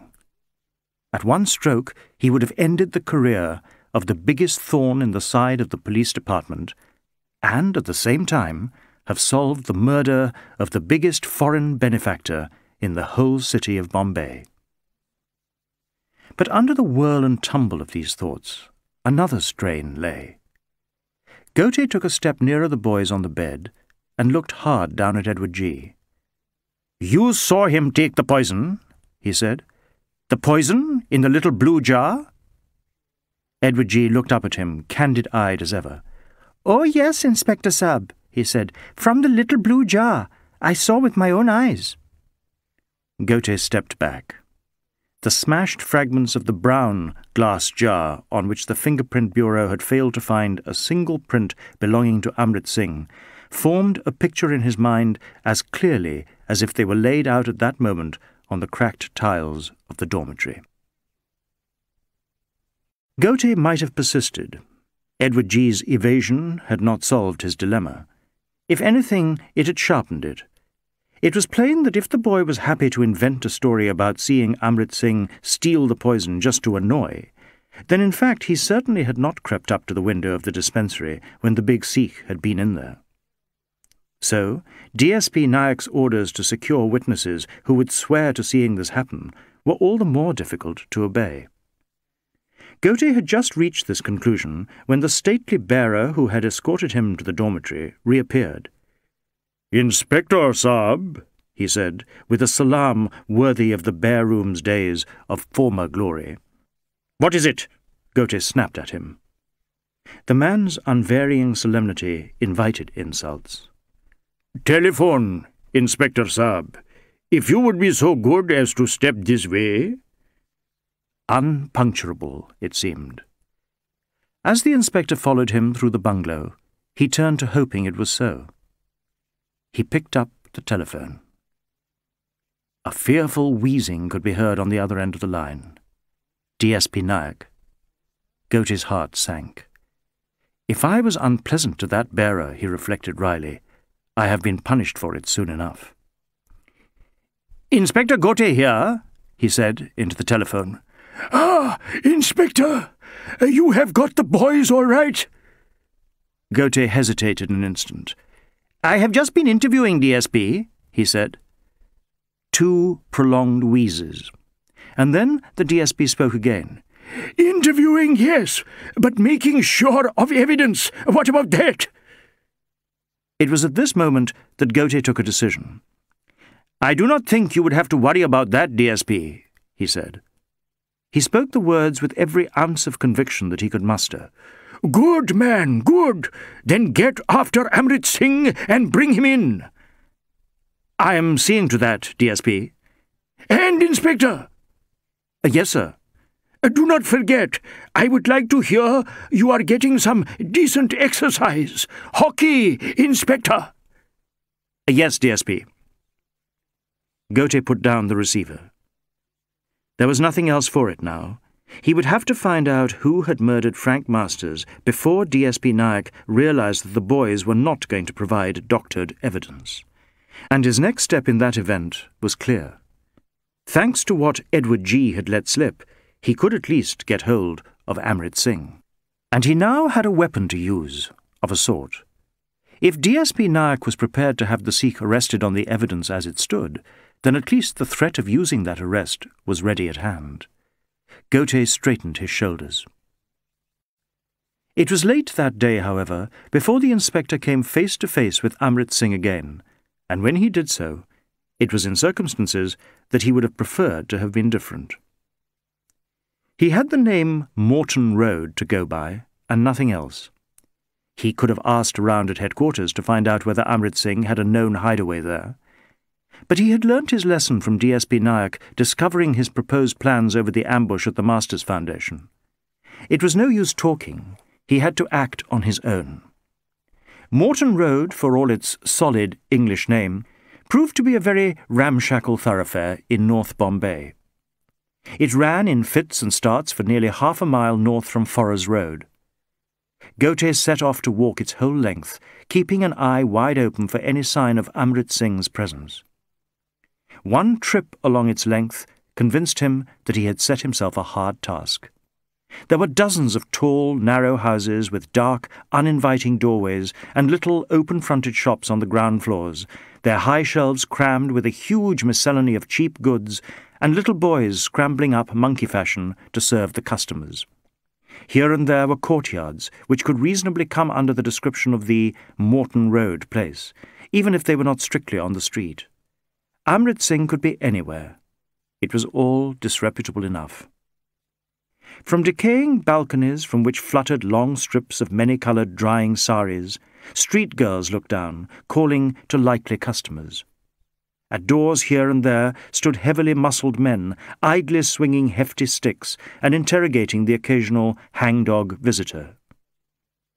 When he got to the far end, Ghote almost decided to give up and go and see what was known about Amrit Singh's Morton Road place at headquarters. But the thought of how easily the DSP might get to know that his orders had not been carried out finally persuaded him to try again. There was a small hotel on the top corner of the street, an uninviting place smelling of South Indian food and stale coffee, obviously designed to catch the unwary arrival at the nearby central station. The proprietress, a big, shapeless, very dark woman with bright, beetle-stained lips, made no objection to him taking a room for the rest of the day. As she shut the flimsy door and left him, he heard her chuckling hoarsely as she waddled downstairs. He quickly took off all his clothes except for a cotton vest and his trousers. It was easy enough to find plenty of dust to smear over these two garments to make them look inconspicuous enough for the area. He located a back way out, and a minute later was idling down the crowded and dirty street with the acrid smell of smoke, spices, and ordure in his nostrils, and in his ears the clashing sounds of shouted conversations in half a dozen languages, blaring radios, and assorted musical instruments. He stopped at a small eating stall and ordered tea. Sitting on the creaky wooden bench, Nursing his brass tumbler between his two hands, he listened to the talk of other customers. And sure enough, He had not been there much more than twenty minutes when he heard the name Amrit Singh. He turned slowly and looked at the stall owner, a tall, bald-headed man with the predatory nose of a vulture. It was evident from the glitter in his close-set eyes that he knew who was being talked about and was following the conversation with interest. The two customers who had mentioned the Sikh were at the far end of the stall from Ghote, and he could not, without drawing more attention to himself than he would have liked, get near enough to hear more than a murmur of what they were saying. But he was happy enough to have got a smell of the trail as quickly as this. Some ten minutes later, he called the stallholder over and asked for something to eat. When the man came back, he beckoned him close. I have heard that this street is a good place for certain things, he said. The bald head ducked a little nearer him. I have a friend who has a friend somewhere near here uh, called Amrit Singh, Ghote went on. Into the close-set eyes came a look of calculation. Ghote put his hand into the pocket where he had put all his money and other possessions before leaving the corner hotel. He took out two rupees. I would very much like to see Amrit Singh, he said. I hear he would have something for me, but unfortunately my friend is away, and I do not know where to go. The bald-headed bird of prey stallholder shook his head. Ghote tried a little more money. Amrit Singh is a very dangerous man, the stallholder said. Ghote shrugged his shoulders. Perhaps I shall find what I want somewhere else, he said. It is very likely, said the man. But in the several hours that followed, Ghote got no further clues. Then, as he was leaving a pan shop where he had spent a good deal of time negotiating over a twist of black tobacco before bringing Amrit Singh's name into the conversation, a beggar, reclining propped on the shop's stacked wooden shutters, with a great balloon of swollen leg laid out in front of him, plucked at his trouser leg. Ghote nearly went straight past, but the memory of Frank Masters and his new resolves stopped him. He felt for a coin small enough not to attract attention, and put it in the man's hand. You want Amrit Singh? the beggar said, a meandering grin appearing on his puffy and blotched face. Ghote's heart thumped. You know where he is? he said. I have been sent with a very important message, but I cannot find him. The beggar laughed for a little bit. Many messages for Amrit Singh, he said. A trickle of saliva escaped from his loose lips. Where can he be found? Ghote asked. He was beginning to be afraid that the man was not intelligent enough to give him a clear answer. But his fears were unjustified. The beggar pointed with the length of gnarled stick he had to act as a crutch. In that courtyard, just past the street tap. Ghote looked in the direction the wavering stick was pointing. The courtyard entrance was dark as pitch, although the sky, or what could be seen of it in the gap between the tall houses, was still filled with light. Ghote gave the beggar another coin, a large one, and hurried off. The man's hiccupy chuckles followed him. At the entrance to the courtyard, Ghote stopped. He was in something of a quandary. It was a good bet that Amrit Singh was there to be found, and he very much wanted to be sure of him. But when he had him, he wanted to have the upper hand, and dressed the way he was, by now a good deal grubbier and sweatier than when he had left the little hotel, he could not see himself playing the assured police inspector. Yet, if he went back and got his clothes, the beggar or someone else might warn the big Sikh. And even approaching a house in such a district looking like a policeman was liable to send all the inhabitants scuttling out by a back way. It was this last thought which decided him. He plunged forward into the thick darkness of the courtyard entrance. Beyond, the place was lighter again. The pale blue sky looked down into the yard, and it was easy to see the several doorways that led into it. Ghote chose the first and made his way over to it. There was a narrow hallway with the slumped figure of a man wrapped in a whitish cloth fast asleep on the floor. Ghote pushed at him with his foot till he stirred. Then he crouched down beside him and spoke sharply. Amrit Singh? Where is Amrit Singh? What do you want with Amrit Singh? It was not the stirring figure wrapped in the sheet that spoke.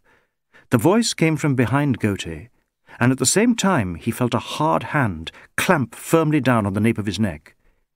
He slipped forward over the half-sleeping figure and attempted to wriggle to the side. An instant later he was dangling upright, his feet off the ground, and a pair of locked arms tightly round his waist. But for all his slightness of build, Ghote was not the sort to be caught like this. One sharp, well-judged backwards kick, and he was free. He wheeled sharply round, crouching lightly on the balls of his feet, ready for a throw. And without the least warning, felt another pair of arms clamped round his chest.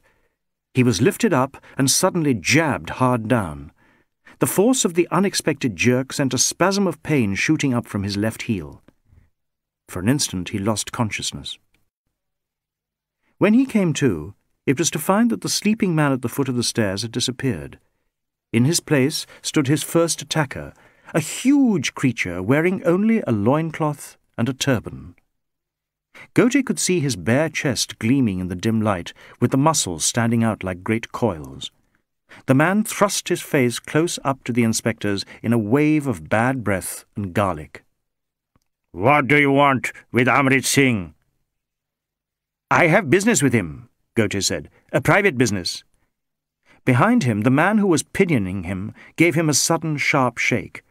What business? said the big, bare-chested man. I want to see Amrit Singh, Ghote repeated. The big man drew back his clenched fist. His eyes, sunk in the heavy flesh of his face, were shining with sharp excitement. What is this? Why, it is my old friend Ghote. Behind the heavy face and glittering eyes, there appeared the luxuriantly curling beard, the jutting eyebrows, the bulky turban of Amrit Singh himself. Hello, Inspector, he said. This is most pleasant. You have come to visit only. I did not know you knew my poor home. He gave a little flick of his head, and Ghote found himself standing on his own feet again. A dull pain spread up from his left heel. But I have found you out, he said to the big Sikh. Amrit Singh laughed. Uh, come up, come up, Inspector, he said. He turned and marched easily up the stairs. Ghote followed. He was limping badly, and at the turn of the stairs, when he put his foot down awkwardly, an involuntary groan escaped him. I hope those fellows did not treat you badly, Amrit Singh said. They are rough men only, but good-hearted. He chuckled to himself in the ever-increasing gloom of the stairway. Below, Ghote could hear the two good-hearted fellows grumbling to each other in mutters. Amrit Singh opened a rickety door. A beam of light came out. Ghote blinked. Come in, come in, Amrit Singh said. Ghote entered. He saw at once that the place was a speakeasy. The room was bare, except for two hard wooden chairs placed almost in the middle of the floor, and a sagging bed in one corner. Protecting an inner doorway was a crude wooden counter on which stood half a dozen thick, dirty glasses and a hair oil bottle half full of heavy brown liquid. Behind the counter was a weary-looking man with a thick growth of beard and a little bright blue Christian medal hanging from a thin chain in the gap where his stained red check shirt was open to the navel. Sitting on the floor beside the two chairs were three young men. They looked a good deal cleaner than their surroundings. Two of them wore kurtas of fine white cloth, and the third had a bush shirt of a dull blue silk and a gold chain round his neck. As Ghote entered, he was leaning forward towards his two companions with a dreamy, ecstatic look on his face, reciting poetry. None of the three took any notice as Amrit Singh strode round behind the rough counter, shouldered the bartender aside, and led Ghote through a jangling glass-beaded curtain into the inner room. This was as bare as the outer one, furnished only with two beds facing each other on opposite walls about six feet apart. A small electric light bulb dangled from the ceiling. There was no fan. By way of decoration, there was a religious motto in a wooden frame painted silver.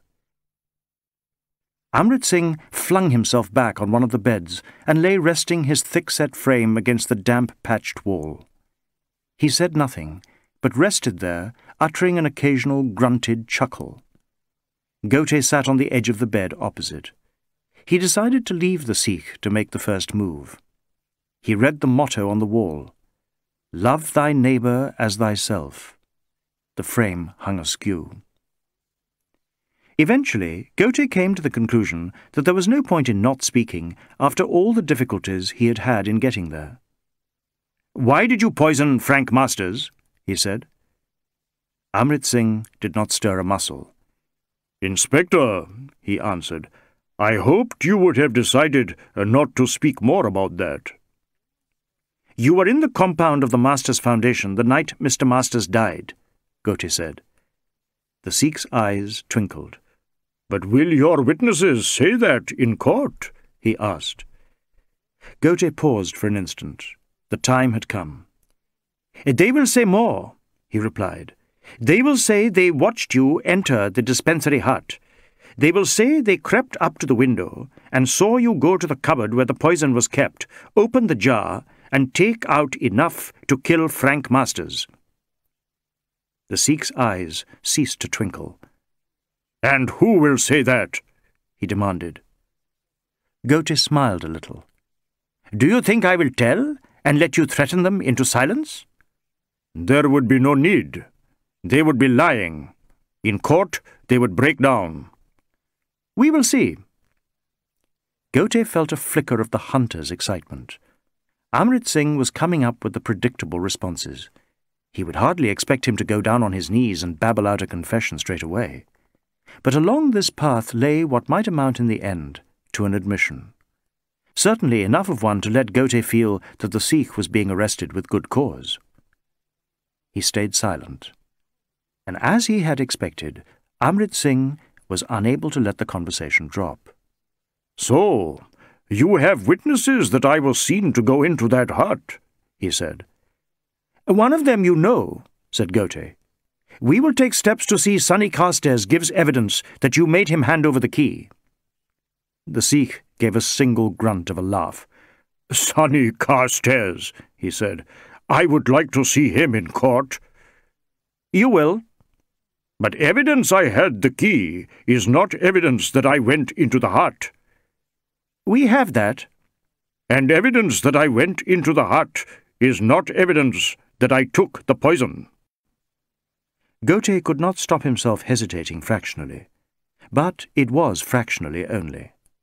We have that evidence also, he said. A faint smile lifted the Sikh's full lips in the deep jungle of his beard. That is strange, he said, because that at least I did not do.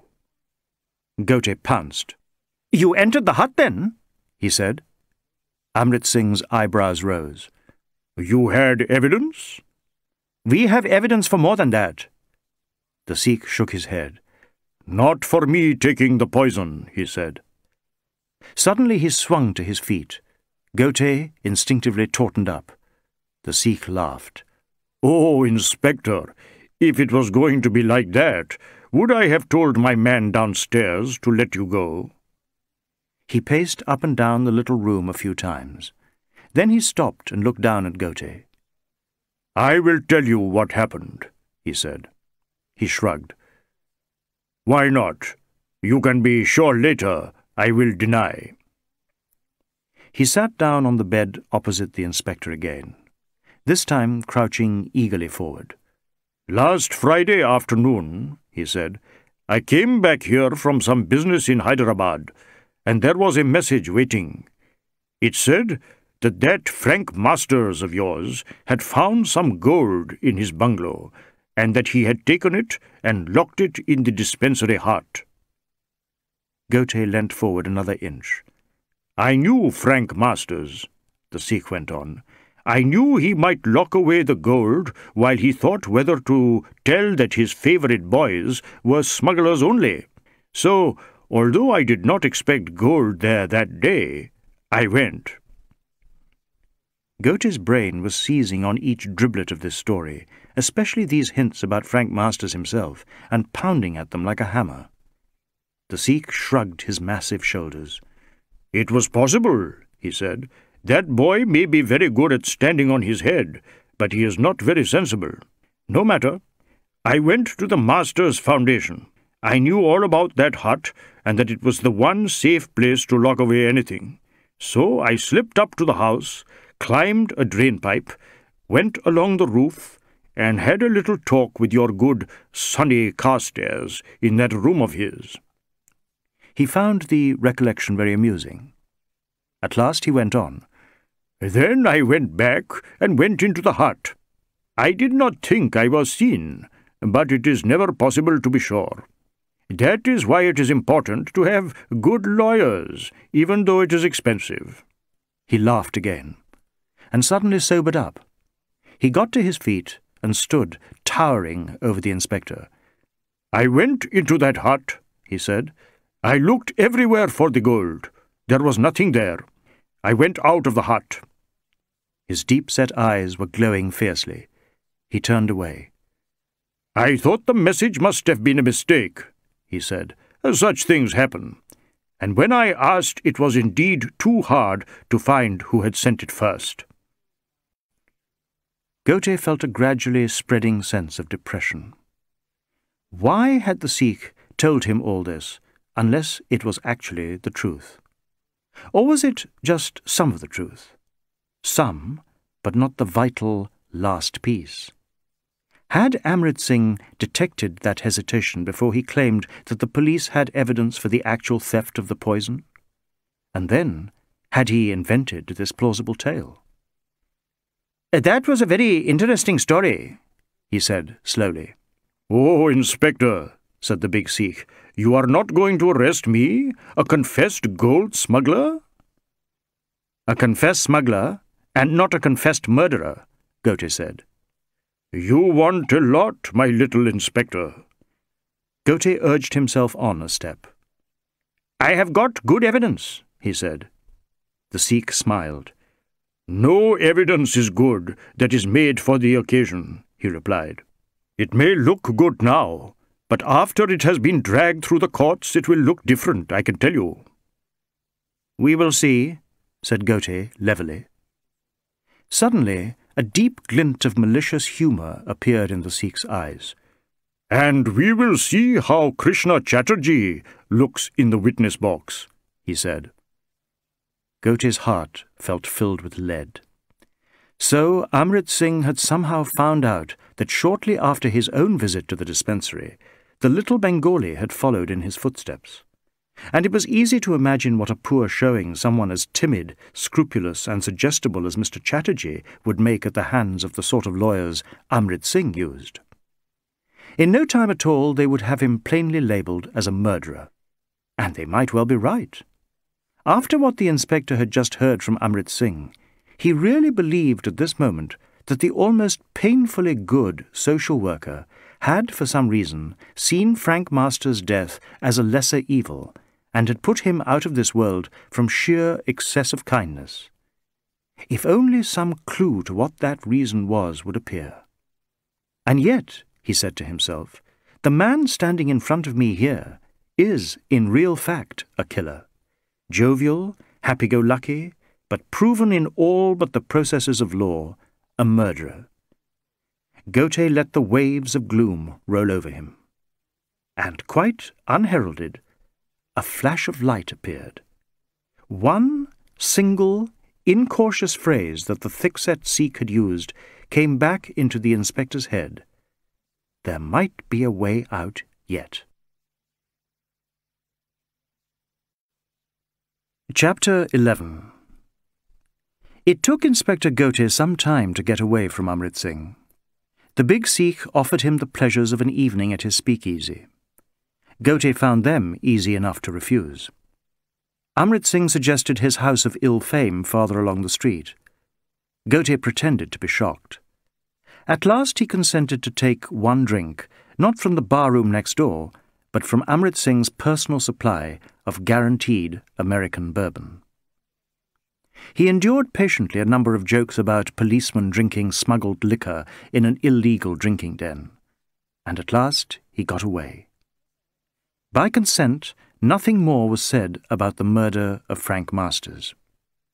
Ghote took a risk as soon as he got out of the Sikh's house. He had an unpleasant feeling that the moment his back was turned, Amrit Singh would slip out and disappear once more. So he went into the first likely shop he saw and asked if they had a telephone. He rang headquarters, and in the most discreetly garbled way, he arranged for a new watch to be put on the Sikh. As he had expected, the duty telephonist was incredibly slow to understand, and before the talk was finished, it must have been plain to the listening shopman that Ghote was not the grubby passer-by he seemed. Growing more anxious with every minute, he waited outside the shop till he saw a pair of constables looking distinctly apprehensive, appear some way down the ill-lit street. Then he hurried back to the seedy corner hotel, so tired now that he could hardly stand. Luckily, the place also ran to a telephone. He called Protima and said briefly that he would not be home that night. She sounded sleepy, but before the latent anger in her voice had had time to spark out, he rang off. Something more to attend to when he had time. There was the matter of DSP Nayak's game of hockey, too, if it came to that. He flopped down on the grimy bed, felt the pain in his left heel ease a bit, and fell fast asleep. He woke early next morning. As he had expected, he was pretty badly bitten by bugs. But nothing worse had happened. His clothes were still there, his pockets had not been rifled, his heel hurt much less. He bathed and dressed and went out. He made his way as quickly as he could to the Master's Foundation and presented himself once more at Krishna Chatterjee's little narrow book-lined office. The Bengali social worker had his head studiously bent over a hectically jacketed American work. He looked up as Ghote came in, and at once grew very serious. Inspector, he said, his face got steadily more sombre. Yes, he said, I am ready to come. He stood up. For a second or two he searched over the cluttered surface of his desk, and then he picked up a piece of white card closely covered with notes in black ink, underlined here and there in red. He put it down carefully on the open page of the wide-margined American book. Then he took it up again. I suppose it will be no use marking the place after all, he said. A gross superfluity. He looked down at the big card with its close lines of neat handwriting. His big, almond-shaped eyes seemed to fill with tears. Ghote suddenly felt wretched. It may be a long time before, before this whole affair is over, he said. These things often take years even. Uh, put in your bookmark. He coughed. But nevertheless, I must do my duty. Yes, said Krishna Chatterjee. He stood silently by the crowded desk. After a moment or two, he picked up the card of notes, slipped it hurriedly into place, and slammed the book closed. Then he stood silent again, looking at the book-crammed larder shelves of his cubbyhole almost caressingly. Ghote cleared his throat. Perhaps you would prefer to tell here, he said. Tell? said Mr. Chatterjee. What is there to tell? Ghote looked at him. But it is necessary to make a full statement, he said, if you want to confess. It was Mr. Chatterjee's turn to look surprised. Eh, to confess? Yes. You said you were ready to come. Suddenly the round-cheeked Bengali's face was transformed. From a picture of utter dolefulness, it changed in an instant to one of helplessly lost, giggling merriment. Good gracious me, he said. Oh, my dear fellow, what a mistake I have made. A most a comical error, most truly comical. Ghote felt a surge of irritation. What error is this? he said sharply.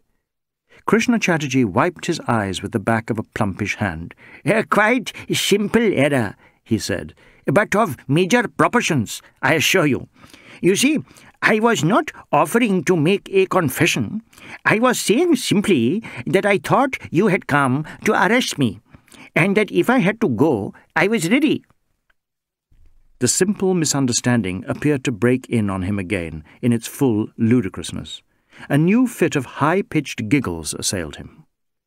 Ghote looked at him, and bit by bit his irritation succumbed. Abruptly, a giggling laugh welled up in his chest. A moment or two later, he had his arm round the Bengali's bent shoulders, laughing almost as heartily. You are quite right, he said, drawing breath hard. Uh, quite right. A ridiculous misunderstanding. I came for quite another reason, too. You did not come about the murder, even? Mr. Chatterjee asked. Not directly about the murder, Ghote said.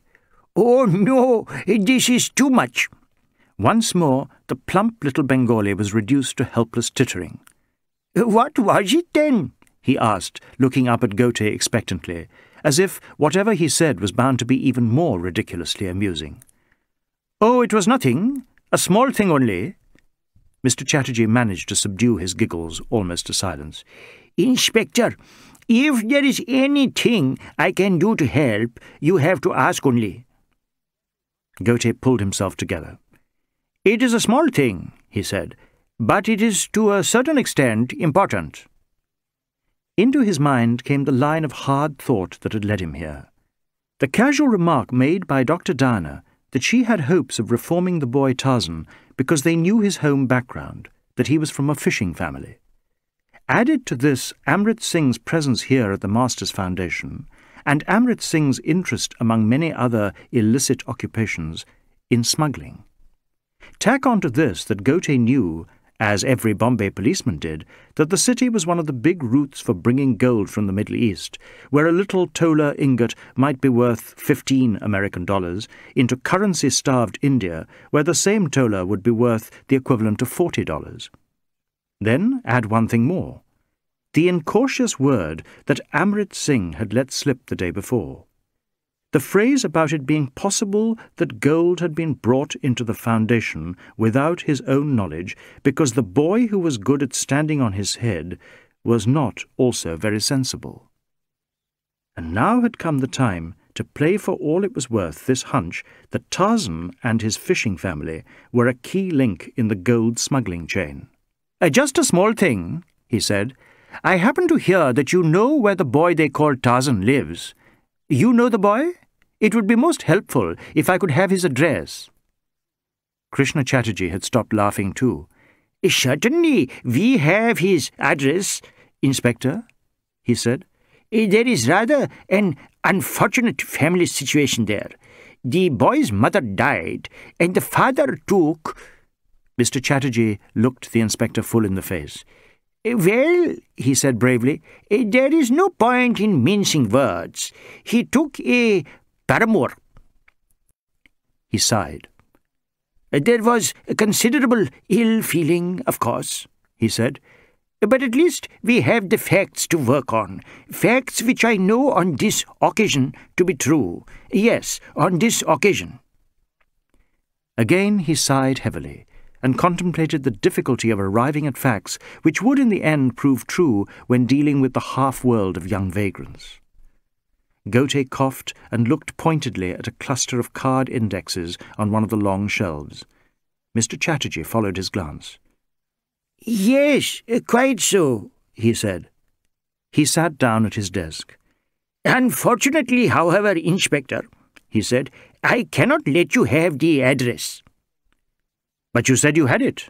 Uh, quite so, yes. Yes, we have it. It is there in that index under T. We have been reduced to filing it under the name the boy prefers to use. Lamentably unscientific. Yes, yes, Ghote said. But did you say I could not have the address? Uh, but of course I did. But why? Why? Krishna Chatterjee drew himself up on the little hard chair behind the cluttered desk. Inspector, it is professional ethics. Ghote gaped. But I must have that address, he said. I am sorry, Inspector, but absolute confidentiality is the core of the Social Workers Code. But I need that address, It will almost certainly result in the arrest of a major criminal. Inspector, I think you do not understand. I most certainly do not understand. Inspector, it is like this. We have to establish a relationship with our clients. It is of the utmost importance, crucial, I might say. And to do this, it is essential that they can give us their entire and complete trust. So they must believe that we would not, in any circumstances, betray anything we have learnt from them. All right, Ghote said. Let this boy believe that. Let him believe anything you choose to tell. But give me that address. And no, most regretfully no.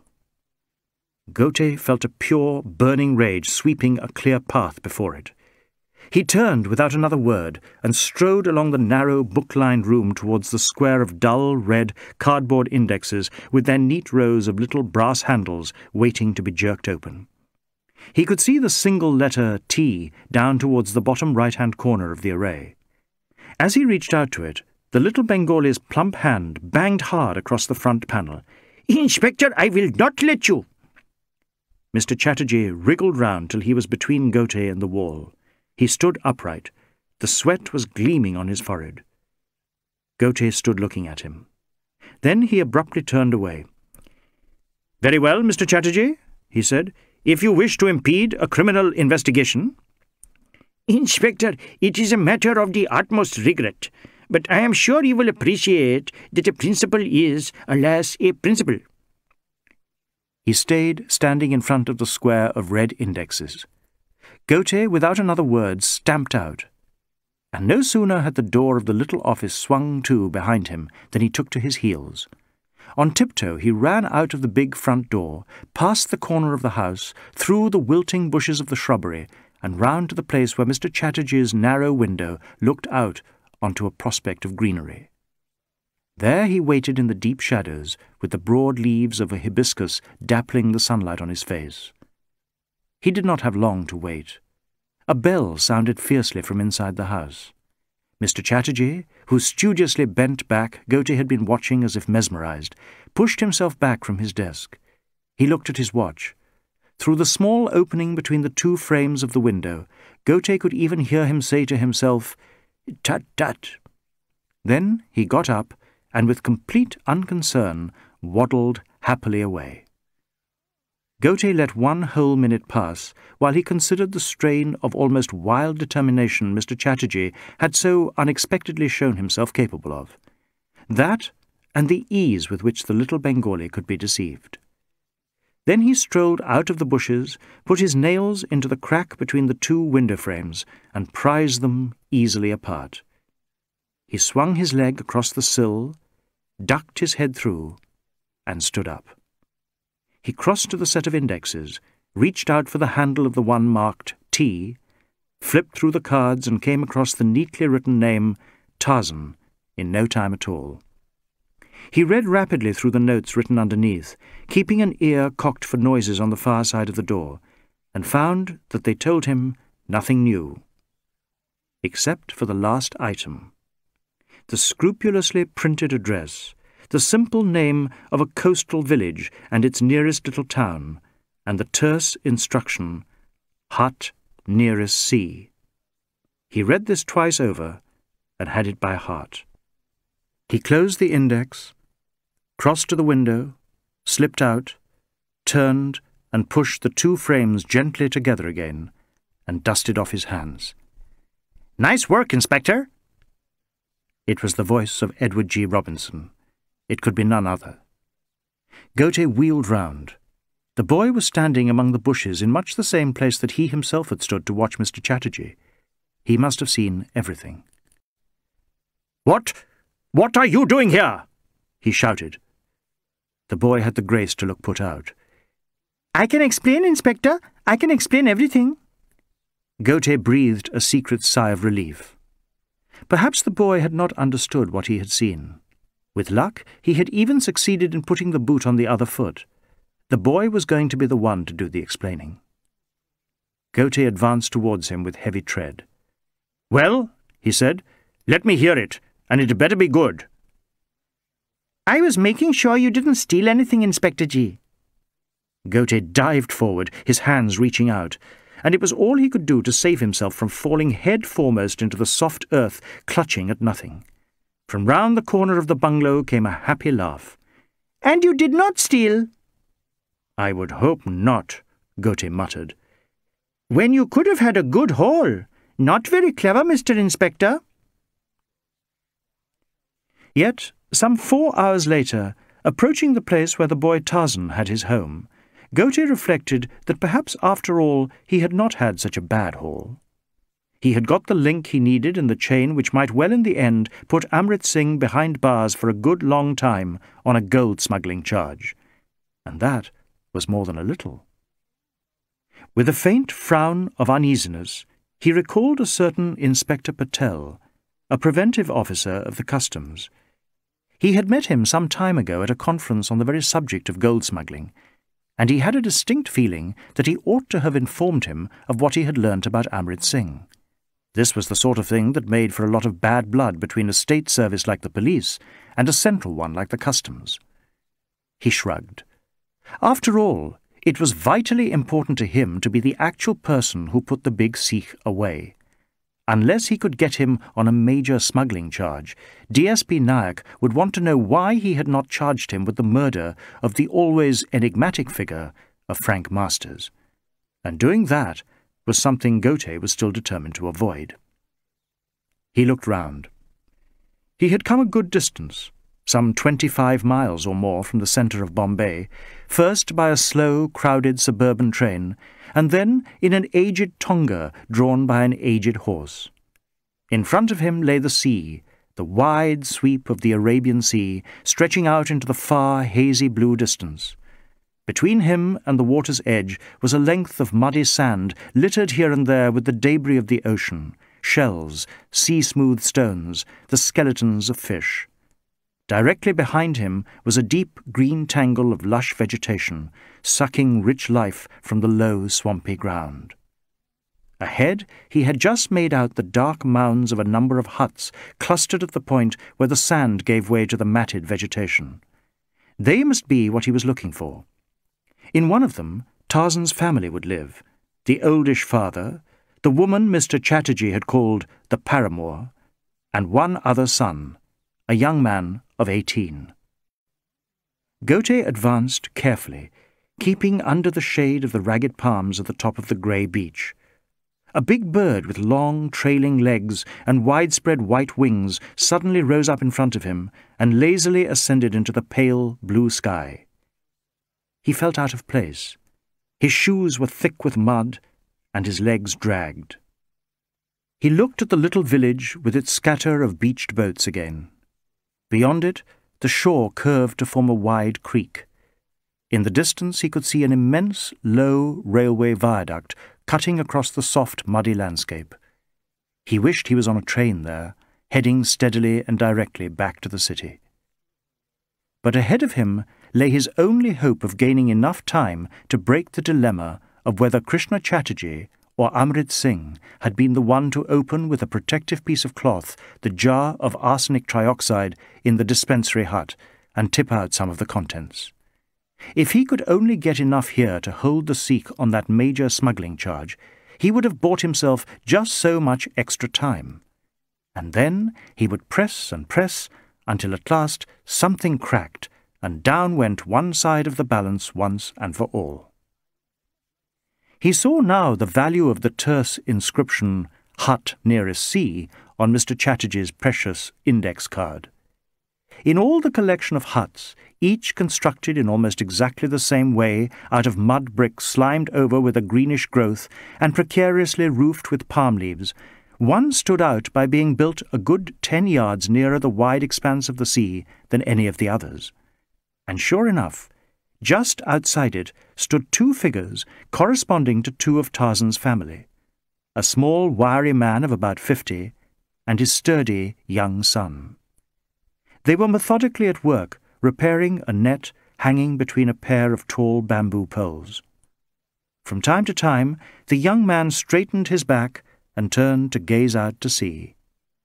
Once he caught hold of his father by the elbow and pointed to the far horizon where a small smudge of dark smoke showed a distant steamship heading south for Bombay Harbour. The old man looked at the smoke impassively, glanced up at the sun as if to tell the time, and went purposefully back to his net mending. Ghote wondered whether the paramour was inside the hut. The old man must have hidden qualities, he thought, to have acquired a mistress when his own appearance and demeanour were so unpromising. He looked round at the rest of the village, noting everywhere the signs of poverty. A youngish woman emerged from one of the huts and came over towards the old fisherman. Ghote looked at her closely. Would she be the paramour? She wore her sari tucked up hard between her legs in the fisherwomen's fashion, so that it showed every outline of her whipcord body. She walked with a decided sway. Ghote found his thoughts beginning to wander. The woman said nothing to the two men at their net, but went through the gap in the tumble-down little fence surrounding the hut, stooped, and entered. The inspector wondered whether the time had not come to approach. Suddenly, from inside the thin-walled hut there came a deep burst of laughter. The young woman came hurriedly out, clutching a borrowed wooden bowl, and an instant later another woman followed her. She was enormous. A great round, shiny face presided over a pyramid of contented chins, which in turn capped a huge, wobbling torso, culminating in a vast, rounded belly and huge, shaking hips. And it was immediately apparent from the comfortable way she looked about her that it was she who was the mistress of all she surveyed, the paramour. She went over to Tarzan's brother and said something which evidently she found colossally amusing. She jabbed the young man in the ribs to emphasize the humour of the situation. His ribs were well covered. They needed to be. At last she decided that her joke had been well and truly dealt with. Still chuckling subterraneously, she turned back towards the hut. Ghote broke from cover and approached. They watched him coming with frank stares. He stopped and asked if they had a young son who had run off to Bombay. Oh, that boy, that boy, said the paramour, lifting her great pudgy arms in a gesture of despair. What has he done now? There is a devil in him, I know that. A devil, a real devil. She clapped her thickly fat hands to her massive sides and snorted with laughter. Well, Ghote said, I will not hide from you that he is causing us a lot of worry. I have come from Bombay to see if I can find the cause. The paramour was still laughing at intervals. Oh, the cause is easy enough to know, she said. It is that devil in him. I tell you, when first I came to this man... She halted herself, waddled heavily over to Tarzan's father, and slapped him tremendously on the back. The little wiry fisherman took no notice at all, simply making use of the interruption in his twisting and tying of the threads of his big hanging net to glance once again at the position of the sun in the sky, and then at the little lapping waves of the sea as they advanced slowly up the muddy beach. When I first came to this man, the paramour went on, I took that boy to my heart. Everything of the best I gave him. Milk he had to drink, meat to eat. Never once did I beat him. And you know what he did? She swung round on Ghote. He tried to run off. Ghote looked serious, but seriousness was foreign to the paramour. Abruptly she burst into new guffaws of laughter. To run away he tried, she shouted, and his brother I had to send after him to bring him back, holding his ear. The thought convulsed her. Her massive sides shook like jelly, her enormous thighs wobbled, her immense bosom heaved in and out. The brother turned from the net mending to confirm her story. Yes, he said with laboured earnestness, he ran away from a good home. Of course I had to bring him back. He stood, thinking for a little. I held his ear very hard, he said. This was a new and delightful matter of amusement to the paramour. She positively stamped on the loose greyish sand under her feet in an ecstasy of mirth. Her little spouse turned and looked at her without moving a muscle of his face. Then he glanced once more at the thin, scummy line of the advancing tide, and from that to the long, curving black craft that lay pulled up on the beach in front of their hut. But later the boy ran off again? Ghote asked. Oh, he ran off, said the paramour, grinning hard. This time he had reason. After being good to him had been so badly repaid, I started to beat him. She looked down at her massive forearm. I beat good, she said. She began to titter again. Unexpectedly, Tarzan's father left the half-mended net and came up to Ghote. You go, he said. Ghote looked at him. His face was so unmoving that he could hardly believe he had spoken the two abrupt words. He did not repeat them, but the jerk he gave to his head was eloquent enough. Soon I will have to be off, Ghote said easily. But first I must learn some more about this boy. Did he have friends in the village, for instance? The fisherman turned away and went over to his son. He muttered something that Ghote could not catch, and both of them looked out to sea with shaded eyes. Ghote turned to the paramour. Uh, what about the friends? he said. She shrugged her huge, well-padded shoulders. It is easy to have friends, she said. You make a joke, they laugh, you laugh, you have friends. She gave Ghote a hearty slap on his back and burst into a fountain of deep chuckles. Ghote forced a smile to his lips. Eh, does the boy ever come home nowadays? he asked. Before the massive paramour had time to reply, the fisherman again came up to Ghote. This time he pointed in a totally unmistakable way. Go! Now! Ghote nodded and smiled. In a minute, in a minute I go.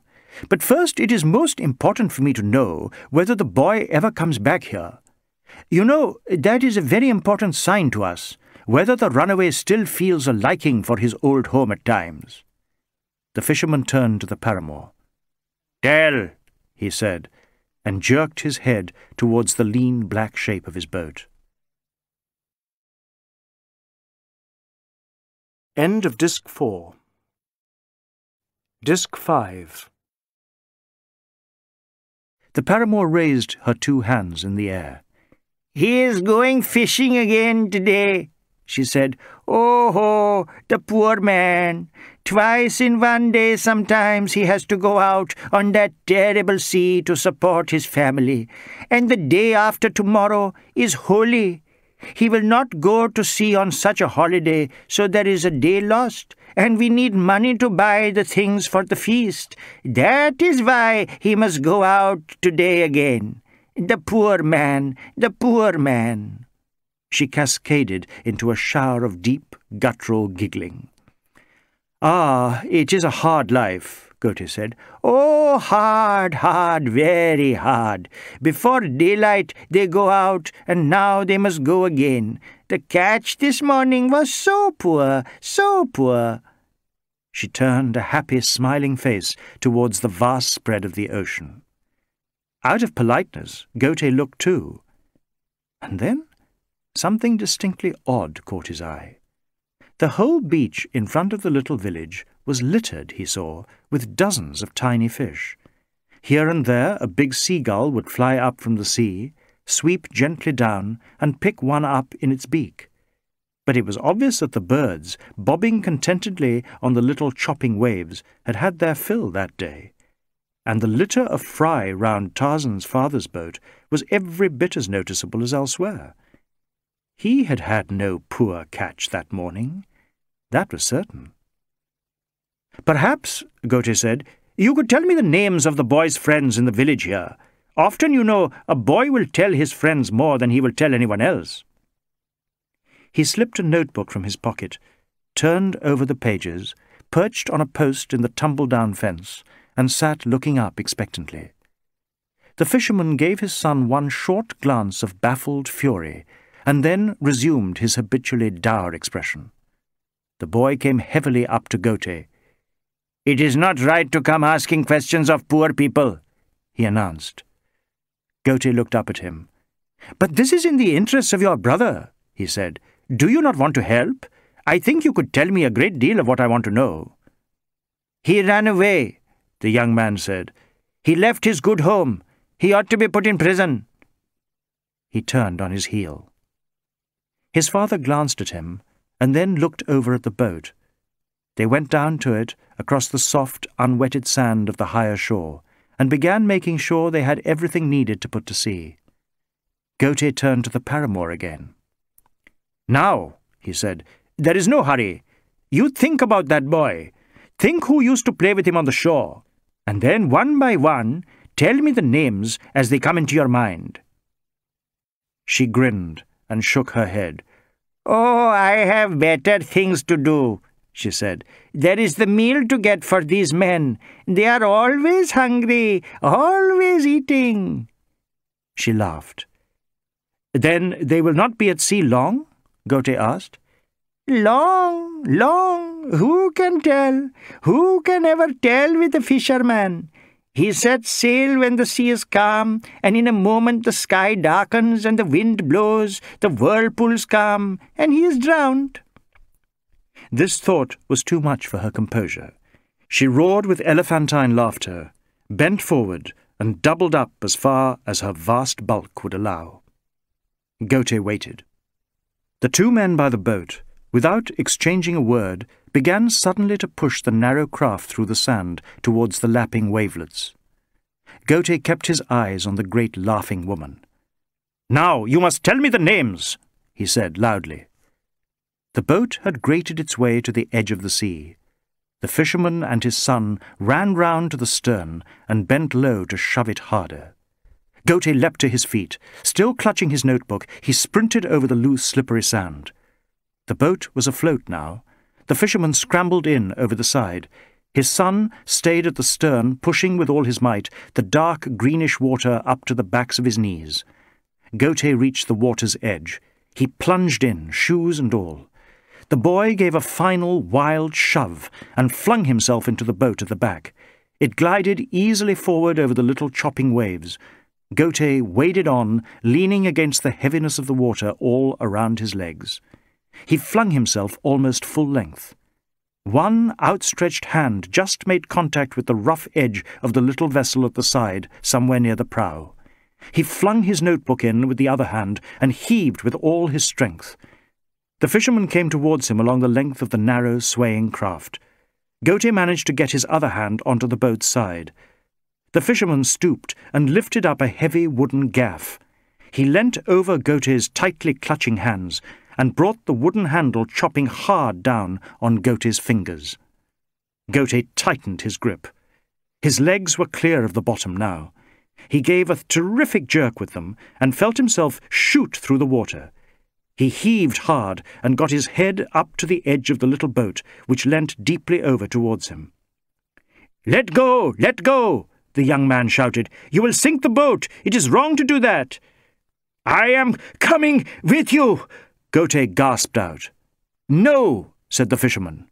I am coming! Help me in, or I will upset the boat! He tugged down on the edge of the frail craft as hard as he could, Underneath him, he felt the water slipping past his soaking trousers, tugging and pulling. Chapter 12 Suddenly, Ghote felt the tugging strain on his arms cease. The unsmiling fisherman and his tubby, self-righteous son had grasped him under the armpits and were carefully easing him over the side of their frail craft. He had won. Once he was aboard, and the danger to the narrow little boat had been averted, the two fishermen let him flop like a sodden sack down near the prow and turned their backs on him. For some minutes he was content that they should do so. He wanted only to be left alone. If he could just have time to ease the wrenched muscles of his arms and sides, he felt, nothing else mattered. But soon he began to feel better and started to look about him. The fishermen had by now hoisted their tall, thinly triangular white sail, patched here and there with old flour sacks. The wind was beginning to fill it out and send the little boat skimming through the slightly choppy sea, heading out away from the creek and the fishing village towards the distant blue line of the horizon. Ghote noticed his notebook lying in the bottom of the boat near three plump pomfret left there after the morning's catch. He gently pushed himself off the hard beams of the thin gunwale and reached for it. It was soaked with cold, salty water, but looked as if it would be salvageable. He pressed the covers together so that a thin stream of water, slightly blue from ink that had run, trickled out. Then he pushed the wet mass into his pocket, where it thumped heavily against his side. He lay back and thought. At least he had achieved his first object. He had stuck close to the two fishermen at what was obviously the start of a trip to pick up something smuggled. The signs had been too plain to be anything else. The trip out to sea at this time of day, when the routine was to leave before dawn and come back on the wind that could be relied on to sweep in from the sea during the morning. The two men's obvious keenness to leave at a certain time and to have got rid of him before they went. No doubt some sort of rendezvous had to be kept. The patent excuse of needing extra money because the morning's catch had been poor, when these three plump, evidently eatable fish had been actually left in the boat. So now the task was to watch the two of them like a cat to see what it was they had come out to sea to do. One thing was in his favour already. Evidently the old fisherman had decided that in spite of his presence, the rendezvous must be kept. Ghote stretched forward and began trying to wring the heavy sea water out of his trouser legs. In the stern of the narrow boat, Cleaving its way swiftly through the little waves, the two fishermen talked together in muttered voices over the long steering oar. Ghote pretended not to notice. It would be hopeless to try to overhear them. The thing to do was to lull their suspicions. He sat up straighter. The fresh wind, laced with spray, chilled his face. He envied the close-fitting caps the other two wore. Well, he said in a loud voice. I think it is most important to have an idea how a boy like your son would earn his living. From the other end of the long, narrow boat, the old fisherman looked at him sourly. Yes, Ghote went on, shouting a little in case his words were being whipped away by the breeze even before they reached the stern of the skiff. Yes, someone like me has to know just what it feels like to work the way the boys we help will have to. He warmed to his theme. When I saw the very hut the boy lived in, he said, I realized already much more about him. The damp walls, the palm leaves on the roof. Do they let in the rain? For a little he thought his question was going to go unanswered, but the lure of all this pity was too much for Tarzan's brother. Yes, he said at last, making his way forward a bit. Always the rain comes in when it is heavy. But we have no money for a better roof. We work so hard. We get up while it is still dark and set out to sea, and then the merchants give us so little for our catch. It is not fair. Ghote edged along the boat towards him. At the stern, his father, taking no notice, threw out a long, baited line and watched it unblinkingly. This is what I want to hear, Ghote said. I want to know the way you live, to see how to help your brother. That is why it was so important for me to come out to sea with you. The young man nodded gravely. That boy, he said, he must not be helped. He has run away from home when he should be working with us. He should be sent to prison. But no, said Ghote loudly, carried away by his role as social worker. That is not the way. When a boy runs off from home, we have to ask what made him do it, to see if we can put that right. The runaway's brother looked at him solemnly. The boy is bad, he pronounced. He left us. We have to do the work, and we have so little money. Even this boat may be taken from us for the money we have borrowed. He should be locked up. He tilted his chubby chin and looked away out to the far horizon. In the distance, the faint blur of the smoke from the steamer Ghote had noticed before was still visible. The old man hauled in his line. A pomfret was jerking and wriggling on the end of it. He tugged it off the hook and flung it forward. Or he should be well beaten, the young man added. Ghote found nothing more to say. For some while, Tarzan's brother sat where he was, evidently waiting for some further understanding comments on his lot from this heaven-sent professional sympathizer. Ghote let him wait. Eventually, the youngster seemed to realize that the source had dried up. He gave Ghote a sudden glare and made his way, swaying slightly to the narrow boat's motion, to throw out a second line beside his father's in the stern. He put his head close to the old man's and indulged in a long, muttered tirade. The old man turned and looked at Ghote along the length of the frail boat. He seemed to be weighing him up. Ghote looked down at the sea slipping past the sides of the craft. A big patch of yellow, sun-bleached seaweed slid up, swept by a yard or two away, and slowly disappeared. The choppy waves began to grow higher, and the boat dipped and rose with an unpleasant regular motion. The boy put his head near the old man's again, and added something to what he had been saying before. It was obviously a forceful plea. The old man shrugged his shoulders and seemed unable to make up his mind.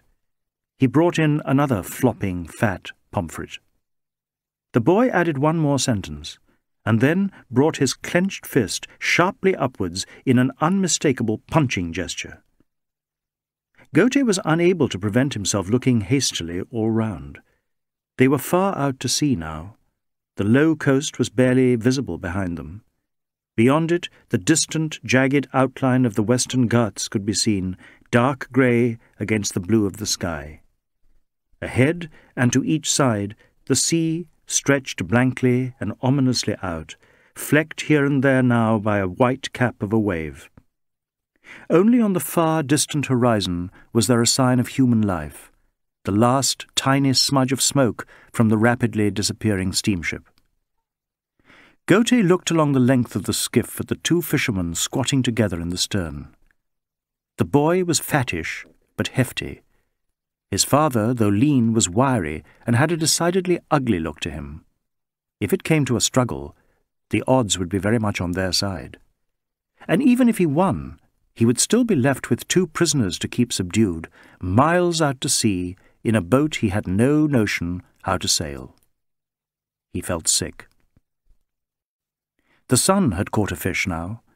As soon as he had dealt with it and baited his line again, he once more urged some action. The old man took another searching look at Ghote. The inspector felt very sick. The sweat rose up on his brow in spite of the salt spray which was coming more heavily off the bobbing waves with every moment that passed. Suddenly, Ghote realized that he felt sick for a very good reason. The little boat was bouncing on the waves with altogether too much speed.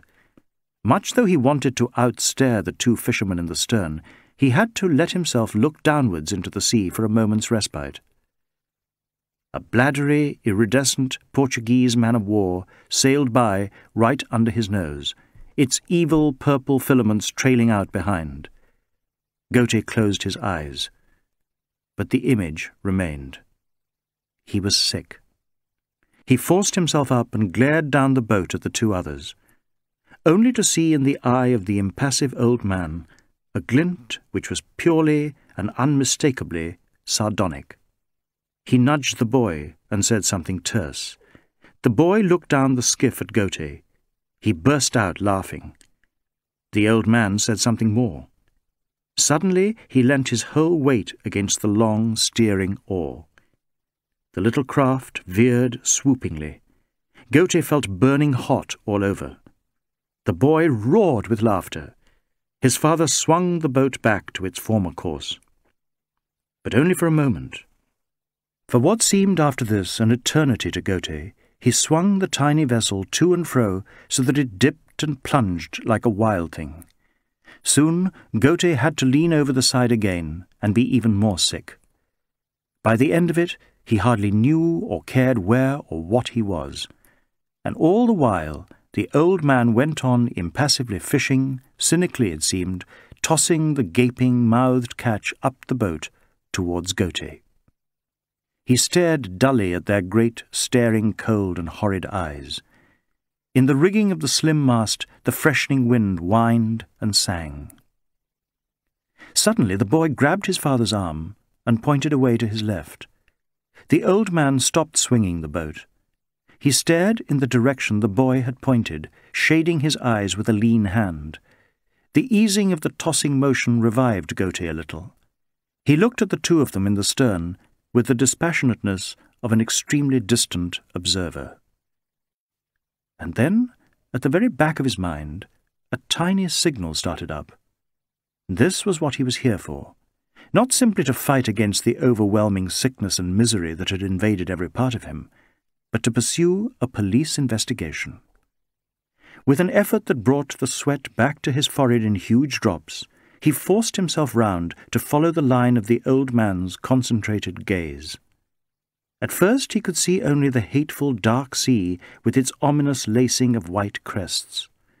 Then, suddenly, for a second's glimpse, he made out something else.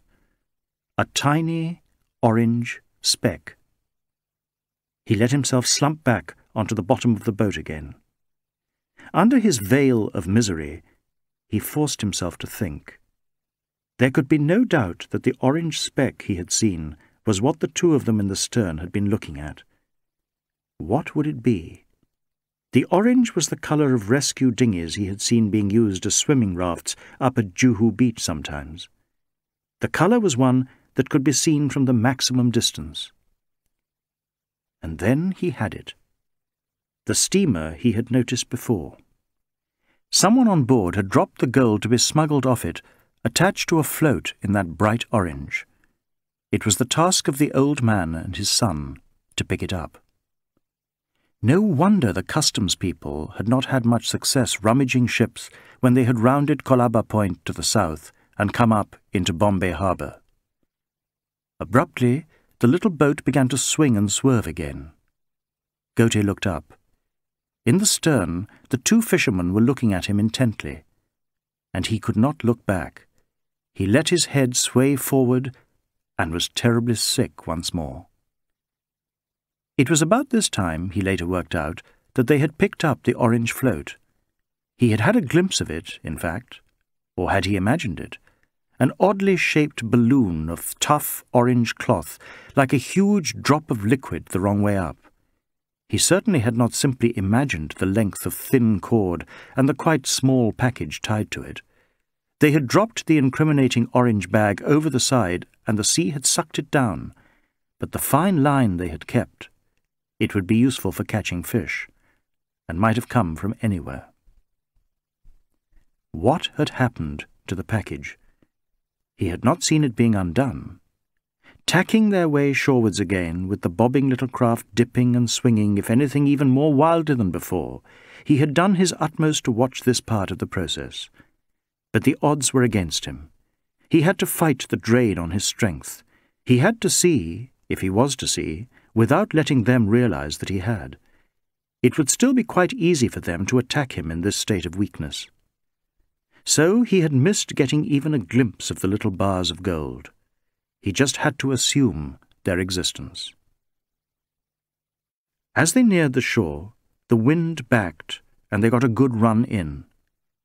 In the little boat's stern, they seemed to have decided that Ghote was no longer a danger. They let him lie in the prow, looking backwards to the wide sky and the dark sea. They made no further attempt to swing and sway the boat. He began trying to work out how to catch the two of them red-handed.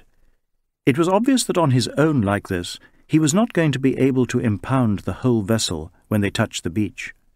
He would have to rely simply on keeping his eyes wide open.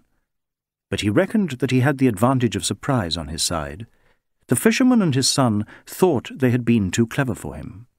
Well, they would see. He sat trying to regain his strength. Above him, the narrow, white, triangular sail was stretched taut to the wind. The boy got up and untwisted a rope. The sail quivered and a series of horizontal ruckles slid down it. Then, quite quickly, it collapsed into the boat. The momentum carried them smoothly forward. It was a neat piece of seamanship. The skiff came up to the low slope of the beach with its speed dying gently away, and touched bottom as softly as a falling leaf reaches the ground. The boy jumped out. He caught hold of the worn wood of the bow beside Ghote and ran sharply forward. Underneath them the sand grated harshly. Then the skiff stuck fast. From the family hut the paramour came waddling hastily to meet them, laughing contentedly to herself. On her head she carried a big flat basket, wider at the bottom than the top. Did you like your trip to sea? she greeted Ghote as he scrambled out onto the warm, blessedly firm sand. I am glad to see you back safely. She dropped the basket on the sand and laughed with her head thrown back. Ghote looked at her angrily. Oh, there are many whirlpools out there, and dangers, she said. Her stepson picked up the basket and held it in his outstretched arms just at the edge of the boat. His father caught hold of a couple of the fish lying in the bottom of the boat and lobbed them neatly by their tails, one after the other, into the basket. Ghote watched, his eyes darting from the man stooping down to pick up the fish to the boy standing holding the broad basket. One by one, the fish swung gleaming through the air and landed with a smack on the others already in the basket. Not one seemed any different from the next. At last, the old man straightened up. The boy put the basket on his head and set off across the sand with its litter of broken white shells, ribbons of seaweed, and little humps of worm casts. He was heading for the curing yard at the far end of the cluster of shacks that made up the village. Ghote watched him go. Chapter 13 When Tarzan's unsympathetic brother had carried his flat basket of plump fish past the palisade of the curing yard and out of sight, Inspector Ghote swung round to the old man sitting impassively on the edge of his beached boat, beginning to gather up the stiff folds of the sail into neat coils. Ghote let him finish the task. Then he moved in confidently. I would like to see the three fish still at the bottom of the boat, he said, with quiet triumph. For a moment, the old man crouched in front of the fish, braced for combat. But Ghote knew he could not lose now. They are my fish, the old man said. I want to see them, Ghote replied implacably. They are for us to eat only. You can eat them after I have seen them. Who are you, that you should see my fish? The stony-faced old man began looking up towards the huts, as if he might summon his neighbours to help defend his private property. Ghote darted forward, dipped agilely into the boat, and seized one of the fish. He squeezed it hard, and felt nothing. He pushed the old man back and grabbed the other two fish, he thrust his fingers down their gullets. Nothing. He stepped back. The old man took a short knife from his loincloth, and in a single swift jerk ripped open the first fish from mouth to tail. Mockingly, he presented the two pieces for Ghote's inspection. Ghote hung his head. Cheated, and so easily. He looked over at the curing yard. Villagers were coming and going from it in a regular procession. Some carried bundles of dried fish on their heads. Others swung baskets by their sides. Tarzan's brother strolled back to the family hut, empty-handed. He could always arrest them still. He could swear to having seen them behaving suspiciously at sea. But with no actual gold to prove his claims, he would have a hard time getting a conviction, let alone being able to touch Amrit Singh. With such a doubtful case against them, the old man and his son would never even consider turning approvers and giving evidence against the big Sikh. He had failed. He would be unable to get the Sikh on a smuggling charge. His orders to arrest him for murder and work up the evidence afterwards stood. No, he thought obstinately. He would at least see Krishna Chatterjee once again. He would try his squeezing process at least once. He would give himself twenty-four hours more, not a minute above that. And then he would go the whole hog, pull in Amrit Singh, bring every pressure to bear on the boys to say the right things in court. Be a complete DSP Nayak man. Ghote decided to play it tough. He had Krishna Chatterjee brought down to headquarters. After all, the social worker was no Amrit Singh. He would hardly stand up to rough treatment. The threat of it, or even the hint of it, might still change everything. Before his victim was due to arrive, he set about making a few preparations. He pulled his squat little spare chair out from its place against the wall and set it very carefully in front of his desk. He went round to the other side and sat down. He leant forward to judge the distance between himself and anybody sitting on the little chair. He came to the conclusion that the gap was a bit too wide and went round the desk to make a final adjustment. There was no harm in a policeman having finer feelings, he told himself, but that did not mean he had to be soft. Far from it. Real softness was as much going too far with witnesses as not going far enough. The right thing, the truly tough thing, was to judge the amount to a nicety. This was the real world where people acted. They did things.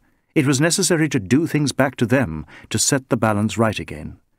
But the whole art was to do just what was necessary and no more. He turned the heavy, squat chair a few degrees round so that it would be a strain on anyone sitting on it to look directly at the occupant of the desk.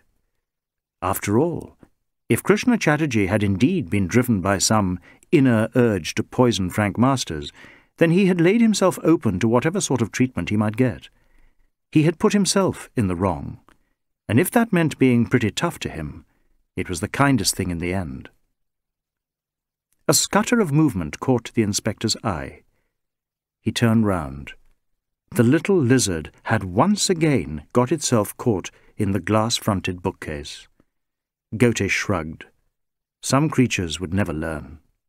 He went round to his own side of the desk again, sat down, opened the bottom drawer, and took out a wad of clean paper. He looked at the pencils in the enamelled brass tray in front of him.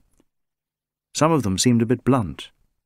He took a little bright purple plastic pencil sharpener from the deepest corner of the bottom drawer, where he kept it, to stop it being pinched, and set to work. A few minutes later, he heard the tread of heavy boots on the corridor floor outside. A sharp but respectful knock sounded on the door. In? he called. It was Krishna Chatterjee, escorted by two constables. Wait outside, Ghote said to them briskly. You may be needed. The two big men with their shining brass buttons and heavy, highly polished boots saluted smartly. Ghote watched them go, and then turned back to his pencil sharpening. Krishna Chatterjee, round-faced, round-shouldered, stayed where he was by the door watching him. In the bookcase down in the corner, the little lizard flung itself wildly at the unyielding glass. At last, Ghote glanced up. Sit down, he said. Please. Krishna Chatterjee came forward and sat on the heavy chair, having tried unsuccessfully to shift it slightly first. Good after... he began. Seeing that Ghote was busy down behind his desk, restoring the plastic pencil sharpener to its hiding place, he stopped. Ghote took a long time tucking the little purple object safely away. It would do the talkative Bengali the world of good to have to sit for a little with no one to speak to. At last the inspector swung suddenly up. Well, he barked, have you thought better of this ridiculous nonsense? Mr. Chatterjee leant forward, twisting round uncomfortably.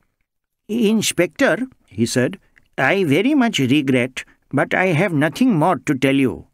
I admit that for reasons I thought good, I entered the dispensary on the evening Frank Masters died. I admit I obtained the key from Mr. Custis by using what amounted to threats. But I must insist on keeping the reasons for that visit strictly confidential.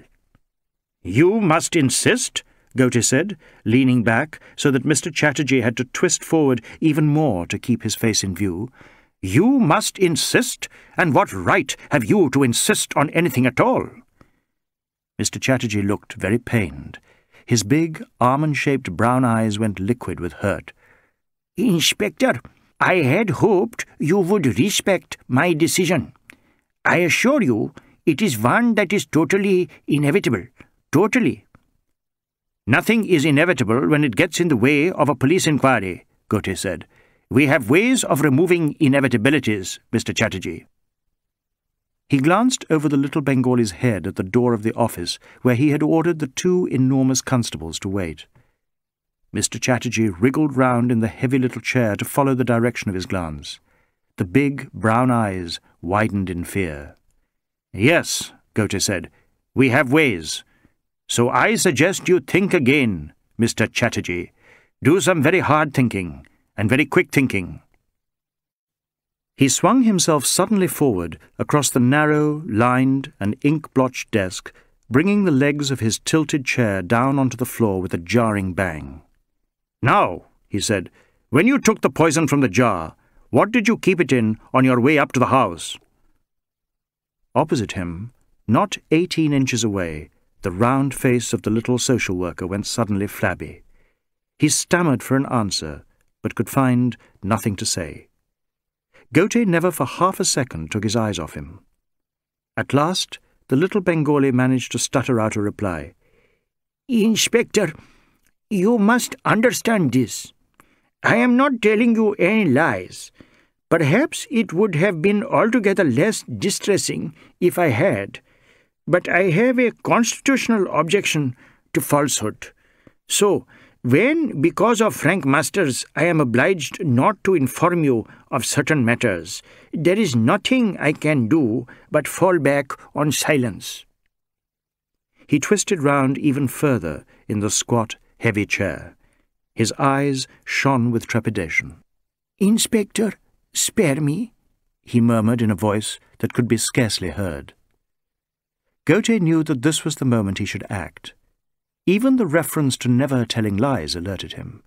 That way lay thoughts of doing evil that good might come. Now was the moment to leap up and stand over the fundamentally timid Bengali and shout and shout until he got a confession.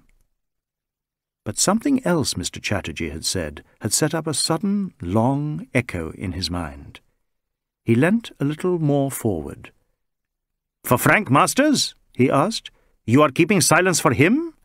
Tell me what it is about him that makes you do that. Mr. Chatterjee looked up. His big eyes had a faint gleam of hope in them. Reprieved. Yes, he said. It would have been more satisfactory, perhaps, not to have referred to this, but it is the strict truth. Ghote pressed the palms of his hands down on the blotched surface of his desk. All right, he said. But what was it about Frank Masters that made you do that? What was his secret? A look of staring dismay suddenly appeared on Mr. Chatterjee's face. His secret? he stammered. Yes, Ghote said, his voice almost at a shout. What is this secret of his personality that made him so different from all of us? The dismayed look faded from the Bengali's round face. He coughed a little primly. Oh, yes, that, he said. Well, you might put it that it existed only to a certain extent. Frank Masters was unlike us, certainly. We are not all immensely wealthy men, and we do not give up all that wealth in a crusade in a foreign country. That is true. But on the other hand, Frank Masters was in many ways all too like us, that is to say, all too human. He came to an end and sat contemplating the humanness of Frank Masters with a woebegone expression. All too human? Ghote said at last. Please explain that a little more. Mr. Chatterjee looked up.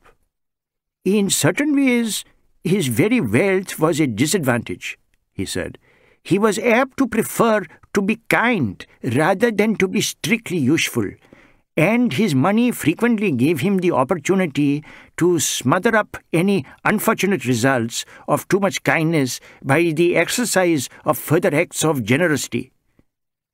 And at this stage, on many occasions, a certain lack of interest would manifest itself. He failed to follow through. Mr. Chatterjee pronounced these last words with great sadness. Ghote nodded sagely. Yes, he said, you can often do more harm than good that way. People like that should not really be allowed to interfere in other people's lives. No, you are wrong, quite wrong. Ghote jerked back in astonishment. In the big almond eyes of the little Bengali there shone fire. No, he repeated, you are quite wrong. Frank Masters did good, that we must never forget. He set out to use his wealth to do good to others, and this he did. Whatever else we reproach him for, this blots out everything. He breathed rapidly. After all, he went on, he had no need to spend his money on us and live a life that was relatively austere. Decidedly a life that was relatively austere. He sat looking straight forward at the wall to Ghote's side. His big eyes were moist. Ghote puffed out a long breath. I dare say there is something in all that, he conceded. He pulled himself together. However, that is not the point.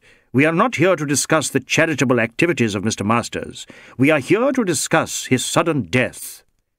He glared fiercely at Mr. Chatterjee. His sudden death and the part you played in it. Mr. Chatterjee slid round again to the uncomfortable position in which he could look Ghote straight in the eye. Inspector, he said, I must repeat that I played no part at all in Mr. Master's death.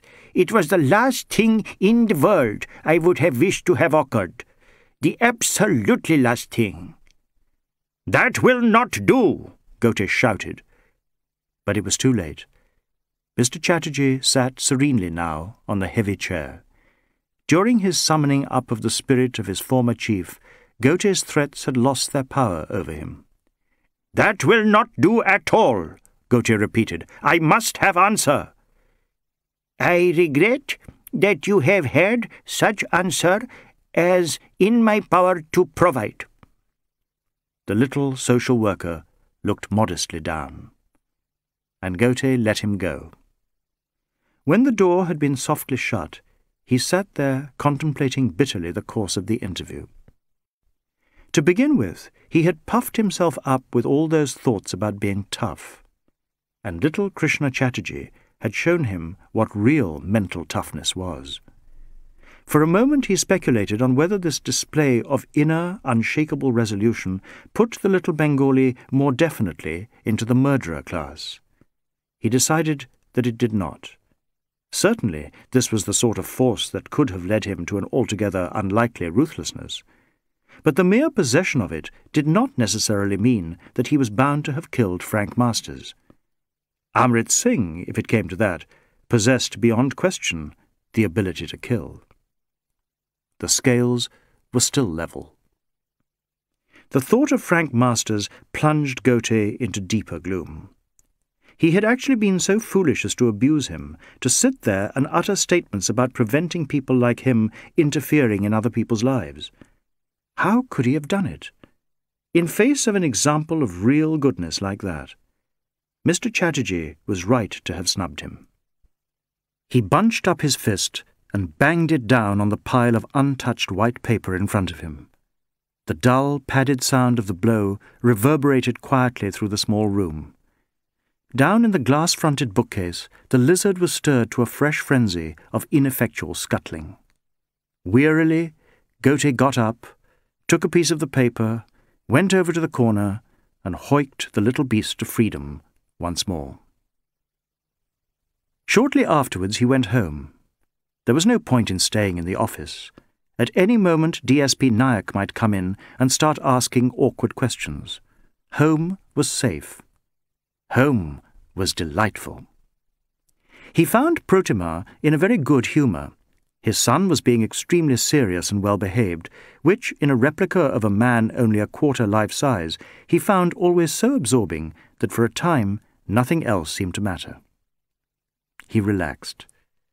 Frank Masters might have been murdered in circumstances which were still almost as mysterious as when he had been assigned to the case, But that could wait. The impression he had at last begun to gain of the murdered American as a human being, and one whose very existence posed problems in behaviour almost too big to deal with, might be still heavily present in his mind, but at least it could for a few minutes be pushed into the background. To be a father and a husband, and nothing else, was important and right. Ghote watched his son and talked in a low voice to Protima about the events of her day at home. But you, she said at last, what have you been doing? Your clothes, how did you get them into that terrible state? When you came in, they looked as if you had been wading through the sea in them. So Ghote was gently urged back into being a policeman. He told Protima, in brief outline, about how he had hoped to catch Amrit Singh as a smuggler, and about how he had failed, leaving himself faced as inexorably as ever with his dilemma about Amrit Singh and Krishna Chatterjee and the DSP's almost inescapable order. Protima promptly justified his former reluctance to tell her about his work by getting the situation typically wrong. But why cannot you arrest Amrit Singh? she said. He was the one who poisoned your Frank Masters. But he did not, Ghote replied. Not necessarily. I explained to you. Both he and Krishna Chatterjee admit going into the dispensary where the poison was. Both swear they did not take it. Either could be telling the truth. And while I know for a fact that Amrit Singh has killed three people himself at least, I am also sure that someone like Krishna Chatterjee could push himself to the extreme of murder. It balances up. Then you do not want to believe Amrit Singh killed Frank Masters? It is not a question of what I want to believe. It is question of simple logic. An unexpected stain of dark anger appeared momentarily on the smooth stream of his tranquillity. Logic, Protima laughed. It is no good talking your logic this and your logic that. You know I never understand such things. She made them sound as if they were all right for little Ved, solemnly bringing dishes of pickle in from the kitchen for their evening meal, but not really worth considering above that level. But you cannot escape logic, Ghote said, his voice suddenly rising. Ved looked up, but said nothing.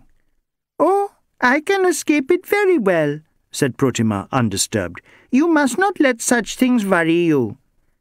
But I have failed to find who killed Frank Masters.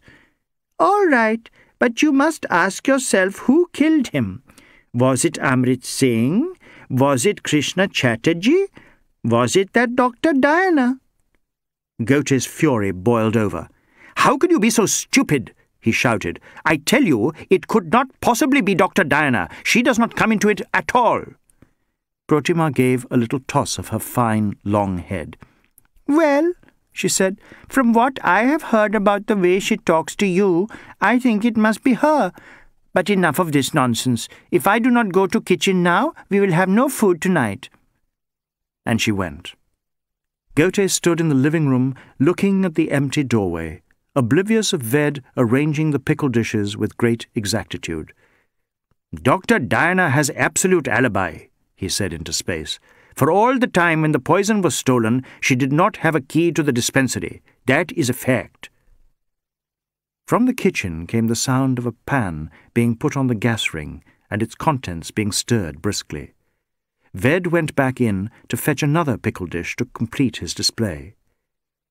Ghote marched up and down. He began to feel hot and uncomfortable, even in his fresh clothes. He slumped down on a rattan stool in the corner and fanned at himself furiously. Protima came back in calmly carrying the food, with Ved and his final pickle dish in the rear. Ghote glowered at them and stayed where he was. Well, Protima said, the meal is ready. Are you going to eat? Ghote did not reply. Come, why are you sitting like that? It is hot. Then take some water to drink. It has been standing in the big clay jar. It is quite cool. Ghote got up and helped himself, dipping a brass tumbler into the big pot. He drank. Cool, he said contemptuously. Well, it is cool as water can be kept without refrigerator. Refrigerator, refrigerator, there you go again, always dragging it in, always nagging about it, always hinting. It was the signal for battle. But Protima, with that contrariness that was both the bane and delight of her make-up, refused to fight. Instead, she was all sweetness.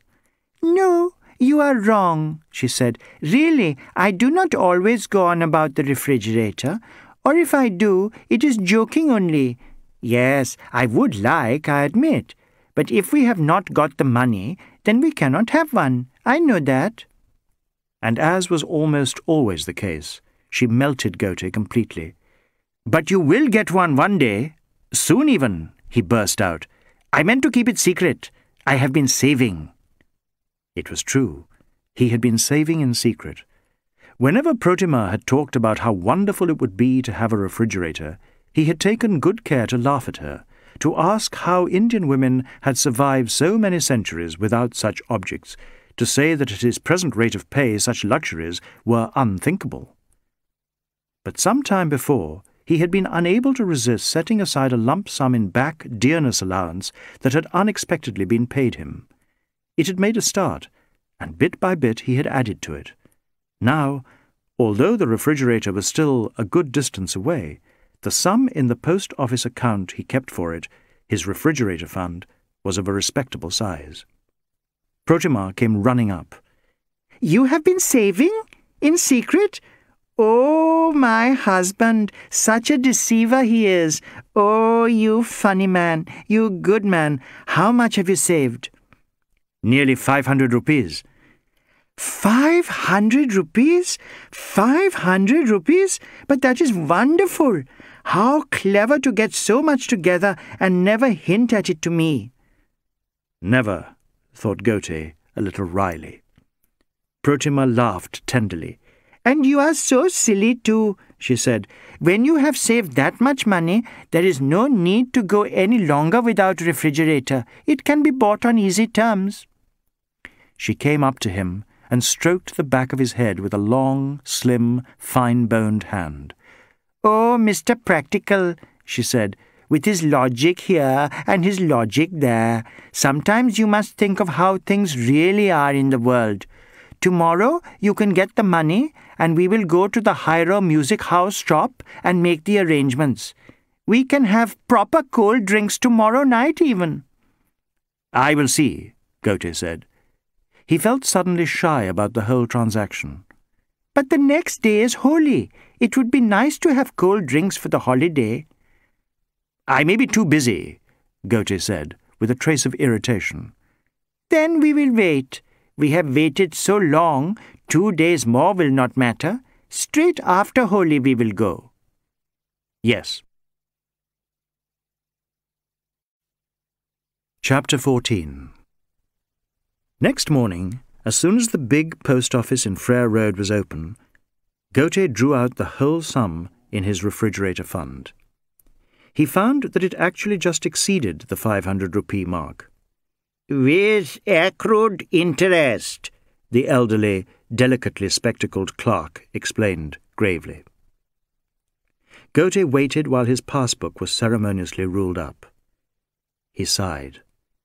He had wanted to let the money grow and grow till he had accumulated every one of the 1,090 rupees which the refrigerator he had his eye on would cost, excise duty and taxes apart but these he generally contrived to leave out of his calculations. Carefully, he fitted the crisp new notes away in an inner pocket, and as he did so, an alarming diminuendo of thought spiraled through his head. That it was wonderful to have actually got hold of so much money, that life with a refrigerator in the house would be like them having a whole series of gifts, that there were many people much less lucky than this, like the gang over at the Masters Foundation, saved from the misery of the gutters only by chance, or the people of the fishing village, always on the edge of disaster. Then the thought came that Frank Masters would have gone to the aid of the village if it had happened to come to his notice. And then that to a villager five hundred rupees would seem unattainable wealth. Then that Protima did not know exactly how much he had saved. And next that he ought to devote at least some of this wealth to helping the wretchedly poor people he had been brought into contact with, and finally that he should go out to the village as soon as possible and give Tarzan's family a generous present. He had meant to decide on the way exactly what the appropriate sum was, whether it should be as much as fifty rupees or whether less would be fair. But instead, he found he could think of nothing but that by going off on this jaunt, he was avoiding doing his duty over Amrit Singh. All the way through the flat, dreary, crowded stretches of North Bombay, past the tall mill chimneys and the squalid shacks between them, he cursed himself for not simply arresting the big Sikh. He might not be the toughest man in the force, or the cleverest, or the biggest pusher, but at least he did his duty, always, as laid down, until this business. It was the thought of Frank Masters, the good man, that had done it, he reflected. If this investigation had been into anybody else's death, perhaps he would have felt able to accept his orders and carry them out to the end. Afterwards, someone else, someone senior, could take the responsibility if the orders had created more harm than good. And if, improving the evidence like that, put Amrit Singh in a cell for a really long time, well, that was where Amrit Singh ought to be, and everybody knew it. The stations along the way were slowly ticked off. Matunga Road, Santa Cruz, Vile Parle, Andheri, Goregaon, Malad, Kandivli, Borivali. He found the same old tonga and weary horse as he had used the day before, and made the same uncomfortable trip to the point where the road to the sea became a mere path. Blackly he ploughed along the muddy strip of sand towards the village, keeping just in the shade of the matted tangle of vegetation springing from the marshy land at the highest point the tide reached. Because there could be no doubt about one thing. If ever anybody was a bad person, a man content to live well at the expense of anyone he could bully or bang money out of, it was Amrit Singh. And he was a proven killer, too. Ghote stopped. Ahead of him, standing casually behind a thick sprout of growth at the foot of an old, leaning, battered palm, there was a figure in a heavy red and blue turban with a white shirt and tight, whitish trousers kept up by a broad sash. A Sikh. You could tell a mile off. But more than any Sikh, surely. Over the soft grey sand, Ghote advanced carefully noiselessly. Yes, there in front of him, spying over the village in much the same way that he himself had done the day before, was Amrit Singh, in the flesh.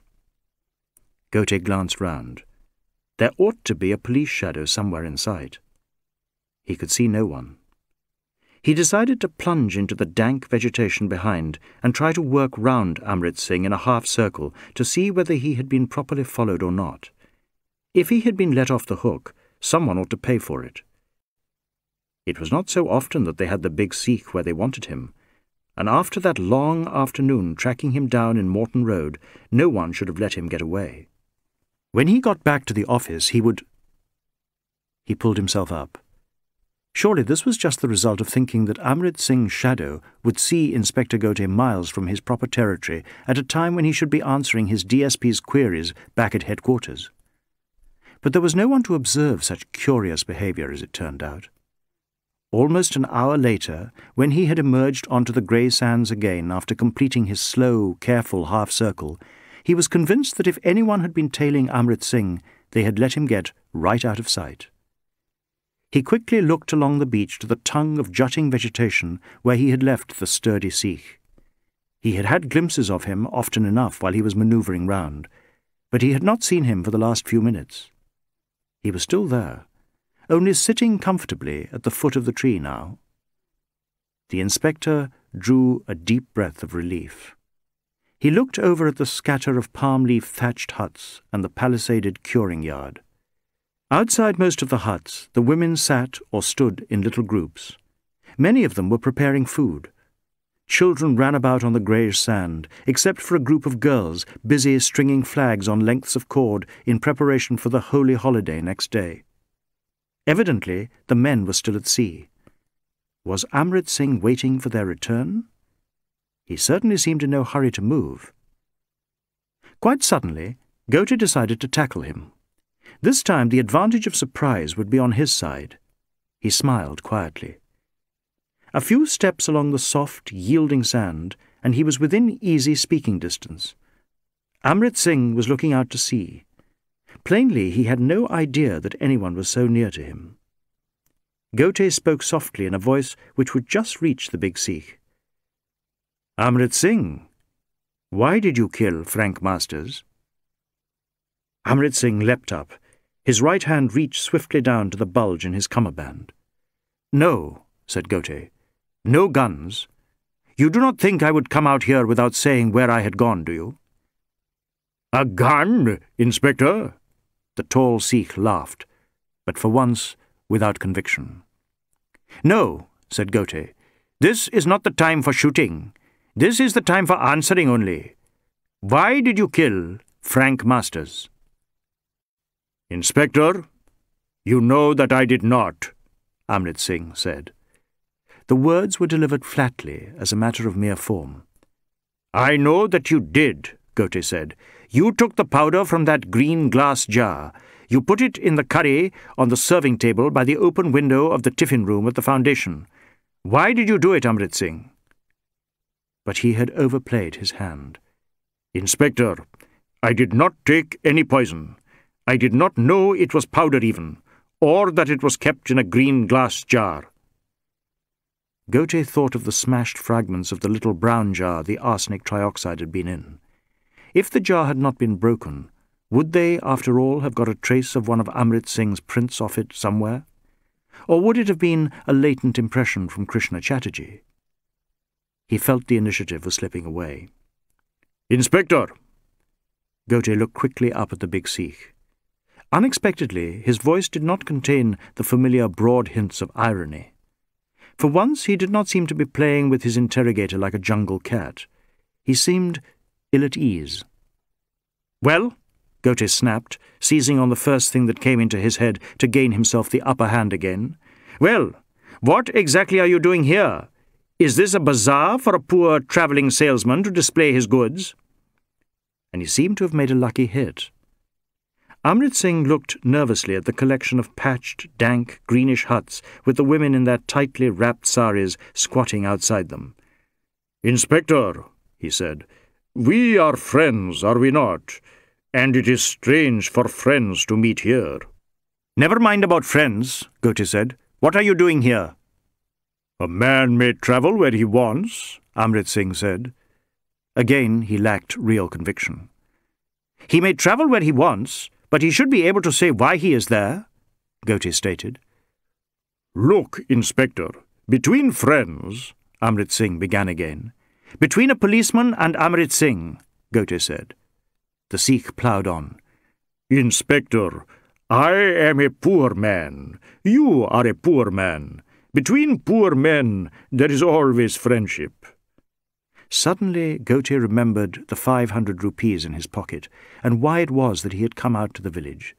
To see whether there was something someone not really poor could do for people in real danger of having just nothing to eat if precarious luck turned only a little against them. He looked past the Sikh's broad frame down towards the cluster of flimsy huts. The group of girls rose to their feet at just that moment and carried a long string of pathetic little flags towards the curing yard. Amrit Singh, who had been looking at Ghote, trying to assess his reaction to the general propositions he had been putting out, gave up and launched into a more direct approach.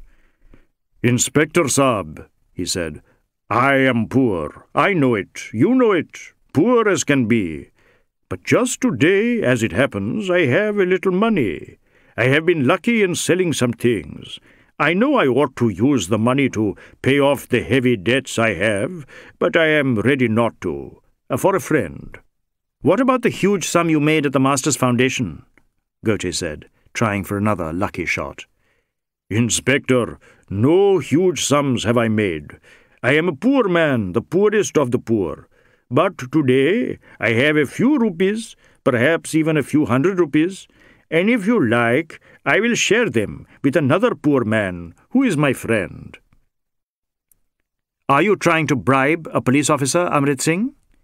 Inspector, that I should do such a thing. I am trying to share my luck only, and I am remembering a friend who only two days ago was talking about such a thing as a refrigerator. The Sikh decided that he had advanced enough counters for the time being. He waited to see if they were taken up.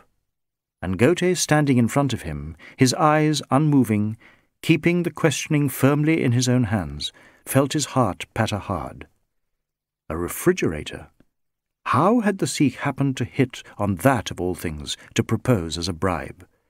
Perhaps he had let something of his private life appear when Amrit Singh had been talking to him in the compound at the Master's Foundation. He must watch himself. His silence had the happy effect of forcing the Sikh to go yet another stage onwards. Ah, he said, there are many refrigerators, but why should not poor men like you and I have one? It would uh, cost not very much money. I saw yesterday only a fine refrigerator in the paper, and it would cost only one thousand and ninety rupees. Again he waited, with so much more bait economically laid out. If you are offering me the price of a refrigerator to forget I have seen you here, said Ghote levelly, then you can stop right away. I will take no bribes.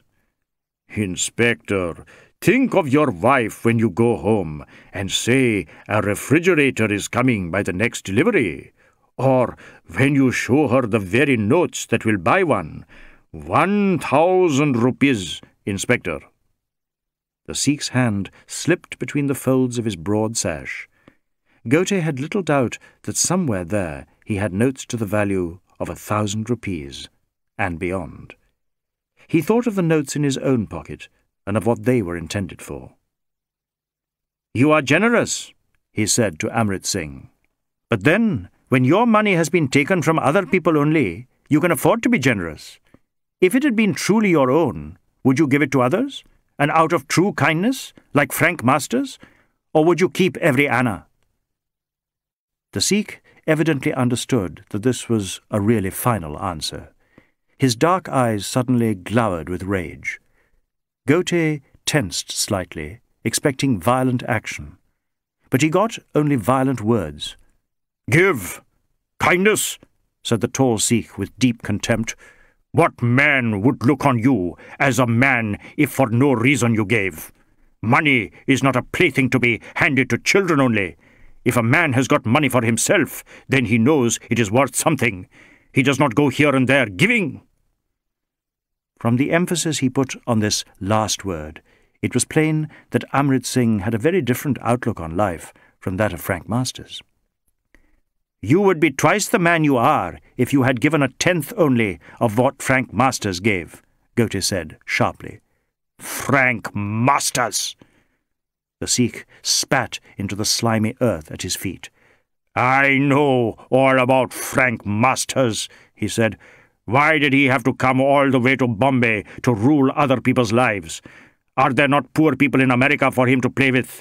But no, he has to come here to make himself feel good. Only in India can he find the very poor and get the most for his money. For a few annas here, he can make a poor boy do just what he tells him, and can say to himself that he has changed a life. Ghote felt that he wanted to protest, but could find nothing to say. Oh, yes, the Sikh went on.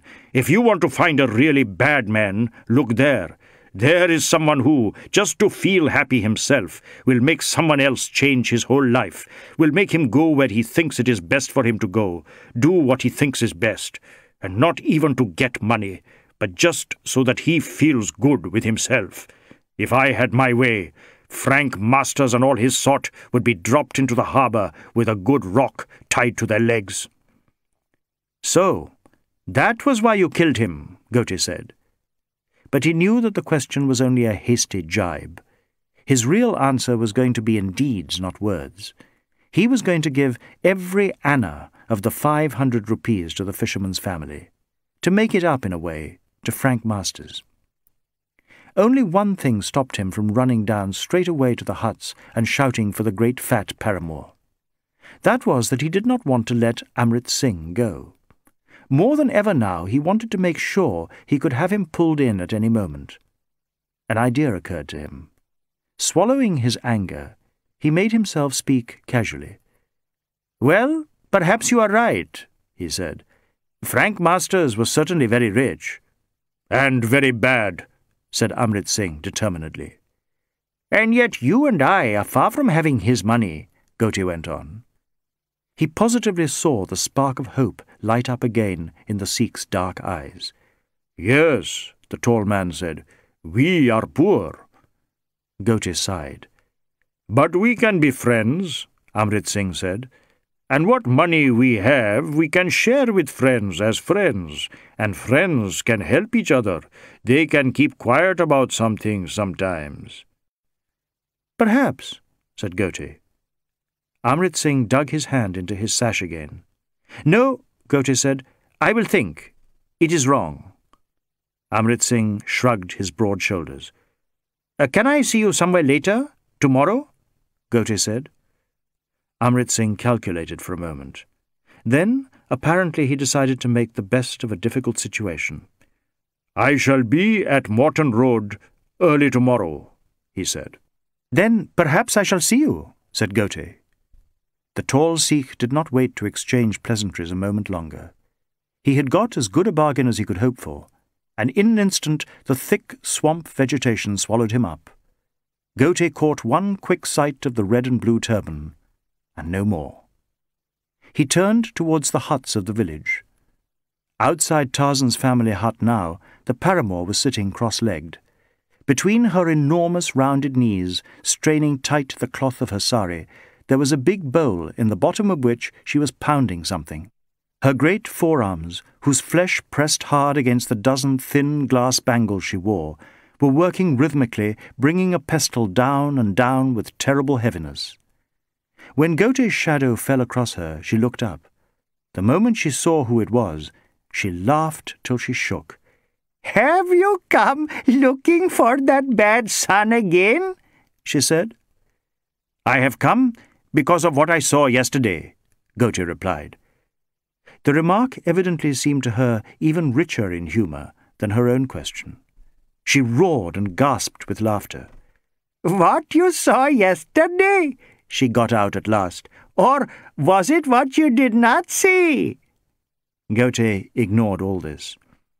Yesterday, he said when he thought she would hear him, yesterday I saw how difficult it was for you to live without being a prey to evil men, and that is why I have come back, to offer help. Oh, it is difficult to live, the paramour agreed.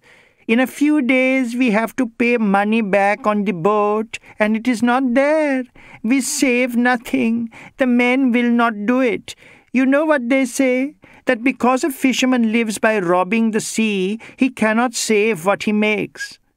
She giggled softly, almost to herself. But you see how foolish this is, Ghote said. You are a woman of authority. You must make them put away a little when the catches are good. The giggling became a frank laugh again. All right, Ghote said. I understand your difficulties, and I am prepared to help you start again. This is what I will do. He put his hand into his pocket and pulled out the tight bundle of notes. For an instant, the fat woman stopped laughing completely. Her eyes went wide. Then she lowered them to look at the handful of pounded spices in the big bowl and giggled modestly a little. I want you to take this money, said Ghote. It will pay off much of the debt on your boat. Then your catches will bring you a proper livelihood, you and both your stepsons. But you must promise you will make them save when they do well, so that they can last over a poor catch without borrowing again.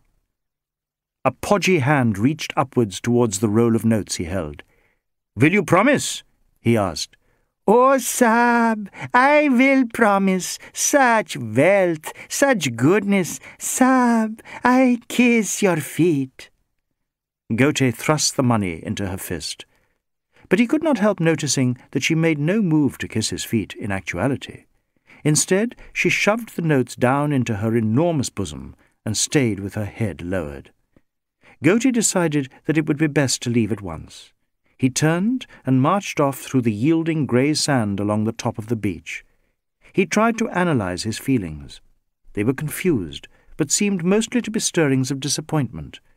He had certainly not felt a great surge of happiness at the moment the notes had left his hand. But there had been something in the way the big, podgy fist had enveloped them that had disconcerted him. He turned and looked back. It came as no real surprise to see that the enormous paramour was sitting there, visibly quivering, even at this distance, with great tides of irrepressible laughter. The journey back to Bombay was terrible. To begin with, Ghote found when he got to the end of the muddy path through the swamps that there was no tonga waiting at the start of the road. Amrit Singh had commandeered it. The extra walk to the railway station took him hours. The sun beat down. The dust rose up. His left heel began to throb where it had been so jolted at the Morton Road place. He felt abominably tired. Then he had an interminable wait for a train, and once it had come, progress was hardly faster. The stations crept by. Borivali, Kandivali, Malad, Goregaon, Andheri, Vile Parle, Santa Cruz, Matunga Road. At last they pulled into Churchgate Station. It was by now late in the afternoon. Standing in the station concourse, buffeted by people hurrying by in all directions, mostly carrying, it seemed, huge bedding rolls, Ghote stood and tried to make up his mind what to do. A red-shirted coolie with three battered cardboard suitcases under each arm banged into his back. Should he go to the office, even at this late hour? What would he say if the chaprassi on duty in the entrance gave him a message that DSP Nayak had been asking for him all day? How could he possibly tell him that he had spoken to Amrit Singh and had not arrested him? There would be certainly no point in confronting the DSP with the question that reared up in his own mind at any and every opportunity. If he said to him, Which of them did it? Which? He would be told pretty sharply not to talk such nonsense. And it was possible the DSP was really right. A man wheeling a low barrow neatly piled with dozen upon dozen of sticky-looking cream horns scraped its edge all the way across Ghote's shin bones. Ghote stepped sharply back and banged into an elderly bespectacled traveller nursing a big earthenware drinking water jug. Some of the water spilt. The eyes that looked at Ghote through the spectacles were infinitely reproachful. Ghote strode away. There was no point in going home. Although he hardly dared put the thought into words, the suspicion was beginning to lurk somewhere in his mind that he had been a colossal fool to give all that money away. It would need a great deal of explaining. He tried thinking about Frank Masters to counteract these thoughts. After all, when Frank Masters gave huge sums away, nobody put it in the papers that he was a fool. And with the memory of Frank Masters back again came the question, which of the two, which? Ghote decided to go to the foundation once more. There was nothing to be done there, but at least he would be near the source of it all.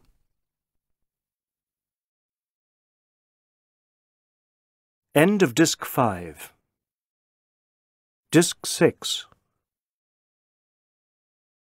before he got to the big old bungalow in Woodhouse Road, he became involved in another incident of the sort which it seemed had dogged him ever since he had first been put on the case.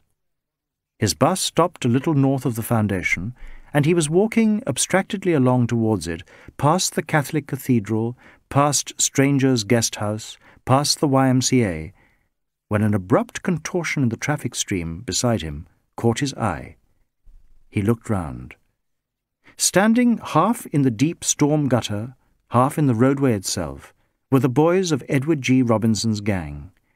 Their heads were bent in a tight circle, and evidently some deeply secret negotiation was going forward.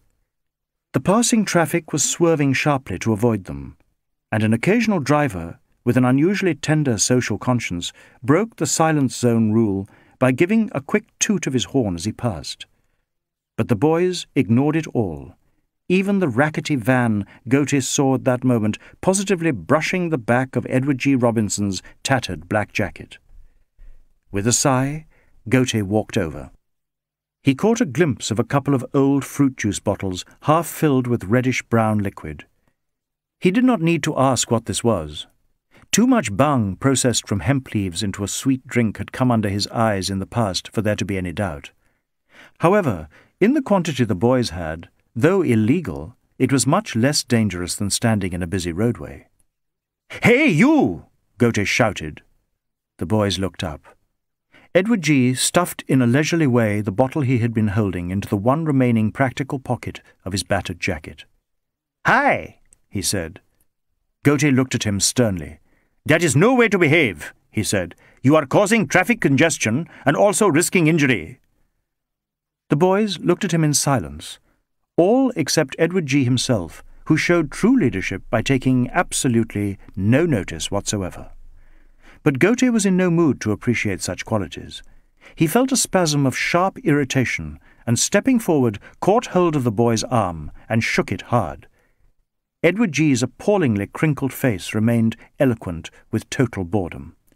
Listen to me, Ghote said, with all the emphasis he could put into the words. Listen to me. This is dangerous. Do you want to see one of you getting killed? Edward G. turned right round to face the inspector and put a friendly arm round Tarzan's bare shoulders. This one's pretty dumb, he said. He could go all right. Chapter 15 To Inspector Ghote's surprise, in spite of Edward G. Robinson's limited attitude to road safety, a minute or so later the boys began to drift back into the half-heartedly cared-for front garden of the Masters Foundation. But beyond this concession they ignored him, and wandered over to settle down contentedly under the shade of a peepul tree. Tarzan swung easily up into the branches and hung upside down above the others like a half-naked, wiry bat, and the two bhang bottles appeared again. Ghote looked at the group for a moment, and then turned and faced the steps of the foundation and the tall front door. Faced them without pleasure. The fact was that he was still entirely undecided about what he would do. Whom should he ask to see? There was really no point in questioning anybody. He had asked everything long before. He had seen every cranny in the big bungalow. He had made every test he could think of, taken every measurement. As much to force himself to come to a decision as for any other reason, he went up the wide steps at a run and put his forefinger firmly and definitely on the bell push. But he still had time to make his decision and unmake it. The die was cast, but the dice were still toppling over and over with its number yet to come up. He seized on the notion of asking to see Krishna Chatterjee again. It was all that was left, battering away at an unyielding surface in the mere hope that in spite of all the signs something would crack, that little Mr. Chatterjee would let something slip and settle it one way or the other, either the killer or the innocent one. The bell remained unanswered. Ghote decided not to press it again. There might still come to him a last-minute flash of inspiration for some other way of breaking the dilemma. Hey, mister, what you gonna do? He recognized the voice without needing to turn round. Edward G. Robinson again. As usual, hitting the nail exactly on the head and driving it painfully home. Come on, mister, what you gonna do in there? Who are you gonna see? Gonna make the big arrest? Ghote decided to turn round. From the slight height of the doorstep he looked over at the group under the peepul tree. They were happily and completely at ease. One of the bhang bottles was just finishing its round. It had come to Tarzan. Ghote watched fascinated for a moment as the boy contrived to take a long, cool swig of the sticky liquid while still remaining hanging from his branch. Then he turned to Edward G. Robinson's wrinkle-interlaced face. It semaphored an expression of simple, impudent questioning. What a police officer is going to do at a private institution can be of no possible concern to you, Ghote said in a loud and clear voice. If the police officer is going to bully poor old Swallow All Chatterjee, it is of concern, came the reply. Edward G., expert in film American, had also caught the inspector's tone to a nicety. Ghote bit his lip. If I wish to question, I shall question, he said. Mr. Chatterjee or anyone else I like. He saw that Tarzan was flapping his arms up and down in a highly agitated way. Another comment. And true enough, it was the way he felt. Edward G. took a lazy swig of bhang. He was lying on his back with his left knee raised and his bare right leg swinging idly across it. Listen, mister, he said, why are you bothering about this case anymore? So you ain't cracked it, so what? So the death of the great benefactor of the children of Bombay is still a mystery, Ghote answered. Does that mean nothing to you? You would not be here at this moment if it was not for Frank Masters coming from America and spending his money to help you. You! He came down two of the steps and glared over at the reclining form of Edward G. Robinson across the hot afternoon sunshine. Mister, did you ever think I might like not to be here? Edward G. said, gently twirling the bhang bottle. Did you ever think I might want to sleep on the pavement instead of in that great big warm and dry house?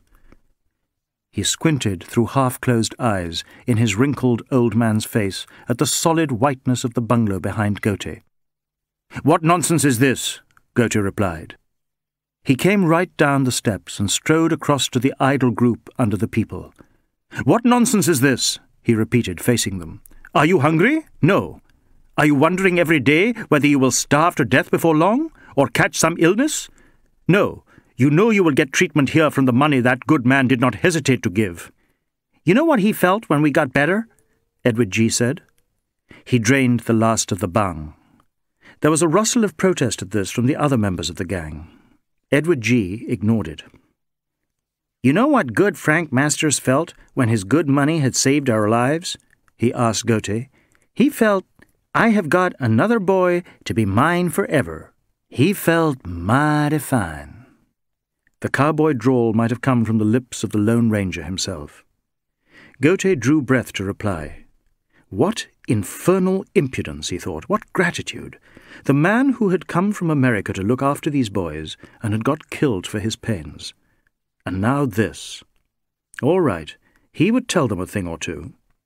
It was all very well for a thug like Amrit Singh to put out opinions like that, but for a boy, a mere boy, and one who had actually benefited from Frank Master's great kindness, it was appalling, truly. He stopped himself.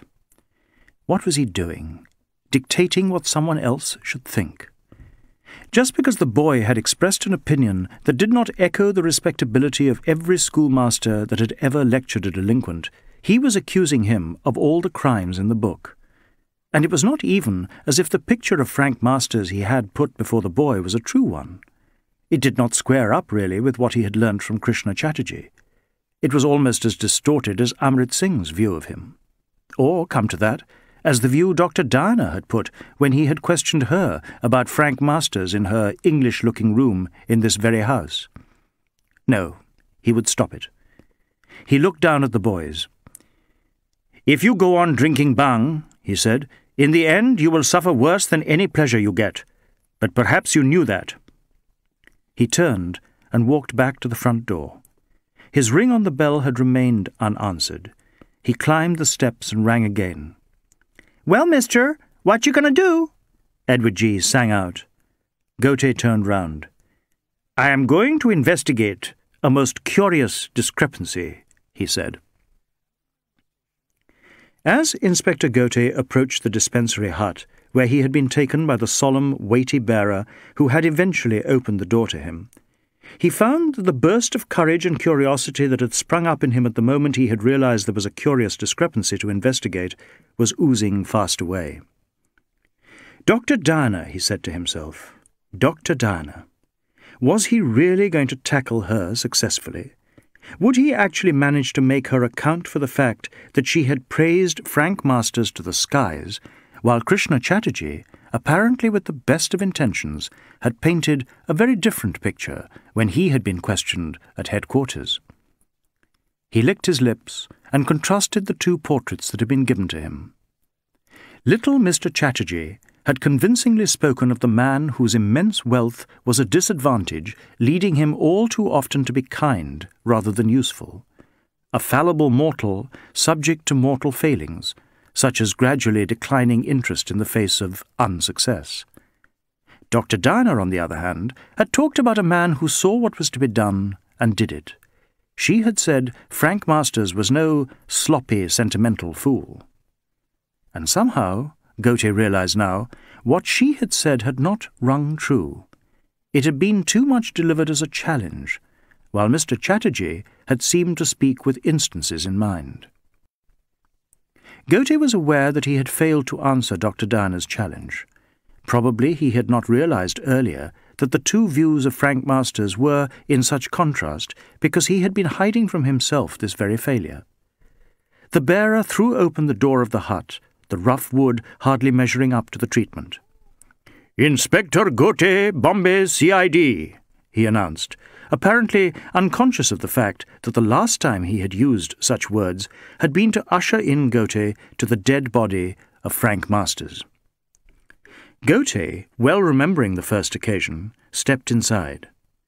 Once again, Dr. Diana had her back to him. But this time she was not standing looking fixedly into the mirror on the cupboard face.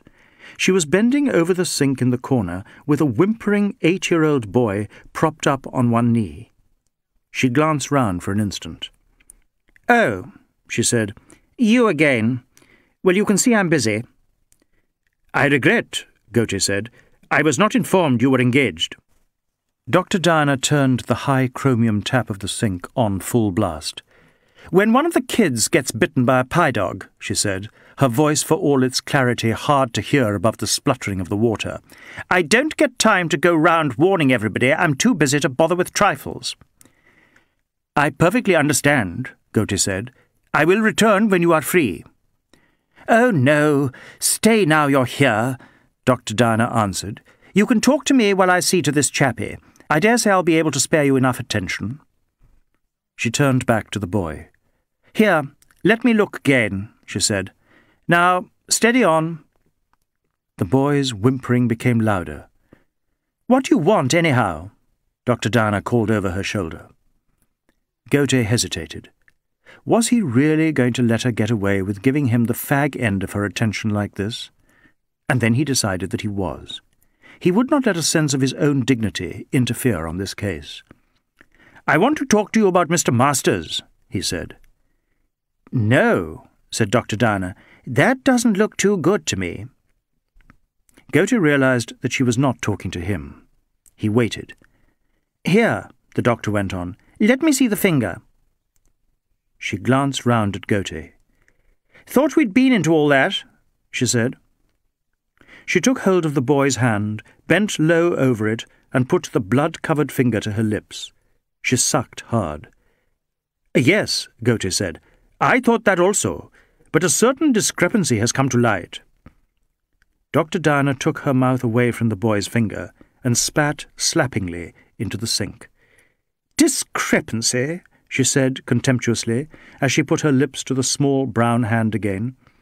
Yes, discrepancy, Ghote replied firmly. The single note of contempt had done its work. In a moment, all the courage that had seeped away, and the curiosity, sprang up again. He went on. You told that Frank Masters was never kind only. You told that he saw what had to be done and did it. I think that was not true. Dr. Diana spat out another mouthful of the boy's blood.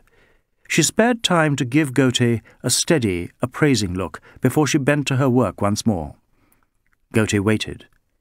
At last, Dr. Diana took her mouth off the boy's finger again. She examined the wound. Yes, she said, that looks a bit more like it. Now come over here.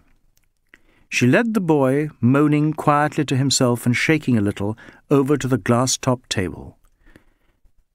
Stand there a moment, she said, turning to the cupboard with the mirror front. As she opened it and ranged over the rows of bottles, jars, and packets inside, she gave Ghote her answer. All right. I dare say I did gloss over one or two things. I can't see that it matters. She found the bottle she was looking for and put it on the table. She turned back to the cupboard. Ghote ignored the fact that he was having to speak to her white-coated back. I am investigating Mr. Masters' death, he said, with an edge of controlled anger. And when I ask questions about him, I expect to get told the truth. Dr. Diana turned slowly back. She was holding a blue paper packet of cotton wool. She looked at Ghote expressionlessly. Yes, she said at last. Yes, I see that I shouldn't have done that. She pulled a lump of cotton wool off the roll from the packet. Then she went over to the table and tipped a plentiful quantity of mercurochrome onto the neat wad she had made. Now, laddie, she said, I'm afraid this is going to hurt. She reached down and picked up his hand. The boy looked up at her with wide eyes. His teeth were chattering hard. Then I would like to hear from you what Mr. Masters was truly like, Ghote said. The boy screamed as Dr. Diana firmly pressed the red-soaked pad on the wound. Frank, she said when the boy was quieter. She took a dressing from the cupboard and began strapping it round the boy's finger. Ghote watched and waited. But for some time Dr. Diana was too occupied to add anything more. She finished tying the dressing into place, took a hypodermic from the cupboard, and went quickly into the inner part of the hut. For an instant, Ghote wondered whether he should follow her. But he recollected the grills on the windows and the fact that there was no other door to the whole hut, and decided to stay put. Dr. Diana returned a second or two later. The hypodermic was half full. She went up to the boy. Now, nearly finished, she said. Ghote could not help noticing that, though brusque, her voice was clearly comforting. The boy looked up at her, still shaking. Have to get an anti-rabies shot into him as quickly as possible, Dr. Diana said. She addressed her remarks to the top of the glass-covered table, but Ghote interpreted them as a sort of apology for not answering more quickly. He stood looking at the fine, gleaming needle held steadily in the thin flesh of the boy's arm, while Dr. Diana firmly squeezed the shot home. There, she said, taking the needle out. Now we'll just put you down somewhere comfortably, and then you'll begin to feel better.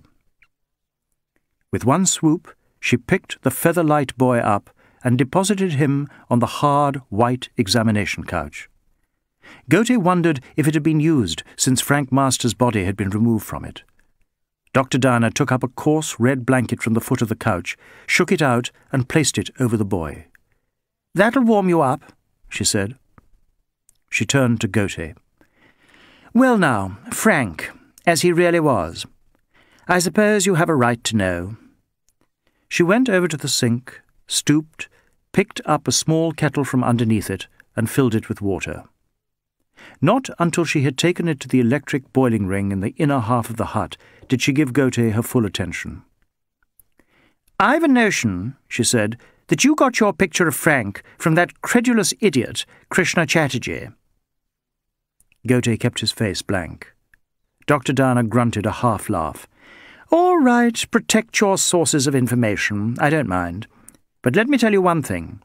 Chatterjee is a nice fellow and all that, but he's simply too good.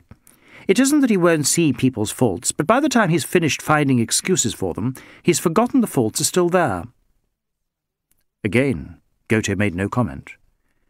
Dr. Diana, hands thrust into the patch pockets of her white coat, went on. Did he tell you that Frank was a damned bad administrator? she asked. If he did, I bet he found so many excuses for not doing administration that in the end you thought it was a positive virtue to go about wasting what resources we have. Being a bad administrator is hardly a grave fault, Ghote said. I am not going to be satisfied so easily, you know. Dr. Diana's eyes flashed. I wasn't trying to fob you off, as a matter of fact, she said. When I make up my mind to tell someone something, I tell them. So you can just listen. Ghote made no reply. No, Dr. Diana went on. I'm not making out a lack of administrative talent as a crippling moral defect. What I am saying is that Frank was not only a bad administrator, but that he wouldn't realize it. He thought that whatever way he tackled something was the right way. And you found this out when he left you in charge and went to the Punjab? Ghote asked. I'd suspected it for years. But yes, when he went sidling off to his mystics, I realized just what a mess he had made. He was a poor judge of character, for one thing. The way he let himself be deceived by that rogue Amrit Singh was a positive scandal. Amrit Singh? Ghote said. Dr. Diana looked at him. Oh, don't get so excited, she said.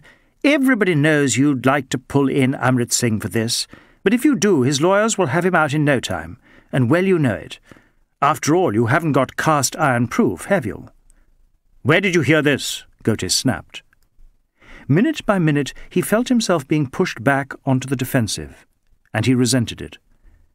My dear man, surely you realize everything you've done and said here has been watched over and talked over till we're sick of it. Ghote knew it only too well. With the eyes and ears of the clients everywhere, he could expect nothing less. Whether we shall take action against Amrit Singh is a matter for us, he said. What I want to know is what were Mr. Master's relations with him? Practically non-existent, Dr. Diana answered. What could they be? Amrit Singh hung around here because he had dealings with some of the boys, as you'd expect. And Frank saw him and let himself be charmed, typical of him. But I put all that right when I found out what was happening. So, Ghote said, this is a very different Frank Masters I'm hearing about. Dr. Diana gave him a still scornful look. Well, she said, you didn't think I was going to let Frank down if I could help it, did you? Uh, no, perhaps not, Ghote replied. But now you cannot help it. No. Very well, then. What else can I say to blacken him? That he was selfish? Well, that's certainly true. Are you saying that he did all this just for his own sake?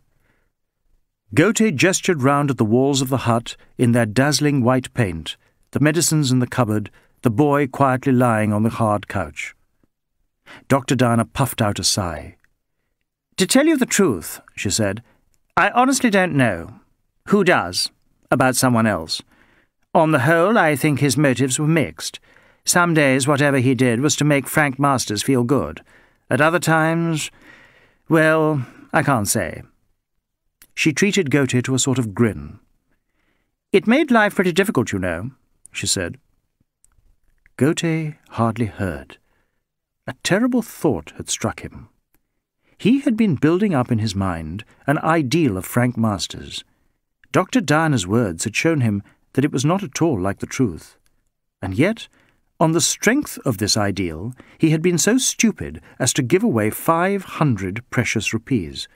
How could he have been so utterly foolish? Krishna Chatterjee had spoken of Frank Masters as a man who did good, certainly, but he had at the same time painted him as human. It was only hearing him abused by someone as calmly unscrupulous as Amrit Singh that had turned the balance in the end. Ghote saw now that it had been a gesture of sudden revulsion to thrust all that money into the podgy hand of the paramour, a silly, and impulsive gesture. And in making it, he had given away every anna he had scraped together to get his own wife something she had wanted for years. I... I have to go, he said abruptly. Yes, I must go now. Thank you for your help, but I must go. Dr. Diana was looking at him wonderingly as he hurried out. You could have had some of the coffee I was making for the boy, she said. Chapter 16 One thought tapped away inside Inspector Ghote's head as he ran off through the big garden of the Master's Foundation. Perhaps it was not too late. He had given the paramour the five hundred rupees only that morning. She would hardly go hurrying round to the moneylender to pay off the debt on the boat right away. Moneylenders were not that popular. So she would still have the rupees and from the way she had taken them, he would have every right to demand them back. She had shown no gratitude. All right, she would lose the money. It was with this idea lodged solidly in his mind that he arrived in the hurly-burly of Churchgate Station again and set about finding a train to take him back. As he scanned the timetable and ran to make inquiries here and there, the same thought kept hammering away in his head. It is not too late. She deserves to have to pay the money back. and there was no train. He could hardly believe it. He repeated his round of inquiries, but had no more success. While he had been talking to the boys outside the foundation and seeing Dr. Diana in the dispensary, time had passed. Then the trip across the city, though short, had been more than usually bedevilled with traffic hold-ups. And there it was, no train going out that far till early next day. He thought of hiring a car, but then remembered that after all the following day was Holi. There was even less chance of the paramour handing the five hundred rupees over to a moneylender in the middle of all the festivities. He decided to get out to the village as early as possible next morning. He spent a miserable evening. He did not dare go home till late, in case there was talk about the refrigerator. He dared even less go to the office in case orders were waiting for him to get in touch with DSP Nayak. In the end, he went to a cinema. The amorous intrigues of the film failed to grip. The music grated on his nerves. He left before it was over. Next morning, when he arrived hot, sweaty, and unoptimistic at the village, he found it looking very different from his previous visits. The overlying atmosphere of poverty had been temporarily swamped in an uprush of holiday gaiety. On the greenish, decaying walls of the huts, bright, crudely coloured banners reflected the equal brightness of the sunshine, and rippled happily in a strong breeze coming saltily off the sea. From the masts of the village boats, beached high and dry today on the soft sand, fluttered gay pennants, long and twisting, or stubby and forcefully patterned. More streamers and banners decorated the tall, net-drying poles. On the beach in front of the huts, a positively enormous bonfire had been built. Ghote wondered for a moment how a community of such poverty could have gathered together the great pile of broken wood, discarded household objects, substantial pieces of furniture, and even boat oars that made up the bulk of the merrily crackling blaze with its attendant circle of children, now excitedly jigging up and down, now suddenly solemn in front of the glowing heart of the fire. But he had no time for idle speculation. In all the stirring jubilation, he was faced with the awkward business of broaching the reason for his visit to Tarzan's family.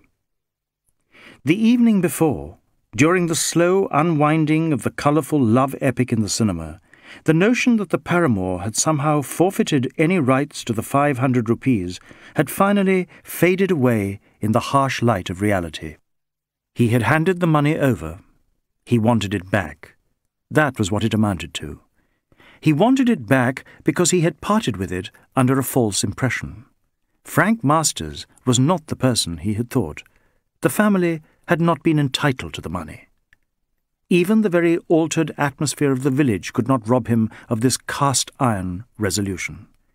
Even the sight of the family themselves standing outside their hut, on the verge of entering into the general jubilation, could not kill this.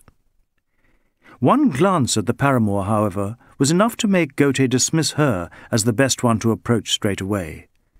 Her natural jollity had already so blended with the gaiety all around her that he doubted whether it would be possible to communicate at all. Tarzan's brother, standing jigging a little in time to the rhythmical drumming coming from the far side of the great fire, as if he knew his duty in times of merriment, he reserved as a last hope. He concentrated on the father. Certainly the old man seemed impervious to the increasing noise and excitement. His face was as absolutely impassive as ever. His arms were folded indomitably across his ribby chest, and he stood, legs just a little apart, still as a statue. Ghote went up to him. Good morning, good morning, he said cheerfully. He looked back over his shoulder at the revelry behind him. A happy holiday, he added. Tarzan's father moved his eyes. He looked at Ghote, but his expression did not alter. Well, Ghote said, how are things with you today? The village seems to be very happy. I hope you feel your troubles are a little less. He thought he had succeeded in bringing the subject of the five hundred rupees neatly to the fore. Tarzan's father looked away. Ghote tried again. Eh, this is not a day for the moneylender to come round, is it? he said. He laughed. The laugh ended up on a cracked note he did not like, and Tarzan's father ignored it all. So, you have not had to pay off your debt yet, Ghote said, feeling the time for delicacy had come to an abrupt end. Our debt? The paramour had evidently been more attentive to the conversation than her lolloping half dance to the drumming rhythm had indicated. She turned round now to Ghote, still dancing and still smiling with as much all-embracing benevolence as ever, and put out a podgy finger to dig him in the ribs. You have come to see us paying our debt with that money? she asked. Yes, uh, no. Tomorrow, tomorrow, perhaps later. This is no day for debt paying. Holi Hai! Ghote felt obliged to smile, and even essay a slight dance step, and in fact he did already feel suddenly much more light-hearted. So, the debt was unpaid.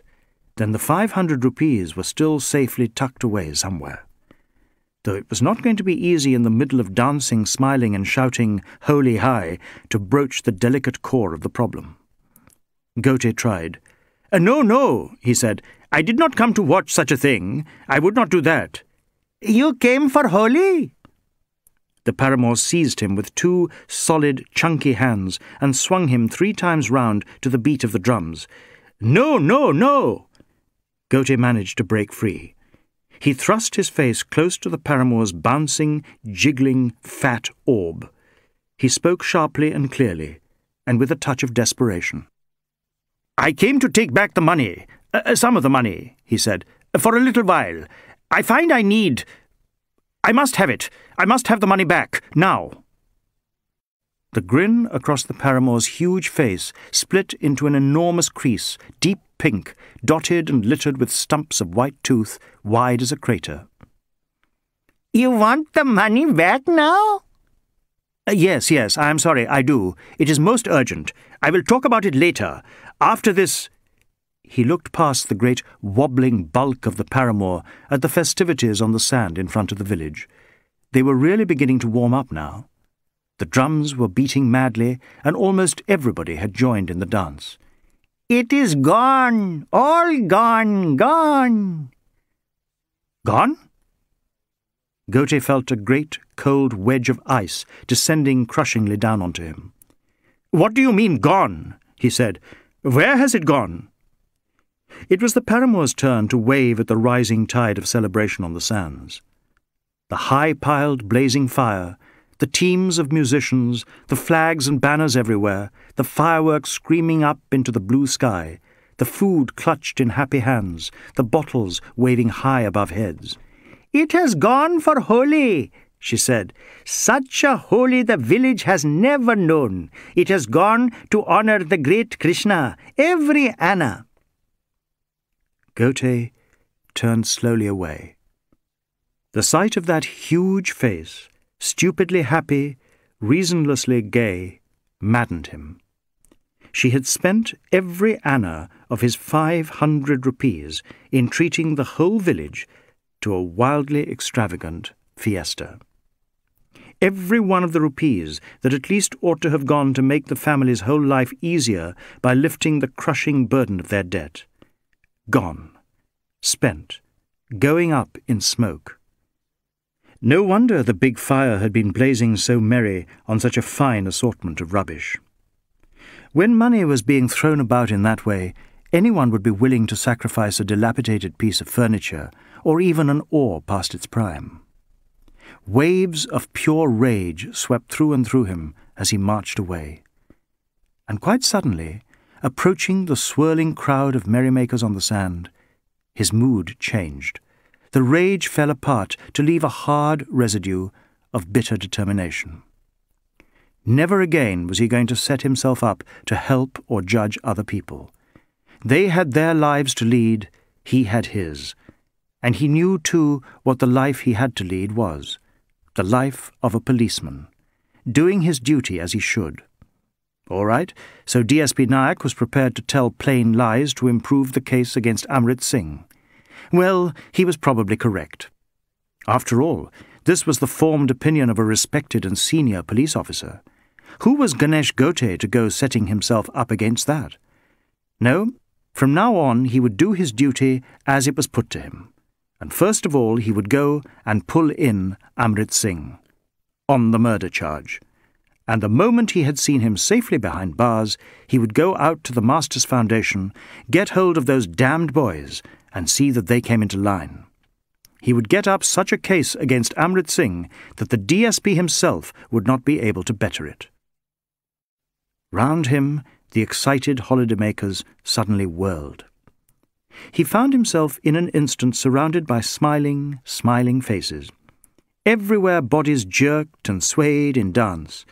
In his ears, shout after shout, Holi Hai, Holi Hai, Holi Hai, rang and echoed. Fireworks fizzed and banged right, left, and centre. Their smell mingled dramatically with that of a hundred sweaty bodies. For a few moments, a broad-shouldered fisherman stood pressed close to him, his head thrown back and his mouth opening and shutting rhythmically in the words of a song of consistent and remarkable lewdness. Krishna and the milkmaids, Ghote thought sourly, hemmed in and pressed upon from every side. And then the real business of the day began. With a multitude of high, screaming whoops, the Saturnalian colour throwers came roaring into the fray. With big, crude syringes, they sprayed long, drenching streams of coloured water, red, yellow, blue, high into the air, and down onto one and all. Other swooping troops puffed huge clouds of pink and purple powder at anyone and everyone, but especially at anybody in the least way high and mighty. And in all the simple village throng, who looked higher or mightier or more worthy of drenching and powdering than Inspector Ganesh Ghote, CID? Tossing powder by the handful, squirting ink by the bicycle pumpful, they came at him from every side, in seconds he was wet through, red wet, blue wet, yellow wet, and on to the wetness the coloured powders, pink, turquoise, and orange, clung and smeared. He put his head glumly down and pushed forward. Dancing bodies bumped him, hands seized him and whirled him bouncing round. The drums beat in his ears, and everywhere the faces were smiling, smiling like maniacs. I have deserved this, he thought. This is a fit punishment for coming here with my money and telling people how to live their lives. Exactly fit. They have taken my money and used it to buy all these pots of powder and buckets of dye, and they have jumped on me and put me down to the lowest level of the low. Well, there it is. Buffeted and banged, swung and tossed, he endured it till at last he found himself, quite suddenly, ejected from the whirling crowd. He staggered a few paces clear and stopped to draw breath. He flapped at his multicoloured clothes in an ineffectual attempt to get them looking a little more presentable. Then he gave up. He would have to go home looking like this, and that would be the crowning blow of his punishment. He looked round to see where he was and how he could get to the inland path without going through the crowd again. And just twenty yards away, he saw Amrit Singh. This time the big Sikh was doing more than spy over the village. He was down on his hands and knees, round at the back of the palisaded curing yard, scraping up the soft, muddy earth with his bare hands, like a dog. An energetic and extremely purposeful dog. At once, Ghote realized what it was that he must be doing. The patch of earth he was working at was clearly marked out by lying in the exact centre of a triangle formed by three singularly ugly, stunted, and battered banana palms. If ever there was a place to bury something in the sure hope of digging it up again, this was it. And what had anyone here to bury that Amrit Singh would want to dig up? But gold he had caught him in the very act. Ghote stood where he was, poised. Surely this must be it. He would get Amrit Singh now, get him for smuggling, fair and square. And after that, he could see once more what he could make of the mystery of Krishna Chatterjee. The big Sikh's broad back lifted, and from behind the heap of dark earth he picked up a small but heavy bundle wrapped in a piece of dirty, coarse gunny. This was the moment. Ghote ran forward silently across the soft, dry sand. And something, a scatter of little sharp-beaked paddy birds, a fleeting shadow, warned the Sikh. With half a glance behind, he was up and off, his long legs striding out, heading down the gentle slope of the seashore, out and away by the quickest route that came. Ghote ran. He felt his legs moving swiftly under him. He would do it. In spite of whatever unlucky accident had warned the Sikh, he would catch him. But one thing he had forgotten his own appearance, the multicoloured fool. Flashing down towards the distant sea, covered from head to foot in a dazzling array of the brightest shades, with the strong sun catching every colour and the breeze sending every loose end flying, he was a sight to catch the eye of even the most absorbed Holi reveller. There was a sudden, sharp, directed roar of laughter, and then the crowd closed in on him again. He was caught by both hands, flung round in circles, jumped high, swung low, sluiced once more from chunky syringe and venomous bicycle pump, sloshed and soaked from bucket and jug, puffed and dusted again, green, blue, yellow, and above all, red. The very air he breathed was smoking with colour. There was nothing he could do. All the while he kept thinking of the big Sikh, striding out across the beach with the heavy package in the dirty, earth-stained sacking clutched firmly to his chest, and taking with him that sudden, last, delusive hope. As abruptly as he had been caught up, the capricious crowd let him go. Dazed and half-blinded, he took a few drunken steps clear of the noise and wild movement. One idea he had kept in his head. Amrit Singh had been running towards the sea. Hardly looking where he was going, he set off at a loping run down the gentle slope of the grey sand. At last, he found himself well clear of the revellers, dodging through the scattered groups of narrow beached fishing craft lying careened over to one side or the other. He stopped for a moment and looked both ways along the shore. Amrit Singh was there. His tall figure, a single, lone presence on this day of mass celebration, could be distinctly seen making its way along the edge of the sea over to where the sluggish creek broke the low coastline. And he was walking. He thought he was safe. Ghote set out in pursuit, cutting straight across the grey sands to head off the Sikh, following the shoreline. He wondered why Amrit Singh had not taken the same short cut and then he knew. Abruptly, his feet began to sink in soft, wet, rippled, sucking sand. Should he go back? To retrace his steps and then go round the long way would mean that he would almost certainly lose sight of Amrit Singh. And above all, he must stay where he could see him. If the Sikh stopped to bury the heavy little package again while he was unobserved, all would be lost. Ghote decided to plunge on. A little crab scuttled across the wet sand in front of him. He cursed himself for not having noted that wet gleam, as the Sikh must have done. But there was nothing he could do now. Supposing the water-saturated patch got suddenly deeper, people were sucked to death in places like this. And then he was out. The sand under his soaked and heavy shoes was suddenly firm. Wet still, but hard now, almost like a cement floor. He began to run.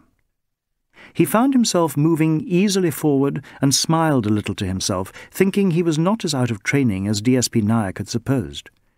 Tramping the hot, crowded and hard streets of the city was probably every bit as good for the stamina as playing games of hockey, even if it lacked the same touch of glamour.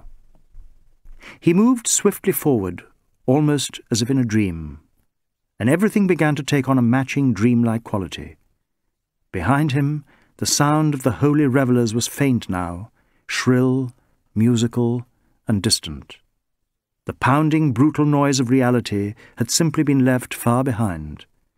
Above the solid black smudge that represented the dancing crowd, he saw, when he glanced for a moment over his shoulder, a light, fabulous, and unlikely cloud of pinkish red the dazing, dazzling powder of a short time before. And turning back, ahead of him, walking with his head down and arms still clutching tight the heavy little bundle, was Amrit Singh.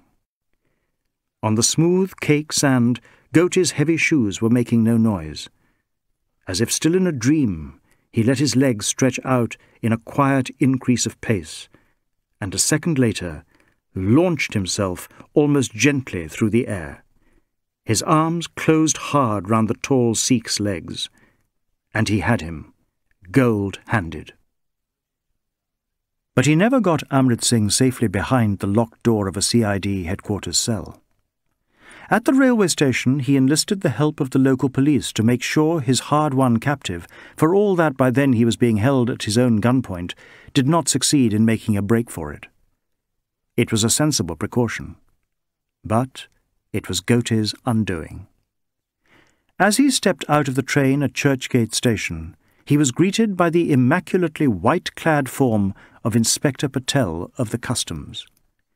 In the sudden realization of the contrast between his own clothes after the Holi assault on them and the customs man's spotless appearance, he even almost forgot the existence of Amrit Singh, handcuffed firmly to his wrist.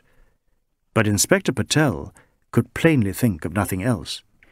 Well, well, he said, giving Ghote a quick, piercing look from his thin, chopping blade face. This is a very unfortunate business indeed. Ghote looked at him. His bewilderment must have been all too obvious. This business of arresting the man yourself for a purely smuggling offence, Inspector Patel explained painstakingly. I had the gold put into the safe at the chowki where I took him first, Ghote said. Yes, yes, said Inspector Patel. I dare say that can be put right. But you cannot expect this other business to be forgotten just like that. You had no right to do it, you know, no right not for a purely smuggling offence. And so it was that Ghote, stained and spattered from his encounter with the celebrating villagers, had to stand mutely among the noisy crowds at Churchgate Station and watch Inspector Patel, in the full glory of a properly entitled customs officer, lead away the faintly sardonic figure of the notorious Amrit Singh. Suddenly he thought of the refrigerator fund and what it had been spent on. His world looked very flat. He waited till late that night to make his apology to Protima.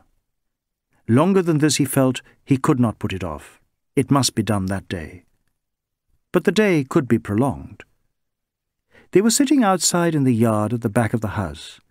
Already it was beginning to feel a little cooler. We could sleep now, Protima said. Uh, just a few minutes more. It is only now that it is pleasant. And tomorrow? Are you going to be fresh tomorrow, if you have such a short night when for once you do not need to? Uh, tomorrow will be different, Ghote said. Tomorrow you will know that your cherished plans for the refrigerator have fallen to pieces, he thought. He said nothing more. From the neatly shaped, heavy bulk of the neem tree nearby came the muffled cheep of a sleepy bird. Ghote sighed. It was true. It was pleasant out here at this time of day. It was cool. It was calm. Everything was peaceful.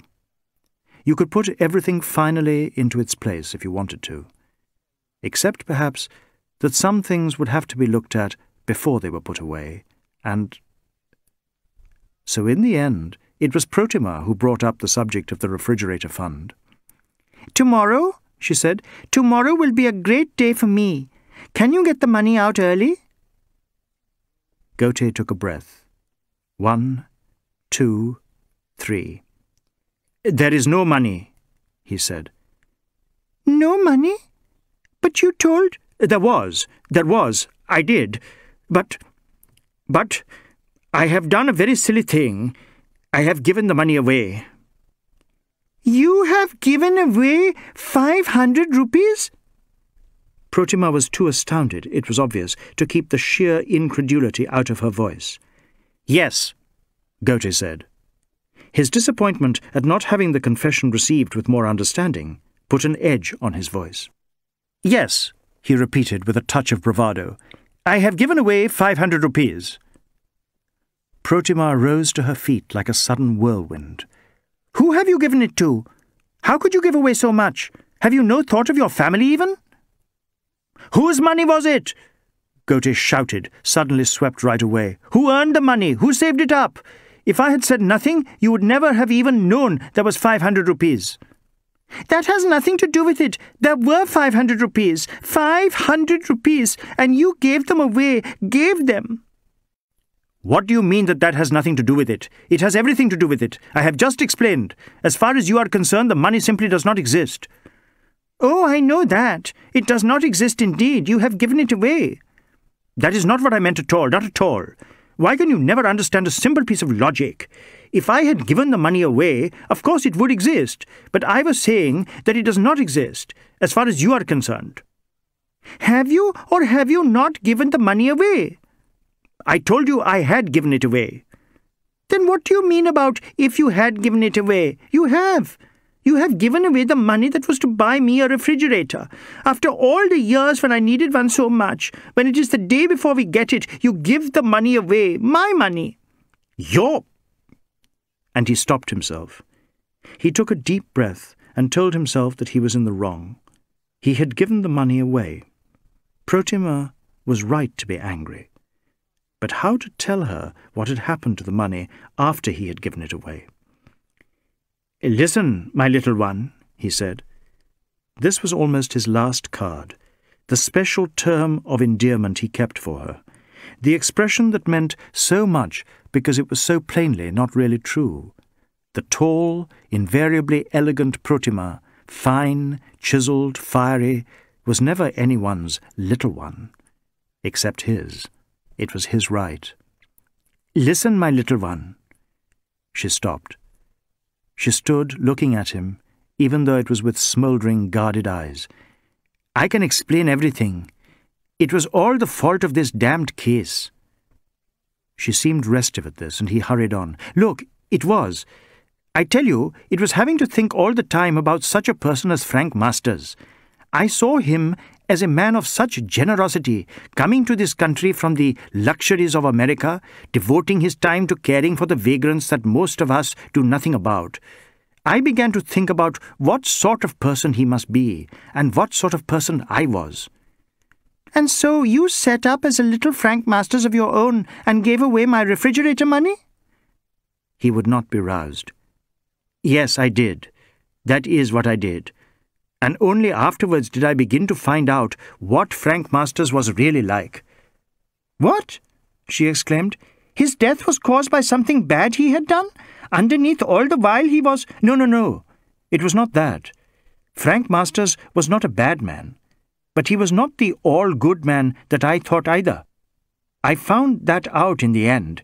He had his faults, and one of them was even giving away too much. Protima was looking doubtful now. He stared at her intently. Listen, he said, that is what my mistake was. I tried to be like him, and instead of doing my work, I began thinking about whether I was a good man or a bad man. And. and there is worse. What worse? What happened to the money after I had given it to the poor family of fishing people who needed it to pay off the debt on their boat? He was whispering now. They took the money, he went on, and they spent every anna on celebrating Holi. It all went up in smoke, down to the last pie. And Protima threw back her head and laughed. He sat where he was on the rattan chair with the sagging arm and looked up at her. In the faint light he could see her neck, smooth and columnar, as she laughed and laughed with her head back and her whole body shaking. Oh, Mr. Policeman, she gasped at last. Mr. Policeman, what a judge of character you are. If it comes to a criminal, he had begun stiffly, but he could not keep it up. In a moment he too was shaking with mad outbursts of laughter. From the open window of the house behind them came a plaintive voice. What is it? Why are you laughing? Ved. It is all right, Protima called. It is just your father. He is such a funny man. No reply came. After they had stood in silence for a little, Protima walked softly into the house. She came out again almost at once. Asleep, she said. She looked at Ghote down her nose, her eyes sparkling a little. You with your difficult case, she said. But it is difficult, Ghote said. When you have arrested Amrit Singh with smuggled gold on him? Yes, I know that. But still, I am just in the same position as before over the master's affair. Certainly, Amrit Singh would say nothing more to me all the way back in the train, and I suppose he will never say anything. Does it matter now? But of course it does. The situation is exactly the same as before. Frank Masters started to be sick soon after he ate a beef curry. He was poisoned by arsenic trioxide. Arsenic trioxide was stolen from the dispensary at the Masters Foundation just before the meal. Only two people went into that dispensary, both of them without any right to Amrit Singh and Krishna Chatterjee. It rests exactly equally between them. But just because Frank Masters was sick, Protima said, why should it be poison? I think you are quite wrong about that. Little Ved is sick sometimes, and no one says it is poison then. Ghote sighed deeply. He knew there was never any point in going over such details with Protima. She might be wonderful when you had made a terrible mistake, but she lacked any powers of logical reasoning. Well, she said, in face of his sigh and silence. Well, is that not right? Ghote shook his head. No, I am afraid it cannot be that, he said. But why not? Are you saying that Ved has been poisoned so many times? I think you policemen need to come and do a woman's work in the house. No, Ghote said. I have explained everything.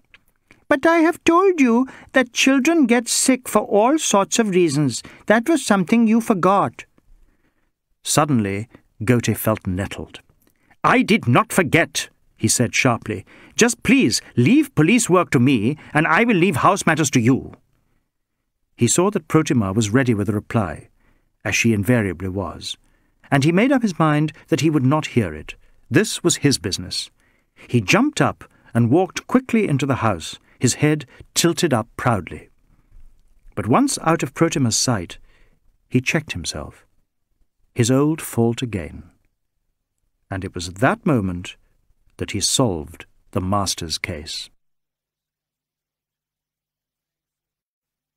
Chapter 17 Inspector Ghote's first action was to go as fast as he could through the city centre and out to the Masters Foundation. There he found that he had arrived in the middle of a serious crisis. As he stood just inside the tall front door, pausing for a moment to set in his mind the final details of his plan of campaign, there came hurrying past the obsequiously bent form of the podgy, shiny-skinned cook. He went at a half run, bare feet pattering on the floor, towards the door of the staff tiffin room. At it he stopped, groaned heartrendingly, ducked his well-greased head even lower, and entered.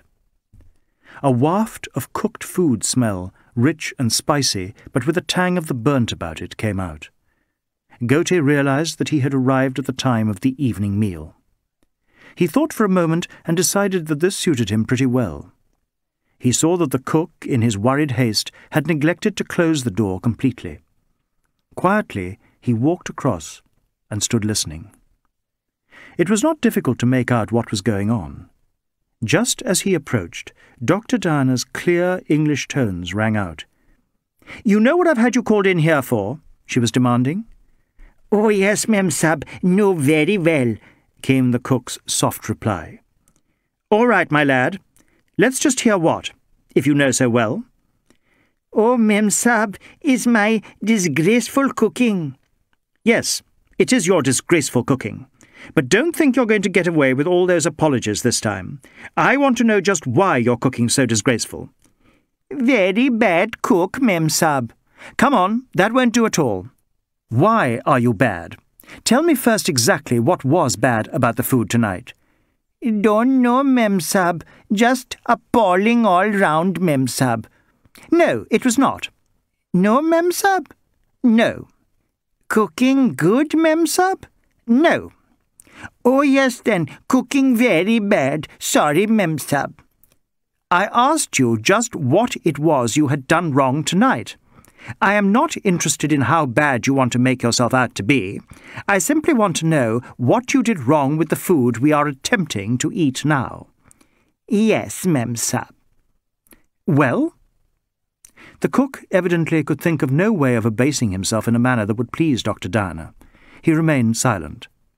After an ominous pause, Dr. Diana's voice floated coldly out again. You know that this cannot be allowed to go on, don't you? But it was not the cook who answered.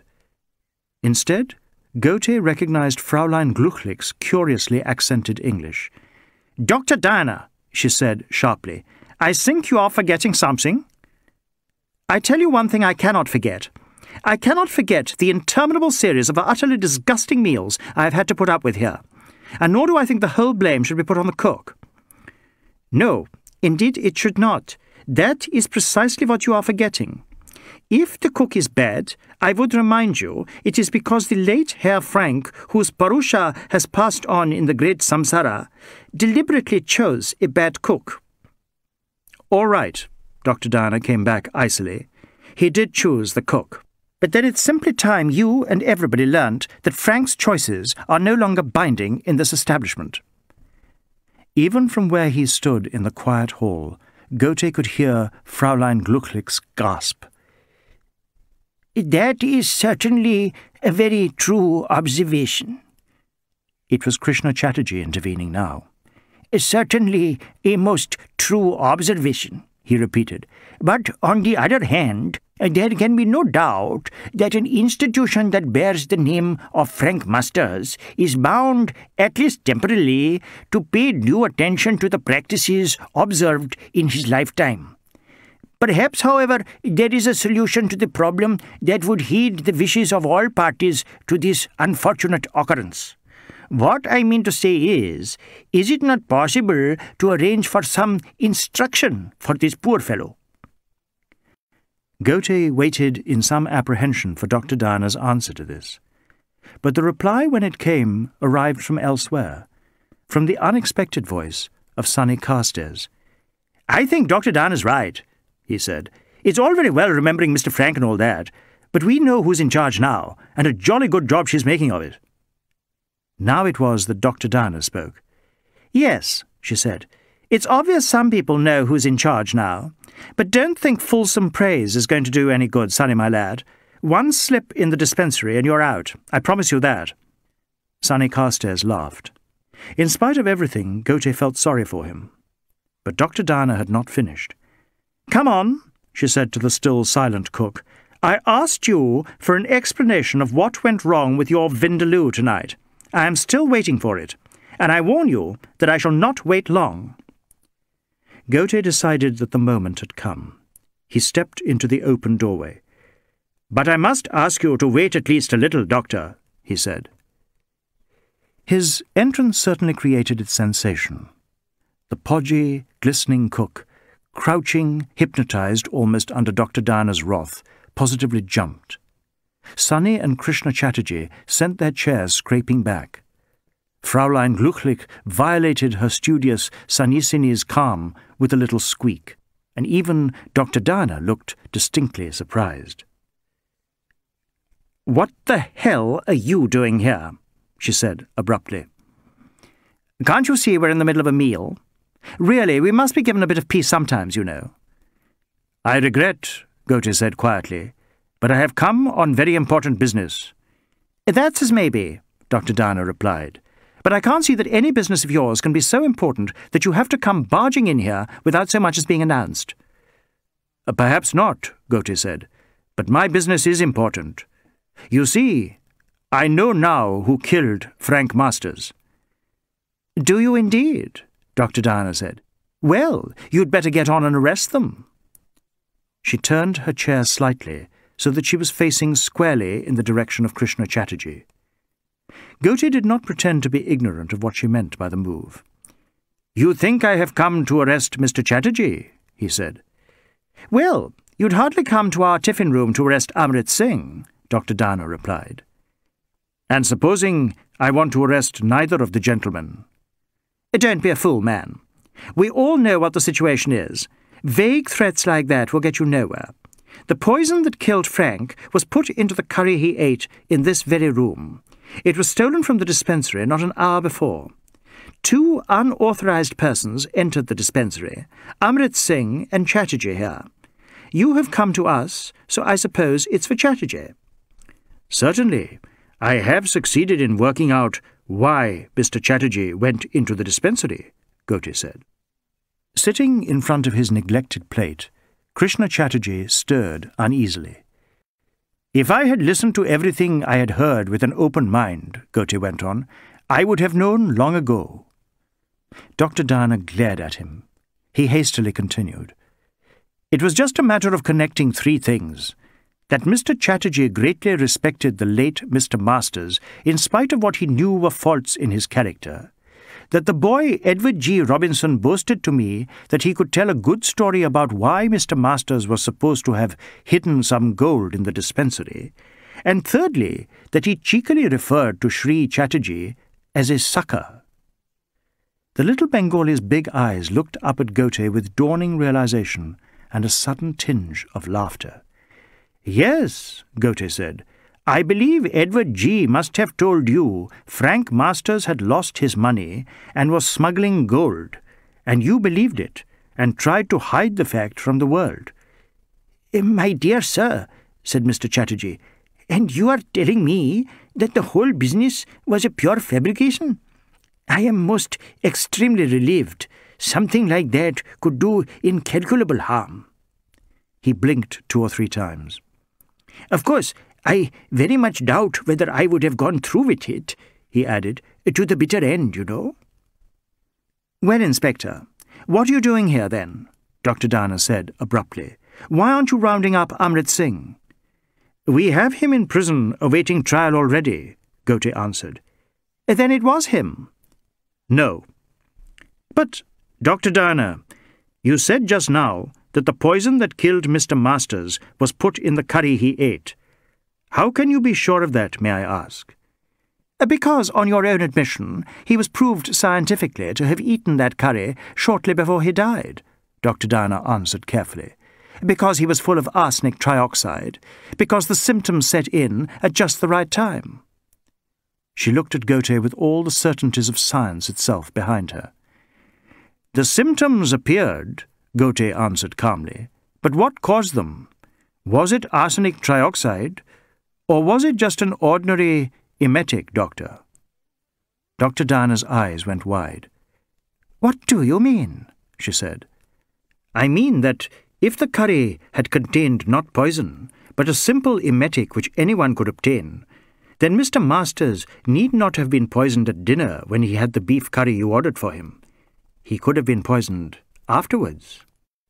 At a time when there was nothing to stop you getting hold of the arsenic, Doctor. When you had sent Mr. Carstairs here away to call the police. Then it was quite simple to take the powder from the dispensing room next door and to offer poor Mr. Masters a drink from a doctor's hands. Ghote kept his eyes firmly on her. There could be no doubt she was hearing the truth. She stood up slowly. Yes, she said. It seems I wasn't as clever as I thought. My congratulations, Inspector. But you do see that I had to do it, don't you? He was going to take his money, lock, stock, and barrel, and spend it on a pack of mystical Tibetans.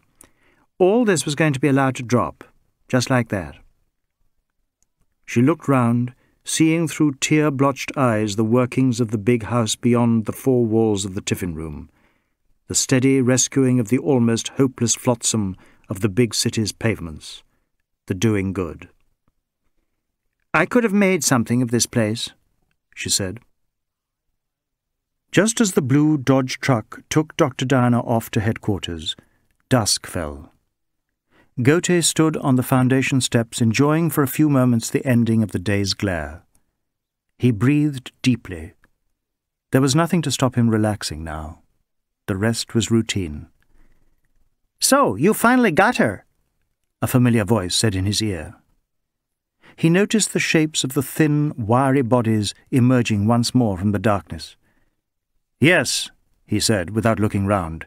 She has been arrested. Just the sort of dirty trick you get with a policeman, Edward G. said. Dirty trick? Ghote wheeled round and glared furiously into the upturned, crinkled face.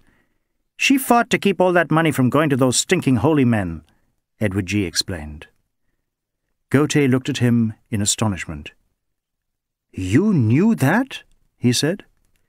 The boy sighed in the darkness, like an exasperated schoolmaster. I told you, he said. We need to know what goes on. We need to. And you knew that she was the one who sent the message to bring Amrit Singh down to the dispensary at the right time? Edward G. laughed. She reckoned he was safe to get off at the trial, he said. She reckoned all those lawyers would do it. She was probably right, Ghote said. The boy grunted contemptuously. Just like a social worker, that idea, he said. You ever think what would happen if we'd said we did see him steal the poison? Ghote peered down at him. In the gloom, it was difficult to make out the expression on the wrinkled, wry old man's face. Still, the boy added, you were pretty clever to catch her. Ghote felt a ridiculous sense of having received an accolade. Uh, thank you, he said. But you should never forget that the police are not always stupid. Sometimes by sheer hard... He pulled himself up sharp. Or the least, he said, we have wives who cannot be tricked.